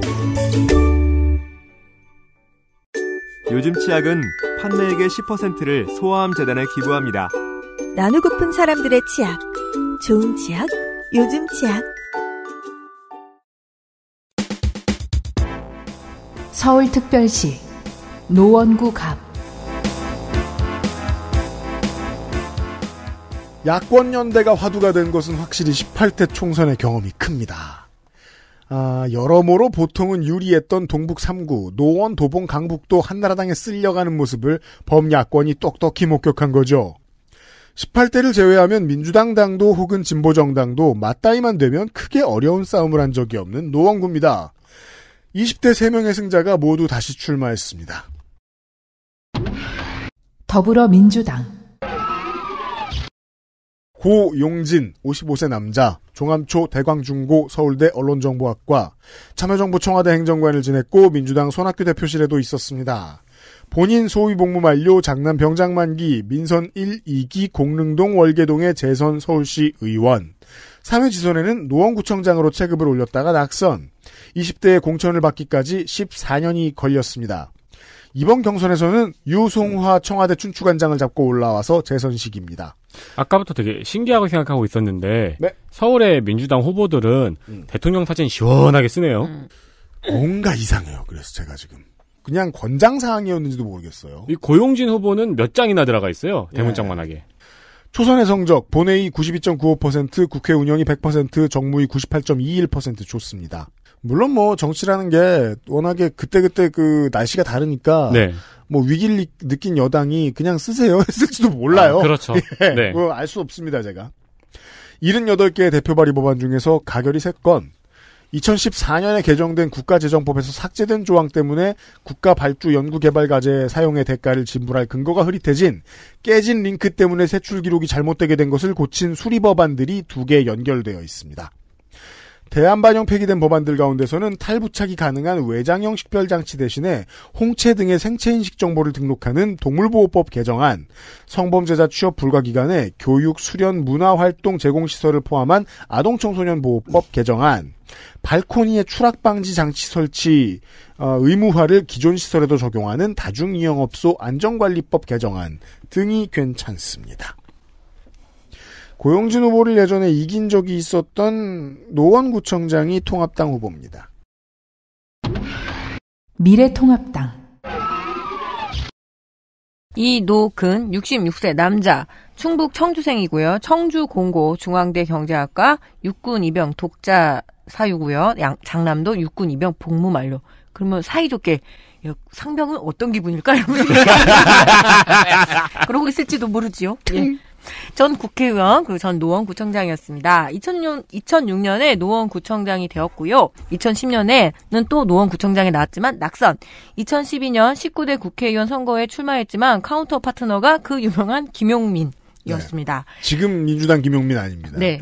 2016년에는 근데 결국에 낙선했습니다. 이후 주로 박원순, 안철수 묶어서 까기 전문이었습니다. 박, 그래야 삽니다 본인이. 예. 너무 험지예요 여기는. 예. 박원순 서울시장을 둘러싼 의혹, 뭐 자녀의 병역 문제, 그리고 성소수자 인권 헌장 문제, 그리고 공관견 문제에 관련해서 앞장서서 난리를 쳤었고요. 안철수 국민의당 대표한테는 포스코 부실 사태에 대한 책임 추궁이었습니다. 유명한 법이 있습니다. 애국 삼법발입니다. 아, 아, 아. 예. 대한민국 국민의례법, 그리고 대한민국 국화에 관한 법률 개, 제정안, 대한민국 국기법 개정법, 개정 법률안 등을 내놓은 전력이 있는데, 저는 이게 법이 아니었다는 것도 신기했지만, 이런 걸 또 법이라고 내놓을 수도 있더라고요. 아베 예. 신조 스타일이네요. 그렇죠. 네. 네.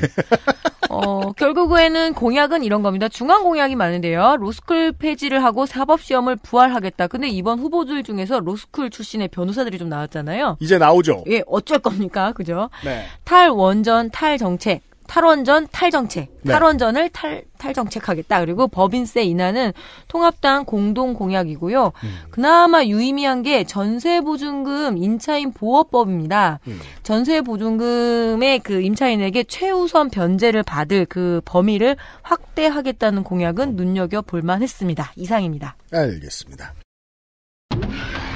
민중당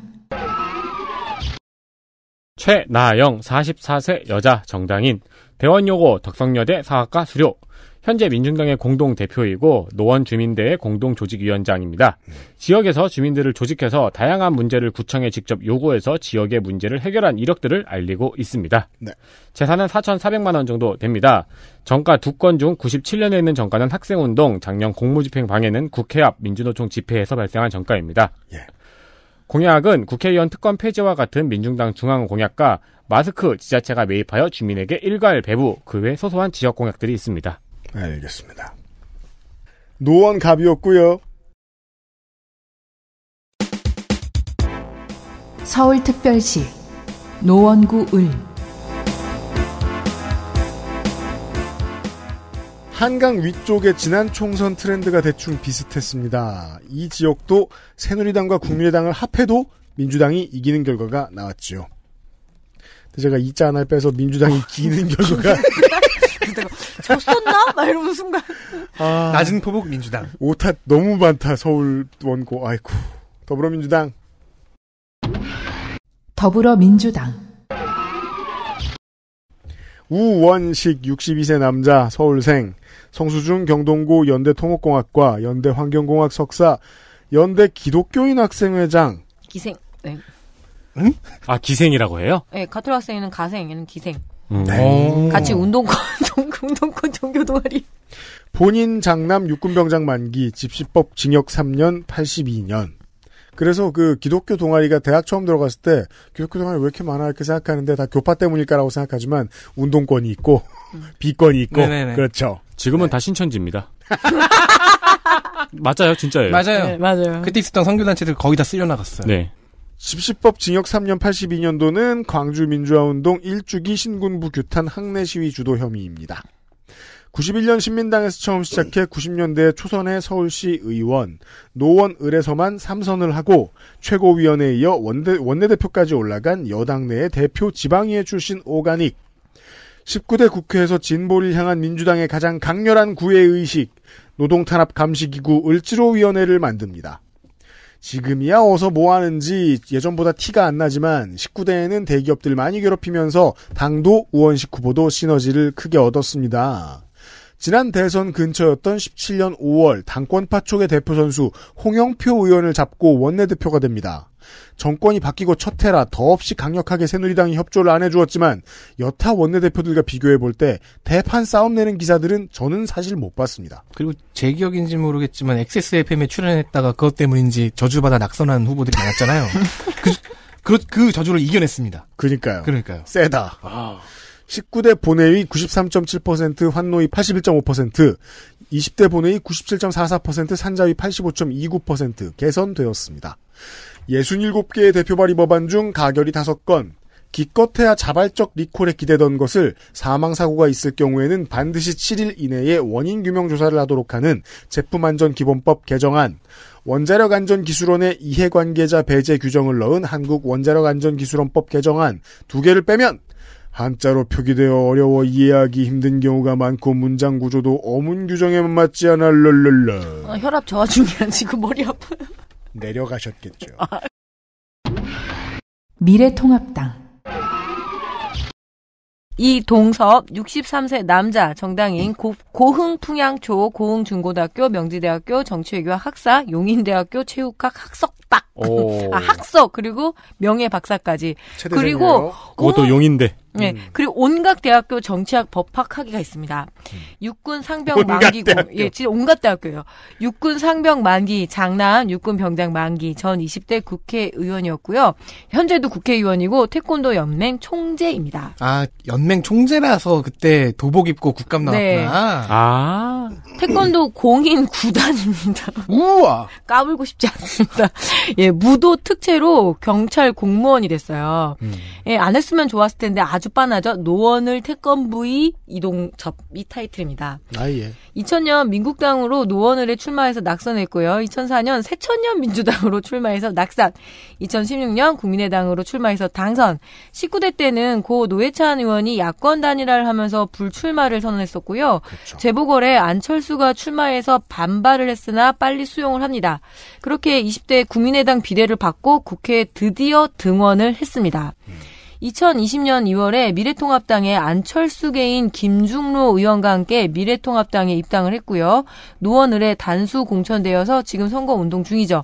그런데 그 민생당이 낸 예, 셀프 제명 취소, 가처분 취소에 해당 의원이고요. 어, 그래서 민생당을 탈당하고 의원직은 상실했지만 지금은 그래서 전 20대 의원으로 해서 출마하고 있습니다. 현역인데 전역입니다. 네. 태권도가 대한민국의 국기임을 명문화하는 태권도 진흥 및 태권도 공원 조성 등에 관한 법률 등이 쭉 있고요. 예, 그 그만큼 태권도 관련한 구설수도 굉장히 많습니다. 어, 헬퍼와 핵 유포자를 근데 게임 관련한 네. 것들이 많아요. 아. helper와 핵 유포자를 강하게 처벌하는 법안, 전문 대리 게임 업자를 처벌하는 게임산업진흥법 개정안을 발의를 했었고요. 게임 서비스 종료로 유저들이 손해를 보는 오. 것을 방지하기 위한 게임 먹튀 방지법, 그리고 e스포츠 선수 표준 계약서법 등을 대표 발의했습니다. 대리 게임으로 이번에 논란을 샀던 정의당 비례대표 류호정 씨의 공천 취소를 촉구하기도 한 게임 태권인입니다. 예. 어, 어. 약간 포스트 전병헌 의원을 나는 싫어요. 그 게임을 그냥 못하게 하는 법을 만들었으면 좋겠습니다. 어, 예. 비난, 비난당합니다. 아니 유권자는 다양한 의견이 있으니까. 근데 저 그러니까 게이머로서 보면은 상당히 현재의 맥을 잘 짚고 잘 짚고 있네요. 어, 굉장히 이 관련해서는 전문 선수입니다. 예. 어. 그렇습니다. 그리고 나는 저는 나이에서 놀랐어요. 63세거든요. 근데 굉장히 이해도가 많고 좀 네. 해본 사람이 이 이야기를 할 수 있겠구나라는 것 정도는 저도 알 것 같더라고요. 근데 그 나이 또래면은 어, 한 최소 한 10에서 15년 리니지 했죠. 아 그래요? 예. 했다고 가정하면 갤러그가 아니고요. 갤러그를 하면서 대리렙업 방지법을 내진 않습니다. 그렇죠. 네. 리니지는 돈 없으면 못하는 게임이니까요. 강북의 학업 중심가가 노원이잖아요. 중계죠. 예, 맞춤 공약인 듯 하면서도 이게 국회의원 공약인가 싶은 공약이 있습니다. 스타 강사 초빙, 그리고 학원 바우처 사용권과 학원 학부모 공영 주차장 건설 공약이 있습니다. 그 막 밤 저녁 때 완전 빡빡해가지고 늘 아, 난리거든요. 학원가요? 예. 학원가에? 저는 이런 공약 볼 때마다 아 필요는 하겠는데 이걸 국회의원이 이렇게 입 밖으로 낸다라는 것 자체가 어쩌면 욕망이 굉장히 분명한 거긴 하죠. 네. 네. 이런 류의 공약은 또 다른 우울한 그림자인데요. 그 구의원과 시의원들 자신의 그 공천권 아래에 있는 사람들을 쥐고 흔들겠다라는 말이기도 합니다. 예. 노원 을의 후보들이었습니다. 서울특별시 노원구 병 18대 홍정욱, 19대 노회찬, 20대 안철수. name value 최강의 history를 자랑하는 2010년대 노원 병입니다. 안철수가 빠진 자리를 놓고 자유한국당과 바른미래당이 각기 내놓을 수 있는 상당히 강력한 청년 후보들을 내놓았지만 결과는 둘이 합쳐도 민주당보다 15% 남짓 모자랐습니다. defending champion 더불어민주당 김성환 54세 남자 거문도생. 10살 때 서울로 와서 창서초 중동중 한성고 연대 법대. 전대협 재야 담당 학생 대표. 본인 소개 중에 일부. 학생운동 직후 6월 민주항쟁에서 함께했던 일반 시민과 청년들이 참여할 공간이 필요하다고 생각하여 나라사랑 청년회를 만들어 활동했고 이곳에서 저를 오늘에 있게 해준 사랑하는 아내를 만나게 되었습니다. 역시 뭐 뭔가 정치 운동하면은 연애하네요. 나라 사랑 청년회를 만들어서 나를 사랑하는 청년을 구했죠. 92년 신계륜 의원 비서관으로 정계 입문. 신계륜 의원은 비서관이 한 100명쯤 됐나요? 신계륜 사단. 예, 나라사랑 청년회가 아니고 나랑사랑 청년회네요. 네. 신계륜 의원은 거의 이제 그 국회의 시민 중학교다. 신계륜 의원은 그 아무래도 02년 대선 노무현 후보 단일화 승리의 최대 공신이기 때문에 이 방에 있던 사람들이 상대적으로 대비를 많이 했습니다. 90년대 재선의 노원 구의원, 08년 18대 총선 노회찬이 홍정욱에게 2천여 표 차로 졌던 바로 그 싸움의 3위. 이후 10년, 14년 재선의 노원구청장, 18년도 재보선으로 들어온 초선의 국회의원. 20대 국회 본회의 93.94%, 산자위 72.31%, 에너지 투기 66.7%, 최악은 아니지만 서울민주당 중에서는 제일 안 좋습니다.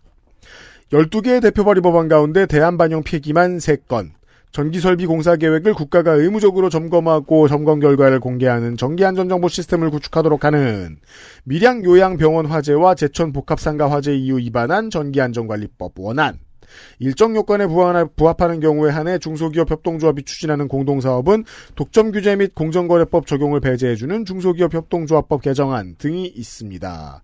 숫자보다 내실이긴 하지만 이 정도면 일 많이 안 한 거라고 생각합니다.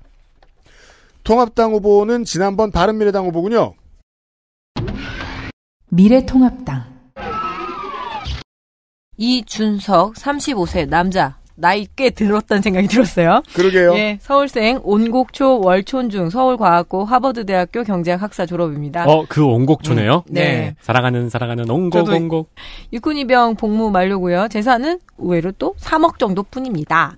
바른미래당 최고위원이었고요. 현 미래통합당 최고위원입니다. 2011년 새누리당 비대위원이었고 박근혜 키즈라고 불렸었지요.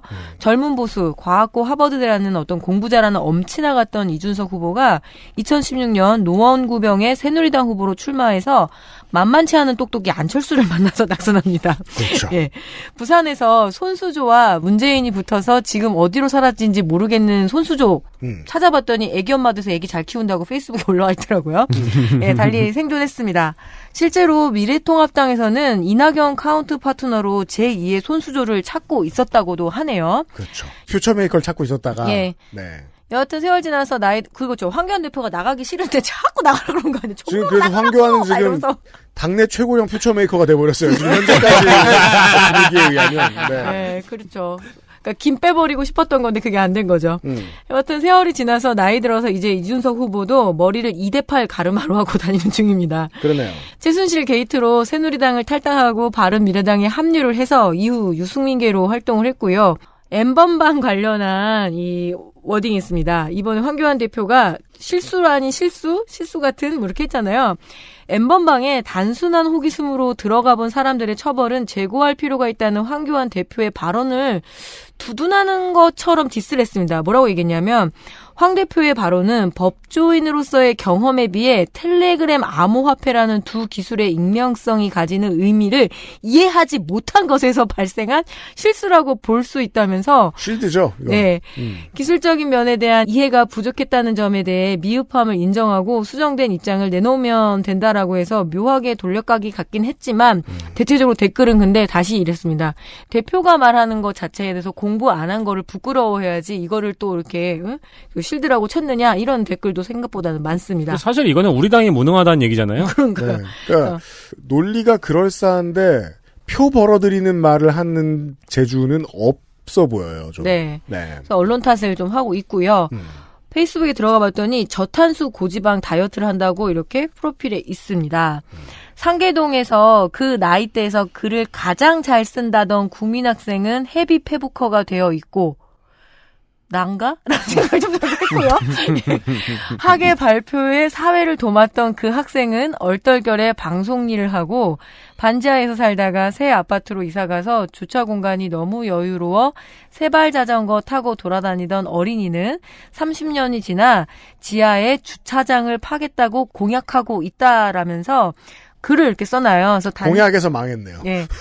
단상 이주의 네. 글과 현 정부의 글을 링크하고 그냥 한 줄 정도의 그 보- 코멘트를 보태는 건데 이걸 되게 힙하다고 생각하는 것 같아요. 상계동에 글 잘 쓰는 친구가 이렇게 없었나요? 그죠? 예, 그래서 간이가세 기존 1억 원 상향, 기초학력 미달 학생에 대한 국가 책임 교육 강화, 국공립 대학의 정시로 일원화, 한시적으로 공매도 제한 등을 그냥 자기의 공약으로 내세웠습니다. 이상입니다. 네. 노원구병의 후보가 다섯 명인데요. 어, 최연소는 이제는 이준석 후보가 아니지요. 정의당 이남수 29세 남자 정당인 인덕대 사회복지 전공 경력은 현재 정의당 청년본부의 부 본부장이고요. 그리고 현재 심상정 당대표 사회복지 특보입니다. 네. 노회찬 정치학교 1기 수료했고요. 아, 예. 현재는 청소년 무료 공부방 BEEC 운영위원이라고 합니다. 재산은 400만 원 월세 보증금만 있네요. 그, 그, 스쿨에서 안 가르친 것 같아요. 어, 그렇죠. 네. 재산 재산 신고하는 쓰는 법. 네.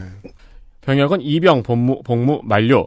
선거운동 중에 30대 남성에게 폭행을 당했습니다. 음. 심지어 가해자가 술 취한 상태도 아니었다네요. 음. 오, 정의당 민중당은 이런 케이스가 벌써 네. 두세 번 나오네요. 그래도 민중당은 술 취한 남자한테 맞았는데 이남수 후보는 술 취한 것도 아닌 사람한테. 음. 미친놈 많아요. 그러니까요. 공약은 집 가까운 곳에 1대1 멘토링 학습 지원센터 설치 및 운영, 국가 기초학력 지원센터 설치 공약이 있습니다. 알겠습니다. 다음은 민중당 후보입니다. 민중당 김선경 35세 남자 정당인 동북초 창북중 송영고 경희대학교 철학과 졸업 현재 민중당의 공동 대표이며 현재 민중당의 방위비 분담금 인상 저지 운동 본부 상임 본부장입니다. 재산은 1,020만 원 정도 있고요. 병역은 이병 복무 만료. 정가는 한 건 공직방 교통방 벌금 100만 원은 집회 시위 과정에서 생긴 정가입니다. 그래서 공무집행방이랑 교통방에 아 알잖아. 네. 공직선거 3번 낙선했습니다. 음. 공약은 노조 조직률 50% 여성 건강지원센터 전국민 주치의제도 단계적 도입입니다. 네. 뭐 제가 지금 6년째 하고 있는 말인데 어, 민중당은 언제나 표준 공보를 준비해 줍니다. 네. 예전에는 강제했는데요. 그렇진 않습니다. 이제는. 이번에는 민중당 공보가 이렇게 다양한 공보들이 되게 많이 있어요. 요새는 딴 공보 만들겠다고 하면 못하긴 안 합니다. 네. 지금 왜냐면- 강제하는 단계는 우리 공화당이 거기까지 가 있고 그렇습니다. 은평구로 가겠습니다. 이제 아 동북 쪽의 구역들을 다 봤고요. 예. 내부 순환로를 타고 은평구로 왔습니다. 서울특별시 은평구 갑 인권 변호사의 아이콘 조영래 변호사의 처제이기도 한 이미경 현 코이카 이사장이 삼선을 한 지역구입니다.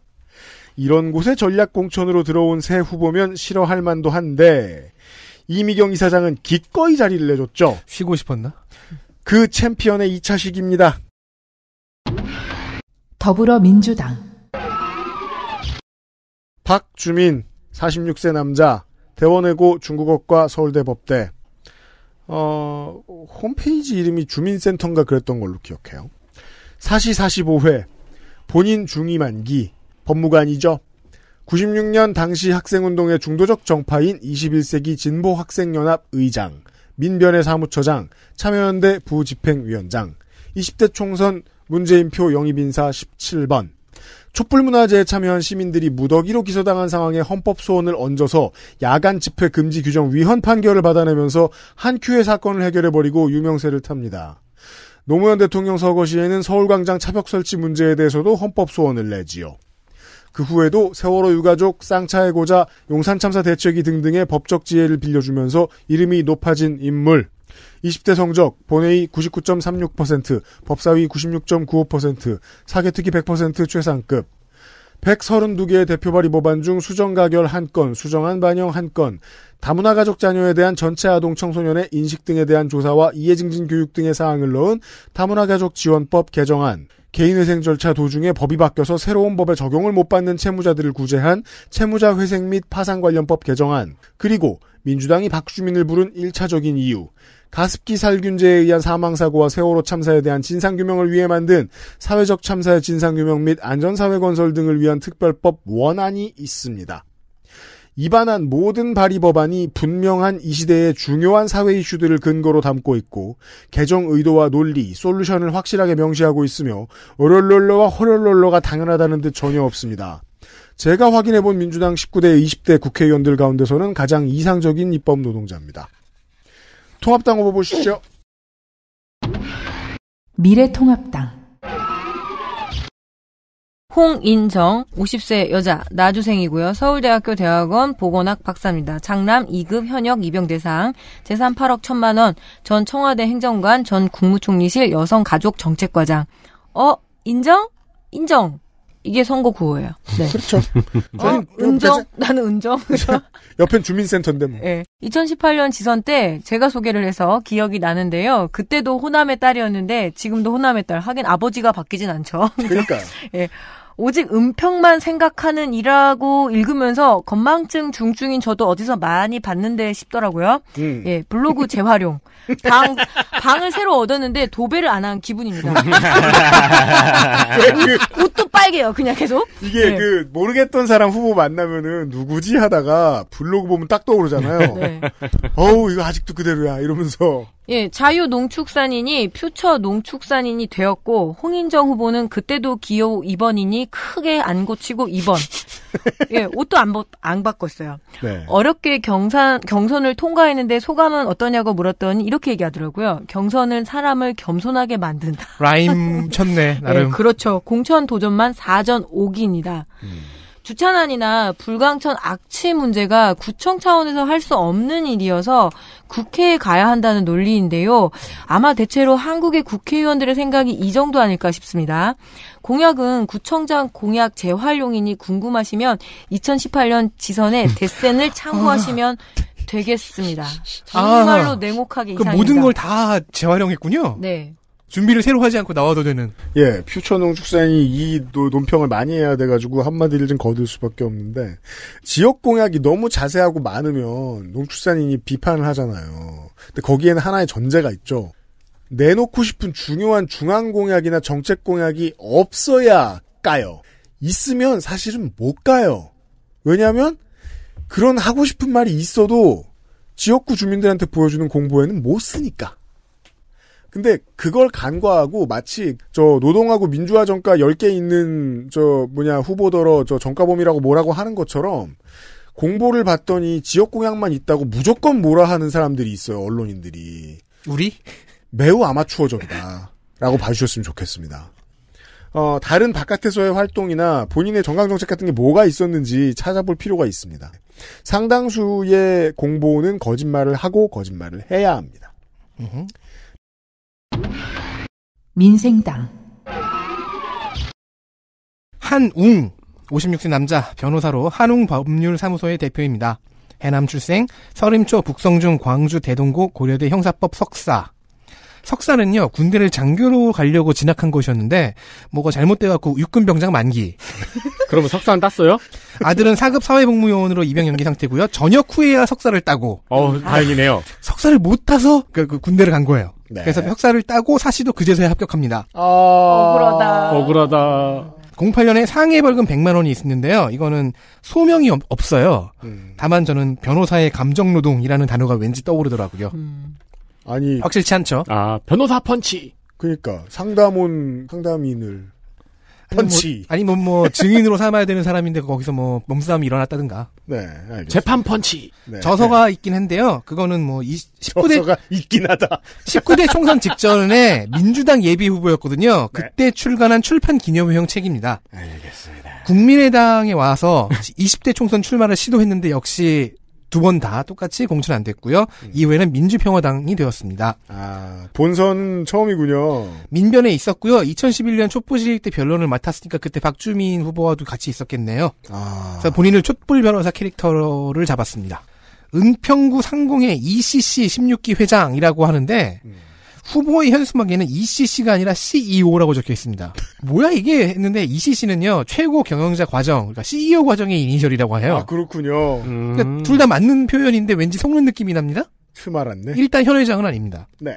기본소득, 지역화폐, 대학 등록금 무료가 공약의 전면에 있고 지금과 같은 위기 상황에는 임대인이 아닌 임차인을 지원해 주는 게 맞다고 주장합니다. 알겠습니다. 그 외에 지역 공약이 있습니다. 좋습니다. 은평을로 가죠. 서울특별시 은평구 을 박종희와 전두환에 맞서 싸우는 척했던 이명박. 의 개파 핵심 인사. 박종희와 전두환에 맞서 싸우던 이재호를 잡은 이걸 문장으로 만들기가 힘들더라고요. 저건 내 편은 아니지, 아니라 이거구만. 저게 저기지만. 이재호를 잡은 지난 대회 우승자가 등판해 있습니다. 더불어민주당. 강병원 48세 남자 은평구생 신도초 대성중 대성고 서울대 농경제학과 서울대 총학생회장. 총학생회장이 전과가 없고 병장 만기인 게 어색합니다. 실제로 서울대 총학생회장 중 최초의 만기제대 예비역병장 졸업 후 대우에 입사하고 무역 일을 하다가 노무현 대선 캠프로 갑니다. 청와대에도 있었고요.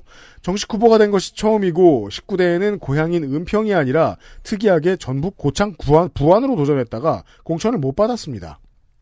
20대 성적 본회의 98.72%, 기획재정이 98.21% 아주 좋고요. 94개의 대표 발의 법안 가운데 가결건이 3건, 기상 콜센터를 민간 위탁 운영으로 전환하면서 관련 시설 조항을 삭제한 민영화 스타일의 기상산업진흥법 개정안, 화학물질의 현행 규정이 유독물질, 허가물질, 제한물질, 금지물질인데 금지물질에만 취급금지 규정 위반 시 벌칙이 있고 제한물질은 제한이 없는 법을 고쳐 형벌을 신설한 화학물질관리법 개정안, 먹는 물 품질 관리 교육을 한 번에서 정기로 바꾼 먹는 물 관리법 개정안 등입니다. 미래통합당 허용석 63세 남자 공인회계사고요. 전북 진안생입니다. 예.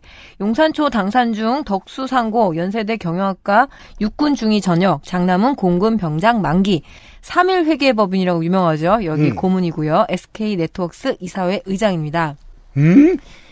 연세대 재학 중이던 1977년에 공인회계사 시험에 합격을 하고요. 78년에는 어, 하나 더 땁니다. 행시에 합격합니다. 아, 예. 그래서 주로 재경 공무원으로 지내왔고요.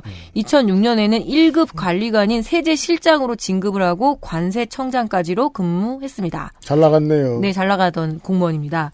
2020년에는 미래통합당에 입당을 해서 그 새내기죠. 예. 용산구의 예비 후보로 등록을 했지만 용산이 아닌 은평을로 전략 공천됩니다. 낯설겠죠?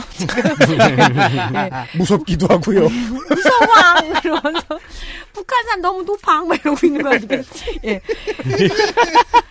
코로나19로 정부가 100만 원을 지급한다면 소득 70%가 아니라 모든 국민에게 지급한다는 공약인데 이게 어디서 튀어나왔는지 모르겠습니다. 모르긴 몰라도 현재까지 저희들이 알고 있는 정보로는 청와대가 이 공약을 실현해 주었습니다. 네. 그래서 이 기조가 당과 맞는지는 모르겠고, 근데 여기 전제 는 있어요. 정부가 100만 원을 지급한다면 이란 전제를 깔아놨습니다. 무슨 말을 하고 있는지 스스로도 알지 못하는 것 같아요. 예, 출판물이 나는 경제다라는 책이 있습니다. 그리고 은평을 금평으로 만든다고 하는데 전략적으로 지금의 지역 이름을 한 단계 낮게 표시하는 것이 딱히 똘똘해 보이진 않습니다. 그렇죠. 컨설턴트 바꾸세요. 예, 이상입니다. 그리고 금평구가 된다고 생각하면 네. 구민들은 좋아하지 않을 거라고 믿습니다. 정의당 김종민 49세 남자 정당인 공릉초 태능중 재연고 서강대 생명과학과 졸업했습니다. 현 정의당 부대표가 탈당한 사람 빼면 두 명인 걸로 알고 있는데 두 명이 다 저 지구당으로 나왔군요. 네, 그렇습니다. 재산은 8억 5,183만 3천 원. 아니지. 8억 5천 정도 있습니다. 네. 병역은 본인 병장 만기 정가 두 건 중 98년 국보법 위반은 학생운동, 2009년 음주운전은 음주운전. 네, 2009년 음주운전은 제가 뭐라 그랬어요? 아니요, 그냥 문장을 그게 끝내는 게 좋을 것 같아서. 2009년 음주운전은 음주운전. 네, 음주운전은 음주운전입니다. 네. 이 소명도 제가 지난번에 읽었던 것 같거든요. 네, 기억나네요. 소명 뭐래요? 모친의 응급 상황으로 발생했지만 반성한다고 합니다. 그러니까 응급 상황이어서 그, 그 술을 먹은 상태지만 급하게 운전했다. 그렇죠. 엄마 모시고 가느냐. 하지만 반성한다고 합니다. 반성해야죠. 왜냐면 저도 모친의 응급 상황을 경험해본 적이 있었는데 택시 탔거든요. 업어 업고 뛰어야죠. 그렇죠. 네. 근데 뭐 집이 막 산꼭대기 있을 수도 있고 네. 아니겠지만 음. 공직선거 다섯 번 낙선했습니다. 마지막은 서울시장 선거였고 아 이때 읽었군요. 1.6% 득표하여 5위였습니다. 공약은 정의당 중앙 공약 외 여러 가지 지역 공약이 있습니다. 그렇죠. 개인만의 공약은 없다. 지역 공약이죠 그게. 네. 음, 아. 지금 기본소득당의 지역구 후보가 지금 두 번째로 나온 걸로 알고 있어요. 제가 기억이 맞다면. 기본소득당 신민주 공화당이 아닙니다. 그랬으면 김종필이죠. 네. 신민주 여자 25세 정당인 성균관대 유학 동양학과 졸업했습니다. 경력은 전 청취 정년 아니, 뭐, 청취. 정년은 청취 오면 청, 청년에 오면 안 되죠. 아, 뭔 소리야? 청년 정치. 네. 경력은 전 청년 정치 공동체 너머의 대표였고요. 정년까지 40년 정도 남았습니다. 네. 현행법에 의한. 수유 넘어도 있었잖아요. 연구 공동체. 음. 현재는 서울 기본소득당 상임위원장입니다. 베트남 민간인 학살 진상 규명을 위한 연꽃 아래의 대표이기도 합니다. 그렇군요. 재산은 1,300만 원 정도 됩니다. 당신의 페미니스트 국회의원 임을 밝히고 있습니다. 그리고 기본소득이 기본적으로 소수자와 그리고 여성의 삶과 연결되어 있다고 말합니다. 아까 말한 정의당 후보의 논리와도 비슷하죠. 그러네요. 음. 네. 기본소득은 가족의 일원이 아닌 개인을 호명하기 때문에 소수자와 여성의 삶을 어, 바로 가리키는 이제 정책이라고 이야기를 하는 거죠. 가- 그 기존의 결혼 제도라든가 가족 제도라든가 가부장제 같은 것에 끼어 들어가지 않으면은 그 생존이 힘든 개인들에게는 큰 생명줄이 되지. 그렇죠. 그러니까 이제 다른 이제 복지 소득 같은 게 가족 단위 이렇게 나가면은 거기에 이제 여성이나 소수자의 삶은 없어진다. 네. 공약 중에서 결혼 여부 묻는 것을 금지하겠다고 하는데요. 이걸 어떻게 법으로 막을지는 잘 모르겠네요. 사회 전반에서 맡겠다는 얘기는 아니길 바랍니다. 네. 취업 면접 때나 뭐 이럴 때 얘기겠죠? 아, 그럼요. 무슨 오가작 통법도 아니고. 음, 그러니까. 길에서 결혼하셨냐고 물어봤는데 현행범으로 체포되고. 결혼하셨나요? 물어보니까 갑자기 freeze 이러면서 삐용삐용삐용 해가지고 미란다 원칙. 그건 아닐 거예요. 네. 그리고 응급 의료 상황에서 가족 이외 지정 1인이 법정 대리인이 될 수 있도록 어 음. 이거는 이제 광범위한 생활 동반자법이라고 할 수 있겠죠. 특히 성소수자들에게는 중요하죠. 동성 부부들에게는. 예. 그렇습니다. 그리고 성폭력 공소시효 폐지, 여성의 건강과 관련된 자궁 경부암 주사, 생리용품, 산후조리원 등의 건강보험을 적용 등의 공약들이 있습니다. 자궁 경부암 예방 주사가 비싸거든요. 현재는. 네, 근데 예. 그게 건강보험이 적용이 안 된다고 그러더라고요. 예, 가다실해서 뭐 3차까지 맞으면 한 60만 원 막 이렇게도 돼요. 음. 예. 미국에 계신 청취자 여러분 죄송합니다. 60만 원 비쌉니다. 한국에서는. 네. 근데 또 많이 싸지고 고쳐줘야 됩니다. 지역마다 네. 여대생들 뭐 지원 프로그램도 있고. 네, 맞아요. 예, 근데 네. 음, 맞으면 좋죠. 네. 남성들도 맞으면 좋습니다. 왜냐면 자궁경부암은 주로 남성에게서 이게- 오염이니까. 자궁경 아 그렇군요. 네. 네. 이 자궁경부암 예방 주사 맞기 운동 같은 게 있더라고요 지역에. 이게, 이게 유일하게 밝혀진 암 바이러스 중에 하나잖아요. 네. 그래서 그러니까 또, 신랑들 예, 데리고 가는 운동을 하죠. 캠페인을 하죠. 예, 첫 성경험 이전에 맞으면 훨씬 더 효과가 있다라고 하고 또 뭐 부작용에 대한 논란도 있긴 하지만 주로 그래서 요새 청소년이라고 하죠. 네. 어, 예, 많이 권유받습니다. 어 처음 알았네요. 저도 네. 맞아야겠네요. 네. 저도 맞았습니다. 네. 자, 은평까지 돌았습니다. 광고를 듣고 와서 어, 3호선 따라 조금 밑으로 내려가 서대문부터 다시 시작하겠습니다. 국회의원 선거 데이터 센트럴 서울 시간입니다. XSFM입니다.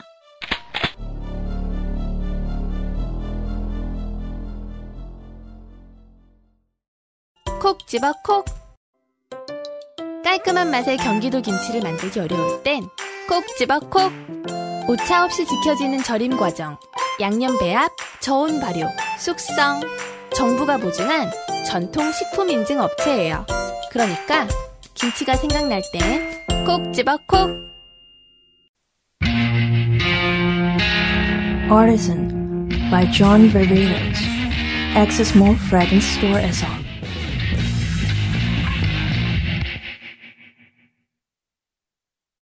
중앙재난안전대책본부 나 하나쯤이야 하는 아니란 행동이 또 다른 감염 확산으로 이어질 수 있습니다.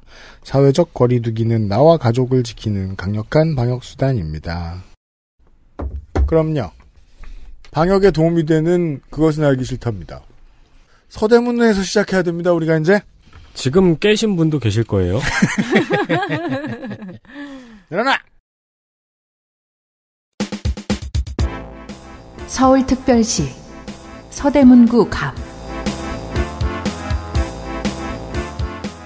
2000년부터 지금까지 두 명의 연대 81학번 동기 겸 연대 총학생회장, 서대문갑의 송대관 태진아, 이성원과 우상호가 지역구 사무실도 같은 길 6건물, 도보 2분 거리를 사이에 두고 20년째 싸우고 있습니다. 우와, 이름도, 이름의 이니셜도 이응시읒 해우시네요. 그러네요.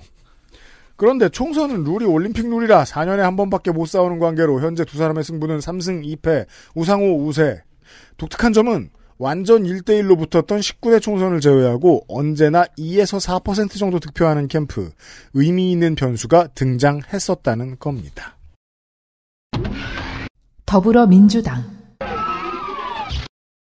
우상호 57세 남자 국회의원 철원생 용문고 연세대 국문과 87년에 연세대 총학생회장 그렇다면 그는 이한열 열삭 민주국민장 집행위원장 이한열 사망 사건은 6월에 있었고 시위 현장에서 이한열의 영정사진을 들고 서 있던 인물이 우상호 후보였으므로 아마도 두 건의 민주화운동 관련 정과는 저 직함과 관련이 있겠죠.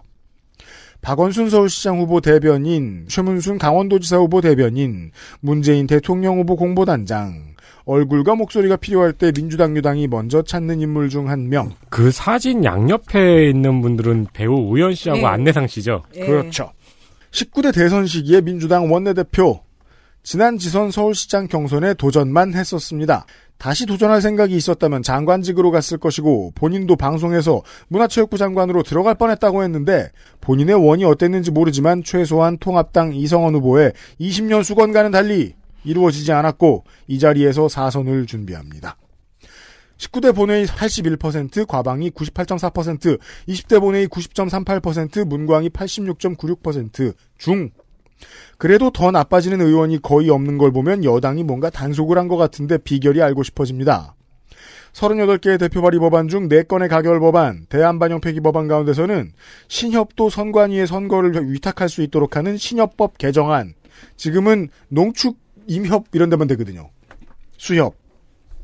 사관생도와 사관 후보생의 결격 사유를 장교와 부사관 수준으로 맞추는 군인사법 개정안 같은 법들도 있고 제가 한참을 뒤적뒤적 뒤적 솔까 별거 없었고 당시 야당 원내대표였으니 그가 입안했었어야 할 법. 박근혜 정부의 최순실 등 민간인에 의한 국정농단 의혹 사건 규명을 위한 특별검사의 임명 등에 대한 법률안 원안 가결이 20대 입법 기록 단 하나의 하이라이트입니다. 미래통합당 이성헌 61세 남자 전남 영광생 명지고 연세대 성균관대 신문방송학과 박사입니다. 육군 입영 소집 해제 장남 육군 병장 만기 전 16, 18대 국회의원이고요. 현재는 사단법인 한국애견협회 부회장입니다. 큰 거 하나 차지하신 거죠. 연세대학교 졸업 후에 민추협이죠. 민주화 추진협의회 정계 입문해서 김덕룡을 따라서 상도동계 정치인이 되었고요. YS 시절에는 대통령 비서실 정무비서관으로 일했던 경력이 있습니다. 다 시작은 야당으로 했어요. 네. 1996년 15대 신한국당 서대문갑에 나와서 낙선, 2000년 한나라당으로 당선, 2004년에는 또 낙선, 2008년에는 당선, 2012년에는 낙선. 그러면 순서상 보면은 그쵸. 아, 당선 차려야 되는데 2016년에는 그냥 또 낙선. 아 규칙이 예, 음, 깨졌습니다. 이렇게 예. 그중 2000년 선거에는 우상호를 꺾고 나왔고요. 전적은 3대 2입니다. 이번에 어떻게 될지 모르겠어요. 20대 총선을 마지막으로 이제 지친 거죠. 정계 은퇴를 선언을 했습니다. 근데 제가 그, 네. 어, 그쪽 길을 다니면서 3호선을 따라서 몇 번 운전을 해 봤거든요. 사무실이 빠진 적은 없어요. 예. 그렇지만 지금 후보죠. 음. 어, 서, 서울의 심장 서대문. 대. 대. 대한민국 명품 도시. 문. 문제 해결은 이성원과 함께 정말 이런 삼행시가 있습니다. 공보에. 그래서 저의 또 삼행시 본능 일깨웠거든요. 그 뭐, 그래도 저 문재인 탄핵은 이성원과 함께 이거보단 낫네요. 서. 서 대문 국회의원 되기 대. 되게 힘들다. 그럼요. 문재인 싫어. 이게 공부, 이게 공부에 다예요. 아, 공보 내용 정리. 예, 요약하면 공부문은 이렇습니다. 싫어. 아, 이 우상호도 싫지만 문재인 더 싫어 이런 것 같아요. 그래서 아니 사실 무- 우상호 후보와는 이 정도면은 미운 정도 들죠. 네. 중앙공약과 대체로 다 비슷하게 지금 공보문을 구성을 했고요. 대학가 밀집 지역의 어떤 출마 후- 후보들의 공통 공약입니다. 보인 그 원룸촌 단독주택 주거의 정비 공약 정도가 좀 눈에 띕니다. 이 정도입니다. 농축산인이 원룸 촌을 원룸 촌으로 오타를 내셔가지고 원룸이 아주 촘촘하게 있는 느낌이 드네요. 아 정말 촘촘하겠죠. 예. 어, 우상호 후보가 이 지역에 들어오기 전인 96년부터니까 이제 이성원 후보가 여기 자리 잡은 건 24년이 됐어요. 우리 공화당 신민호 34세 남자 정당인으로 서울시당의 사무처장입니다. 네. 그리고 중앙당 대변인입니다. 대변인은 선거용 직함이 아니고 어, 대한애국당 시절부터 2년 넘게 하고 있습니다. 예, 예. 그 전에도 몇 명씩 있었어요. 아 근데 교체 안 되고 여러 명으로. 사실 중앙당 대변인, 뭐 당대표 대변인, 당 대변인 뭐 이런 식이잖아요. 대전대 경영학과 졸업, 재산은 차와 예금만 신고했고요. 육군병장 만기 전역. 네. 반도체 회사에서 경영 지원팀으로 일하다가 애국 집회 초창기에 참석하면서 얼굴을 알렸다고 합니다. 그래서 우리공화당 영입인 지 19호가 되었는데 도저히 이해할 수 없는 것이 영입의 시간대입니다. 영상 자료로는 분명히 2018년 11월에도 대변인 활동을 하고 있었거든요. 근데 2020년 2월 28일에 발표된 영입인지 19호예요. 당적이 없는 대변인이라는 개념이 가능한 것인지 혼란스럽습니다. 대변을 너무 잘하면 근데 직업인으로서 네. 발표문을 읽었을 뿐이다라고 하- 이렇게 가정을 해보면요. 음. 그게 안드로이드 보이스와 다른 점이 뭐죠? 실체는 사람 이라는 다- 그것밖에 없는 건가요? 어디 19호라는 글씨를 보니까 실체가 사람인지 인중인간인지도 좀 헷갈리네요. 이상입니다. 민중당 전진희 여자 33세 정당인 서울여대 경영학과를 졸업했고 이때 총학생회장이었습니다. 현재 민중당 서대문구 위원회 부위원장이고요. 그리고 서울 청년민중당 부대표이며 청년유니온에도 있었네요. 재산은 854만 원 정도 있습니다. 전세보증금과 모두 학자금 대출입니다. 선거라는 게 참 어려운 겁니다. 전진희 후보도 서대문 진이라는 별명을 스스로 붙여서 활동하고 있는데 친구들이 안 놀리겠습니까? 서대문 진이. 그렇죠. 그 놀림에도 참고 이 선거를 진행하고 있는 거예요. 그렇죠. 네. 이 포브에스는 2018년에 어 구의원 아, 도의원 아니 시의원 서울 시의원 서대문구에서 낙선한 바 있습니다. 그리고 공약은 민중당 중앙 공약인 국회의원 특검 폐지, 코로나 민생법 등등이 있습니다. 국회의원 특권 폐지랑 코로나 19가 거의 뭐 정당 공약을 휩쓸었네요. 네. 어, 서울의 그림은 이번에 대부분 그 지역구마다 최 고령 후보는 국가운명배당금당 후보고요. 예. 이곳은 무소속 후보가 최연소입니다. 무소속 신지예 29세 여자 정치인 중학교 때 두발 자유 운동을 하다가 고등학교에 진학하지 않고 대안학교인 하자 작업장학교를 나왔습니다. 이후 청년기업 오늘 공작소를 세웠죠. 최종 학력은 고려 사이버대 문화콘텐츠학과 졸업. 녹색당이 비례연합정당에 참여하려고 하자 탈당했습니다. 결국 기득권의 배지를 나눠 가지려는 현실이 한국 정치의 한계라고 지적을 했습니다. 네, 뭐 그러니까- 녹색당은 뭐 설명드릴 타이밍이 따로 없겠지만은 어, 하승수 씨와 뭐 여기저기 예, 관- 내부에서 friction이 좀 있었는데 네. 예, 예, 예. 이 신지예 후보의 의견은 정확히는 소수정당의 연합으로 제3지대를 만드는 것에는 찬성을 했었는데 그 결과가 결국 민주당의 들러리가 되는 것은 한국 정치의 한계라고 지적하면서 탈당을 한 겁니다. 경력은 전 녹색당 공동운영위원장 그리고 현 여성신문 젠더폴리틱스 연구소장입니다. 재산은 900만 원. 전진희 후보보다 45만 원쯤 많습니다. 그렇죠. 밥은 신재 후보가 사야죠. 네. 공직선거에서는 두 번 낙선했죠. 녹색당 비례로 낙선한 바 있고 그리고 서울시장 낙선. 서울시장 당시 득표율 1.7%로 4위 정의당과 민중당 후보를 이겼습니다. 이번 포스터도 때깔이 멋있습니다. 근데 멋있는 포스터를 틀고 귀여운 음악 트는 선거 운동은 조금 안 어울리긴 합니다. 음악도 네. 확인했어요? 저는 그거 확인 안 하는.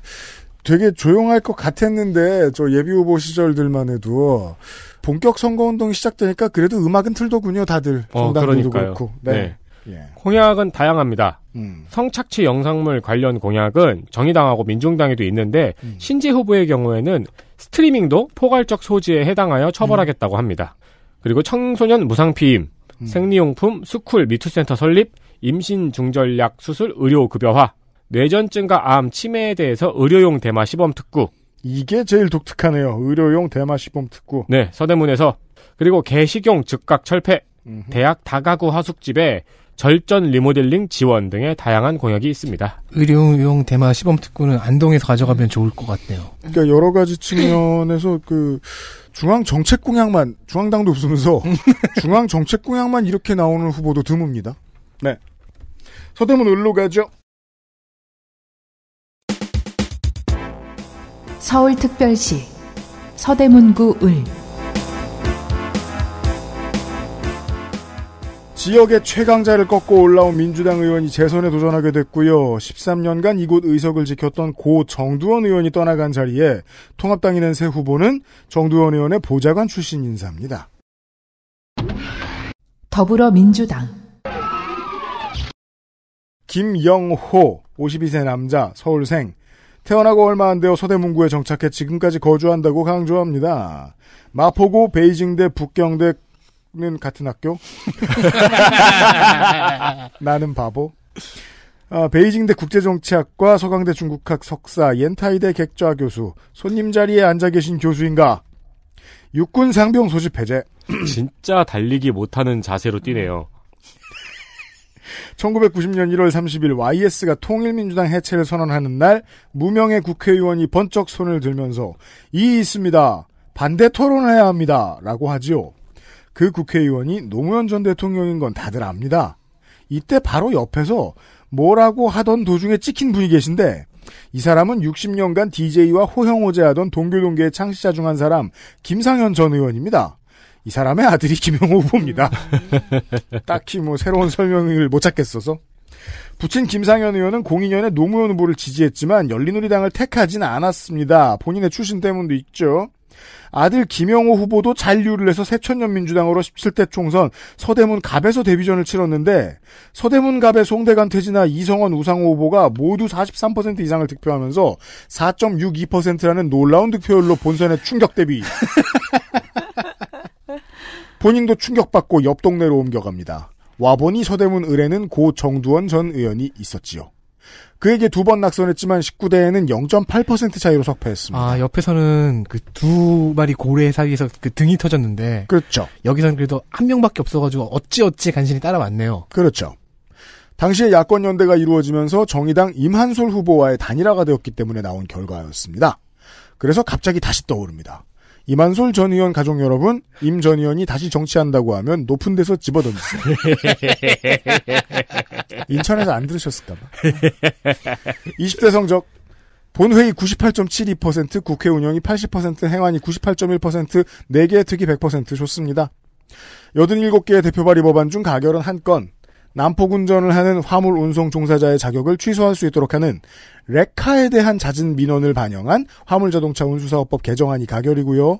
반영된 폐기안 중에서는 음주운전 적발자가 차의 견인, 보관, 반환에 드리는 비용을 부담토록 한 도로교통법 개정안, 적극적인 방법으로 신분증을 위조하거나 도용한 청소년에게 소가 주류를 제공하거나 그를 채용한 영업자의 행정처분을 감경하거나 면제할 수 있는 기준을 마련한 식품위생법 개정안, 성별, 종교, 신분을 이유로 지방 공무원 임용 시 차별을 할 수 없게 하고 임기제 공무원이 자녀 임기와 무관하게 육아휴직을 쓸 수 있도록 한 지방공무원법 개정안 등이 있습니다. 아, 이 길거리에서 봤던 일들에 대한 공약이 많네요. 레카차도 그렇고. 좋아요. 네, 음주운전, 이, 이, 이, 그, 청소년 신분증 위조도 그렇고. 네. 미래통합당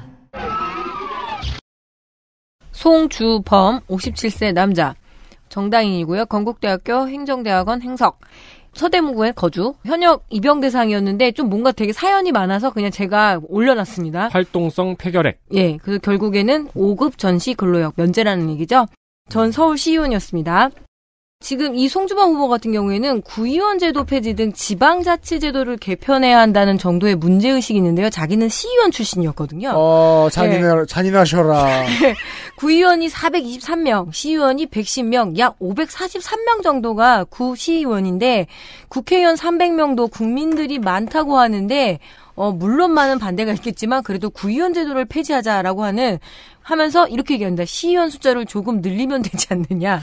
그래서 탄력도 아, 이분의 운용할 수 있다. 네. 정관상 적당한 정당은 국민의당입니다. 네, 있다라고 전직 시의원이 주장하고 있습니다. 시의원 있을 때 구의원하고 한번 싸웠을까요? 그럴 수도 있고요. 화장실에서 네. 맞았거나 뭐. 예. 쟤들은 하는 게 뭐야? 뭐 이런 얘기를 언젠가 아, 네, 했- 그렇죠, 그렇죠. 했겠네요. 네. 네, 2000, 2006년에 서울시의 서대문구에 당선이 돼서 우리 활동을 아, 그리고 했는데 그게 있어요. 그, 국회의원들은 시의원보다는 구의원한테 직접적인 도움을 받는 경우가 더 많아요. 음, 그래서 그렇구나. 지역구를 음. 직접 챙겨주는. 아, 그렇군요. 광역의원보다 기초의원들과 더. 그게 무슨 뜻이냐? 시의원들 입장에서는 구의원들이 좀 못마땅할 때가 있어요. 음. 나를- 특혜를 좀 받는다고 생각하니까. 나를 왜 빼? 그래서 같은 선거구에 같은 당적으로 예, 빼? 시의원이 계속 나와서 2010년, 2014년 내리 낙선을 했습니다. 네. 잘 알다시피 정두언 의원과 함께 예, 지내온 어떤 러닝메이트 같은 뭐 그런 느낌이 있어요. 그렇죠. 저는 홍은동에 있는 가파른 백련사길을 따라 올라가서 백련사나 백년산 산책을 하는 것을 좋아하는 편입니다라고 이렇게 써놨습니다. 어, 거기 재개발, 재개발 다 끝났는데 어떻게? 예, 좋아하는 것도 아니고 좋아하는 편입니다라는 글도 좀 오랜만에 아, 봤는데 직접 자주 안쓴 간다는 소리죠. 그래서 그냥 순간 좋아하는 편과 예. 싫어하는 편이 있으면 좋아하는 쪽. 예. 언제나 점잖은 편 말이 없구나라는 이시가 그냥 갑자기 떠올랐고요, 저도. 저는 예. 편가르기가 떠오르는데. 그리고 자기의 치적 중에 하나가 시의원 당시 의원을 정말 사랑하는 사람인데 갑자기 국회의원 나오게 된 느낌이 없잖아 있어요. 아, 네, 그렇죠. 시의원 당시 홍현초등학교 지하주차장과 체육관 건설이 자신의 일 성과로 삼기 때문에 이 백년사 학기를 올라가면서 늘 여기를 음. 보게 되면서 늘 뿌듯해하고 있는 그런 편의 후보였습니다. 아, 그럼 이. 길을 좋아하는 이유는 네. 내 업적이 보여서. 네, 그래서 이번에 당선 만약에 된다면은 다음 총선에는 시의원을 없애자고 할 수도 있겠네요. 그렇죠. 국회의원을 대신 조금 더 늘려주면 된다. 네. 그런 다음에 이제 정의당으로 이적해야죠. 적당합니다.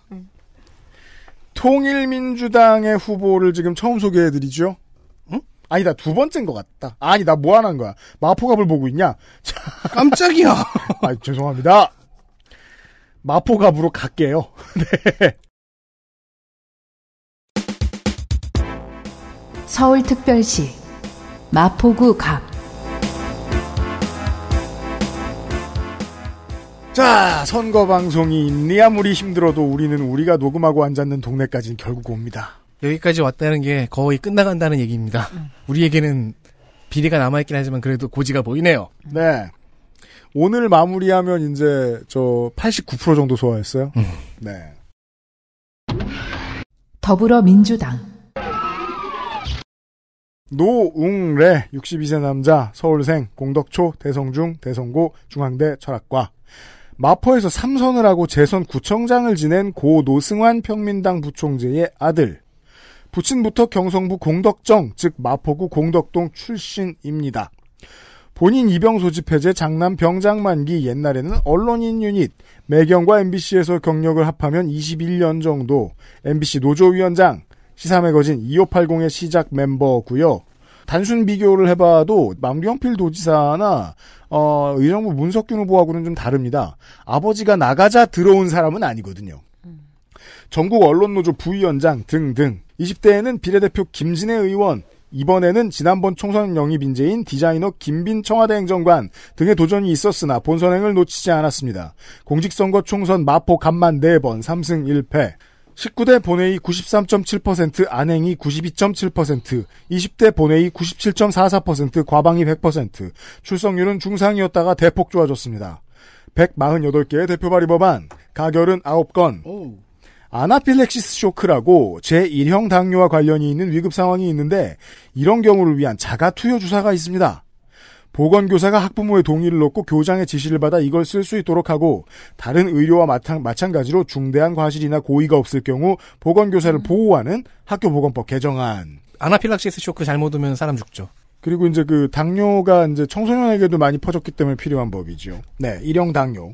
학생에게 성폭력 행위를 하거나 논문을 베껴 쓴 교수를 석박사 과정 중에는 학생들이 문제 제기하지 못한다는 점에서 차간 이런 범죄의 징계 사유 시효를 2년씩 늘리는 공무원 교육법 개정안. 아, 석박사 따고 나서 네, 교육공무원법 개정안. 그러니까 나중에 입삭시서라 이런 뜻이죠. 네. 네. 증거만 잘 모아놔라. 그렇죠. 하나의 게임이 영업정지 처분을 당해도 해당 게임사의 모든 게임이 영업정지 처분을 당하는 온라인 게임 서비스 관련법을 고쳐 어, 이랬구나. 대상 게임만 정지 처분을 하고 이에 더해 2천만 원이던 법정 최대 가진 금액을 10억 원으로 올린 게임산업진흥법 개정안, 전기요금 감면 대상에 학교 기숙사를 넣는 한국장학재단법 개정안 등 가결건 중에 있습니다. 중진들 가운데서는요 아주 좋습니다. 그러네요. 미래통합당 강승규 56세 남자 충남 예산 출신이고요. 천안 북일고 고려대학교 정외과 서강대학교 영상대학원 졸업이고 가로 열고 자기가 광고 홍보학 박사라고 썼습니다. 육군 병장 만기 장, 장남은 장남이 아니라 장남 자잘하는 예. 공군 병장 만기 어, 18대 국회의원이었고요. 현재 미래통합당 서울시당 수석 대변인 그리고 이건 절 저도 좀 특이, 특이하더라고요. 전 대한야구협회 회장이었고요. 아시아 야구연맹 회장이라고 합니다. 네. 고려대학교 졸업 후에 한국일보 경향신문에서 기자로 근무하다가 98년 서울시정 개발 연구원에 근무를 했습니다. 보통 우리 같은 이제 사회학과 나오는 데서 제일 잘 가는 데가 이런 데요. 아, 그래요? 충남연구원, 시- 뭐 서울연구원에서 지자체장이 어떤 싱크탱크 역할을 하는 연구원들이 있거든요. 어. 그렇죠. 네, 되게 중요한 경력 중에 하나입니다. 그렇습니다. 이후 이명박 서울시장 밑에서 서울특별시청 공보관, 홍보기획관으로 근무한 친이계 인사입니다. 그리고 언론인데 언론인이네요. 네. 2008년 18대 한나라당 후보로 마포구 갑에 출마해서 당시에 노웅래를 꺾고 당선됐습니다. 그래서 한 번의 그 실패 경험이 이 사람한테 당한 거예요. 저 사실 18대는 어 다른 표현은 적당한 게 없고 저 제가 생각하는 가장 적당한 표현은 역탄돌이가 좋겠어요. 그렇죠. 그러니까 그 이명박 대통령 당선 얼마 안 돼서 치러진 총선이었었기 때문에 프랑스 형태의 정치 방식을 선거 방식을 따르거든요. 좀 전에 이긴 놈이 그 다음에 이기는. 예, 그래서 18대에도 서울에서 그렇게 많이 한나라당이 승리했던 건데 그때가 유일한 경험이죠. 그래서 자기가 잘해서 됐는 줄 알고 2012년에 공천을 신청했다가 밀렸어요. 잘 못했던 거죠. 그러니까 제, 제가 봤을 때 네. 이번에 안 되면 딴 데로 갑니다. 그래서 2016년 20대 국회의원 선거에서는 공천 탈락, 불복, 무소속, 출마, 낙선 이 과정을 그냥 한 방에 다 겪습니다. 그렇죠. 그 이후에 귀뚜라미 보일러 대표이사로 잠시 일을 하다가 2019년 복당에서 나경원 원내대표 비서실장을 맡았습니다. 2010년 대표 발의를 했던 것이 뭐냐면 자전거 이용 활성화에 관한 법률이었습니다. 자전거 등록제 도입을 입안했고요. 이거 되게 중요한 법이더라고요. 네. 네. 그리고 마포구 지, 마포의 지역구 특성상 반려동물 관련 공약이 상당히 꼼꼼합니다. 페이스북에 선거운동 방송을 라이브로 올렸는데 반대로 올려서 제가 고개를 꺾어서 보거나 혹은 스마트폰을 뉘어서 봐야 됩니다. 전 정말 근데 이 사람의 그 과거 경력에 가장 내세운 거는 홍보 기획관이었다는 건요. 예.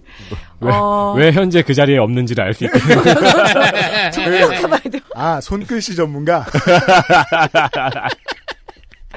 그리고 코로나19로 취소된 여의도 벚꽃 축제의 아쉬움을 달래주는 경의선 벚꽃길이 있다면서 나오세요. 흐흐. 걸으세요. 흐흐. 봄이 왔음을 온몸으로 느껴보세요. 흐흐 하는데 와. 큰일 나요, 후보님. 어, 진짜. 아니, 서울시에서 그걸 막고 있느라고 지금 아니, 난리인데. 근데 지금 이 정도면은 고발 조치 들어가도 할말 어, 없겠는데. 그러니까요. 예, 예. 제가 아까 이번에는 미래통합당도 다 더불어민주당의 격동고딕체를 사용한다고 네. 했잖아요. 음. 근데 그걸 안 쓰는 후보들은 100% 거의 팀원체예요. 네. 팀원체다. 네, 거의 팀원당이에요, 지금. 그러니까 뭐, 뭘 할인해 주는 거야 이 후보는 미래 팀원당 공부해 보면 40년 구태 부자 세습 정치 강승규가 희생당한 기간 노승환 노웅래의 40년 세습 정치가 이어지며 마포의 발전도 멈춰섰습니다.라고 해놨는데 그 중에 12년은 이 두 사람이 없었고 강승규는 그 중에 4년만 희생당했습니다. 과장 광고다. 홍보 전문가니까요. 네. 홍보학 박사님이다. 통일민주당 박선아 55세 여자 직업은 근로자이고 학력은 미기재했습니다. 네. 심플합니다. 음흠. 경실련과 참여연대의 회원입니다. 네. 재산은 3,500만 정도로 본인의 임차 보증금, 딸의 차, 본인 및 딸의 대출금이 전부입니다. 전과도 출마 이력도 없습니다. 경실련에서 활동하는 한양대 법학 교수인 박선화 교수와 동명이인이지만 뭐 경실련 회원이긴 합니다. 네. 그 외에도 한살림 협동조합 둘의 협동조합에도 소속되어 있다고 합니다. 둘 다 소속되어 있는 분들도 있군요. 아, 그럼요. 아이콥까지 해가지고 여러 군데 생협에 다 들어가 있을 수 있어요. 통일민주당은 음, 당진과 담양 한평 영광장성에서 잠깐 언- 언급했듯이 과거에는 국민행복당이었고 지금은 그냥 이 이름을 쓰는 겁니다. 그죠. 무단 점유예요, 사실상. 공약은 중앙 공약이 잔뜩 있습니다. 토지 공개념도 있고요. 무상 교육 공약도 있는데요. 초점은 이겁니다. 우리 서민들 돈 덜 내게 하고 고위 공무원들 대통령을 비롯한 국회의원들의 그 월급을 반으로 깎아라. 그, 이제, 그, 어른들이 쓰는 저 포털의 댓글 볼 때 가장 찝찝할 때가 이상한 말도 안 되는 소리 써놓고 막 욕도 막 써놓은 다음에 카카오 프렌즈 이모티콘을 끝에 붙이는 거예요. 네. 공보에 카카오 프렌즈 이모티콘을 마음껏 쓰고 있습니다. 써도 되나 이거? 이것 이것이야말로 무단 사용이죠. 지금 첫 장에 무단이 두 개, 통일민주당 이름 썼고요. 그리고요. 카카오 프렌즈가 있어요. 음, 그리고 좀 초점을 많이 맞추고 있는 게 가정용 전기 누진제, KBS 시청료, 부가가치세, 운전면허 학원, 미 등을 폐지 혹은 인하하는 겁니다. 음. 운전면허 학원비가 이- 굉장히 비싸다고 생각하는 것 같아요. 그러니까 운전면허 학원 공단 같은 게 있는 줄 아시나 봐요.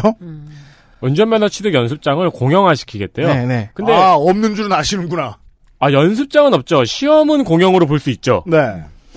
공보 마지막에 코로나19 처방전이 있습니다. 1. 걱정 근심 내일로 미루기. 응? 걱정 근심을 내일로 미루기. 그게 1단계예요. 2단계 마스크 꼭 쓰고 손 잘 씻기. 아, 근데 틀린 말은 아니네요. 3. 골고루 잘 챙겨 먹기. 4. 푹 잘 자기. 5. 면연 면역력 up 시키자. 어, 면연역으로 오타냈네요. 근데 그 밑이 최고입니다. 그래도 불안하면 자기 전 마인드 컨트롤. 난 코로나 안 걸릴 거야. 세 번 하고 자자. 공보의 내용입니다. 네. 3천만 원이 안 아까운 후보들이 되게 많네요. 이상입니다. 대단합니다. 저는 너무 오랜만에 본 귀염이었습니다. 그리고 꼭 그, 그, 험한 댓글에 카카오 프렌즈 이모티콘을 쓰시는 분들은, 어, 중간중간에 물결 표시. 그렇습니다. 네. 푹, 잘, 자기. 네, 여러분들도 참고하시고요. 어, 오늘의 걱정은 언제로? 내일로. 그럼 내일- 내일, 내일은 어떻게 그래요? 내일은 더 모레로. 많아져, 걱정이 그럼. 글피로. 마포구 을로 가겠습니다. 서울특별시 마포구 을 신바람 건강법으로 유명한 황수간 박사, 오지게 많은 브랜드 디자인으로 유명한 손혜원 의원, 강용석 의원 등으로 유명한 아니구나 강용석으로 유명한 강용석 등 이래저래 유명한 사람들이 거쳐간 지역구입니다. 정확히는 고소고발로 유명한 강용석 아닙니까? 아, 이 명단에 현 후보는 빠졌네요. 유명한 사람 하나가 돌아왔습니다. 더불어민주당 정청래 54세 남자 금산생. 성막초 진산중 보문고 건국대 산업공학과. 90년도 서총련의 미국 대사관저 난입 사건 관련 전과 하나. 04년 조선일보 반대 집회 관련 전과 하나. 본인 수형으로 인한 소집 면제 장남 현재 21사단에서 1병 차남 2병 대상 3남 아직. 3남의 중학생 시절 성추행 범죄 사건이 있었는데 여러모로 아킬레스건의 상처입니다. 386 출신이라기보다는 노사모에서 부화된 정치인이라고 보는 게 옳겠습니다. 어그로를 곧잘 끌던 캐릭터 nick 싸리비로 알려져 있었고 이게 지금 현재도 저 social 아이디죠. 참여정부 출범 이후 열린우리당에서 활동합니다. 유명세를 보면 한 번쯤 등장했을 법도 한데 선거 데이터 센트럴 방송의 역사와 완벽하게 엇갈리는 출마 기록입니다. 04년 탄돌이로 강용석을 잡고 초선, 08년 한나라당 초강세의 선거에서 강용석에 밀려 낙선, 12년 문제 발언으로 당에서 잘린 강용석 등 2인을 잡고 재선, 그리고 20대 총선은 컷오프. 이후 구청장, 시장, 재보선 일절 안 알아보고 주구장창 방송만 하러 다닙니다. 구주장창이라고 하셨어요. 내가 그랬어요? 네. 정말 많이 하는 것 같지 않아요? 구주장창! 구주를 다 네. 흡수일 것 같은. 따라서 13년부터 작년까지 후보가 된 적이 없습니다. 묘하게도 노사모의 가장 열성적이었던 회원들 중에는 이런저런 이유로 정동연계가 된 인물이 아주 많습니다. 아주 간단히는 참여정부에서 쓰임을 적게 받은 인물들 순서인데요. 정청래 후보로 말할 것 같으면 그것도 2000년대의 이야기고 현재는 개파 커팅에서 좀 자유로운 편으로 구분됩니다. 비례 시간에 다시 말씀드릴 수 있을까 모르겠습니다만은 이번 민주당 관련 비례 정당들 간의 경쟁은 결국 2010년대 초반부터 대한 언론이 만들어낸 새로운 질서에서 셀럽으로 등극한 이들의 하이비, 실제표로 얼마나 환전되느냐에 대한 테스트입니다. 그렇다면 이들의 좋은 친구 정청래 후보의 입장도 의미가 있겠죠. 정 후보의 태도는 현재까지 더불어 씨랑 열린 씨랑 성이 다르고 DNA가 다르다. DNA 검사는 시간 낭비, 돈 낭비다. 라고 언론 인터뷰 이야기한 것으로 대변됩니다. 금을 확 그었습니다. 미래통합당 김성동 65세 남자 서울생 희문고 고려대학교 정예과 졸업 공군 대위 전역이고요. 전 18대 국회의원이었고 전 국회의장 비서실장이었습니다. 당직자 유닛이고요. 2010년 정진석이 청와대 정무수석 비서관에 임명되어서 한나라당 비례대표제 국회의원직을 사임을 해서 이를 승계합니다. 2012년에는 강용석을 제치고 새누리당 공천을 받아서 마포을에 출마를 했고 바로 낙선하죠. 왜냐하면 강용석이 불복 무소속 출마했기 때문이죠. 예, counter partner는 그때 정청래였습니다. 일을 굉장히 잘했다라는 평가가 있었고요. 그래서 정의화 국회의장 비서실장을 하다가 발탁된 비서실장이라고 하더라고요. 음. 2016년에 제20대 국회의원 선거에 출마. 근데 이번에는 또 손혜원 후보를 만나서 낙선합니다. 2016년 연말 새누리당을 탈당하고 바른미래당에 입당을 하고 2017년 바른미래당 사무총장까지 가면서 친유계로 지금은 알려져 있습니다. 맞습니다. 총선 고약. 공약. 공약. 아니요. 공보에 이렇게 오타가 났어요. 아. 진짜로 공부해? 네. 근데 솔직히 지금 저, 저, 서울에서 저 선거 치르는 통합당 후보들한테는 선거가 고약하죠, 아주. 그래서 내가 어 잘했다 싶더라고요. 그래서 이런 네. 심정이 오타- 이해됩니다. 음. 예, 이런 오타 찾는 재미가 있습니다. 국방 공약으로 보면은 북해 폐기 등 조건 충족 후에 전시 작전 통제권을 전환 추진하겠다라고 하는데 이게 당 입장하고 맞는지는 모르겠어요. 앞 페이지를 네. 보면 크게 바꾸자 마포 이렇게 써 있는데 저는 이게 얼리쓱 보고 바마꾸 자포 뭔가 포기하고 있는 듯한 느낌이 드는 그러면 꺽바 있기 지지 나난 늦는 진초 심심.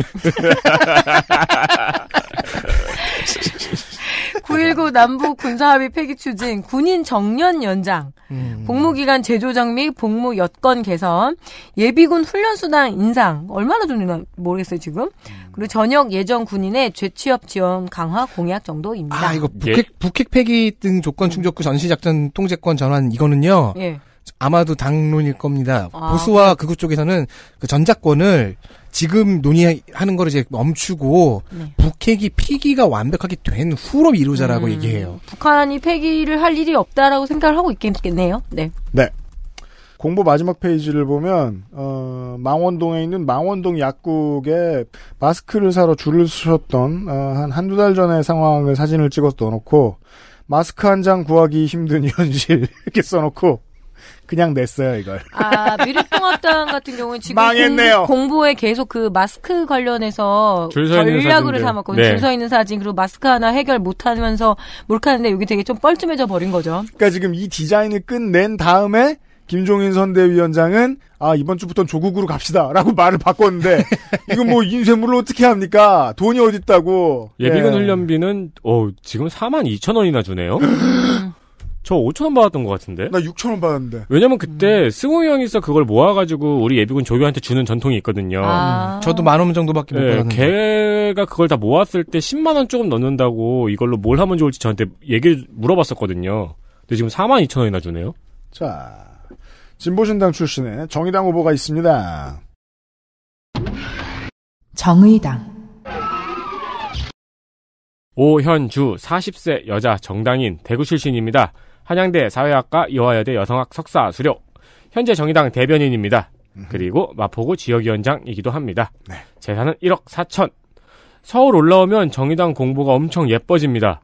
게다가 또 그 노란색은 일부만 썼고 pride colorway입니다. 그렇죠. 앞에 있어. 예. 네. 오른쪽에 노란색이 전면적으로 있고 왼쪽에 pride color가 이렇게 그라데이션으로 아주 예쁘게 박혀 있죠. 네. 네, 요 열어보고 깜짝 놀랐어요. 네.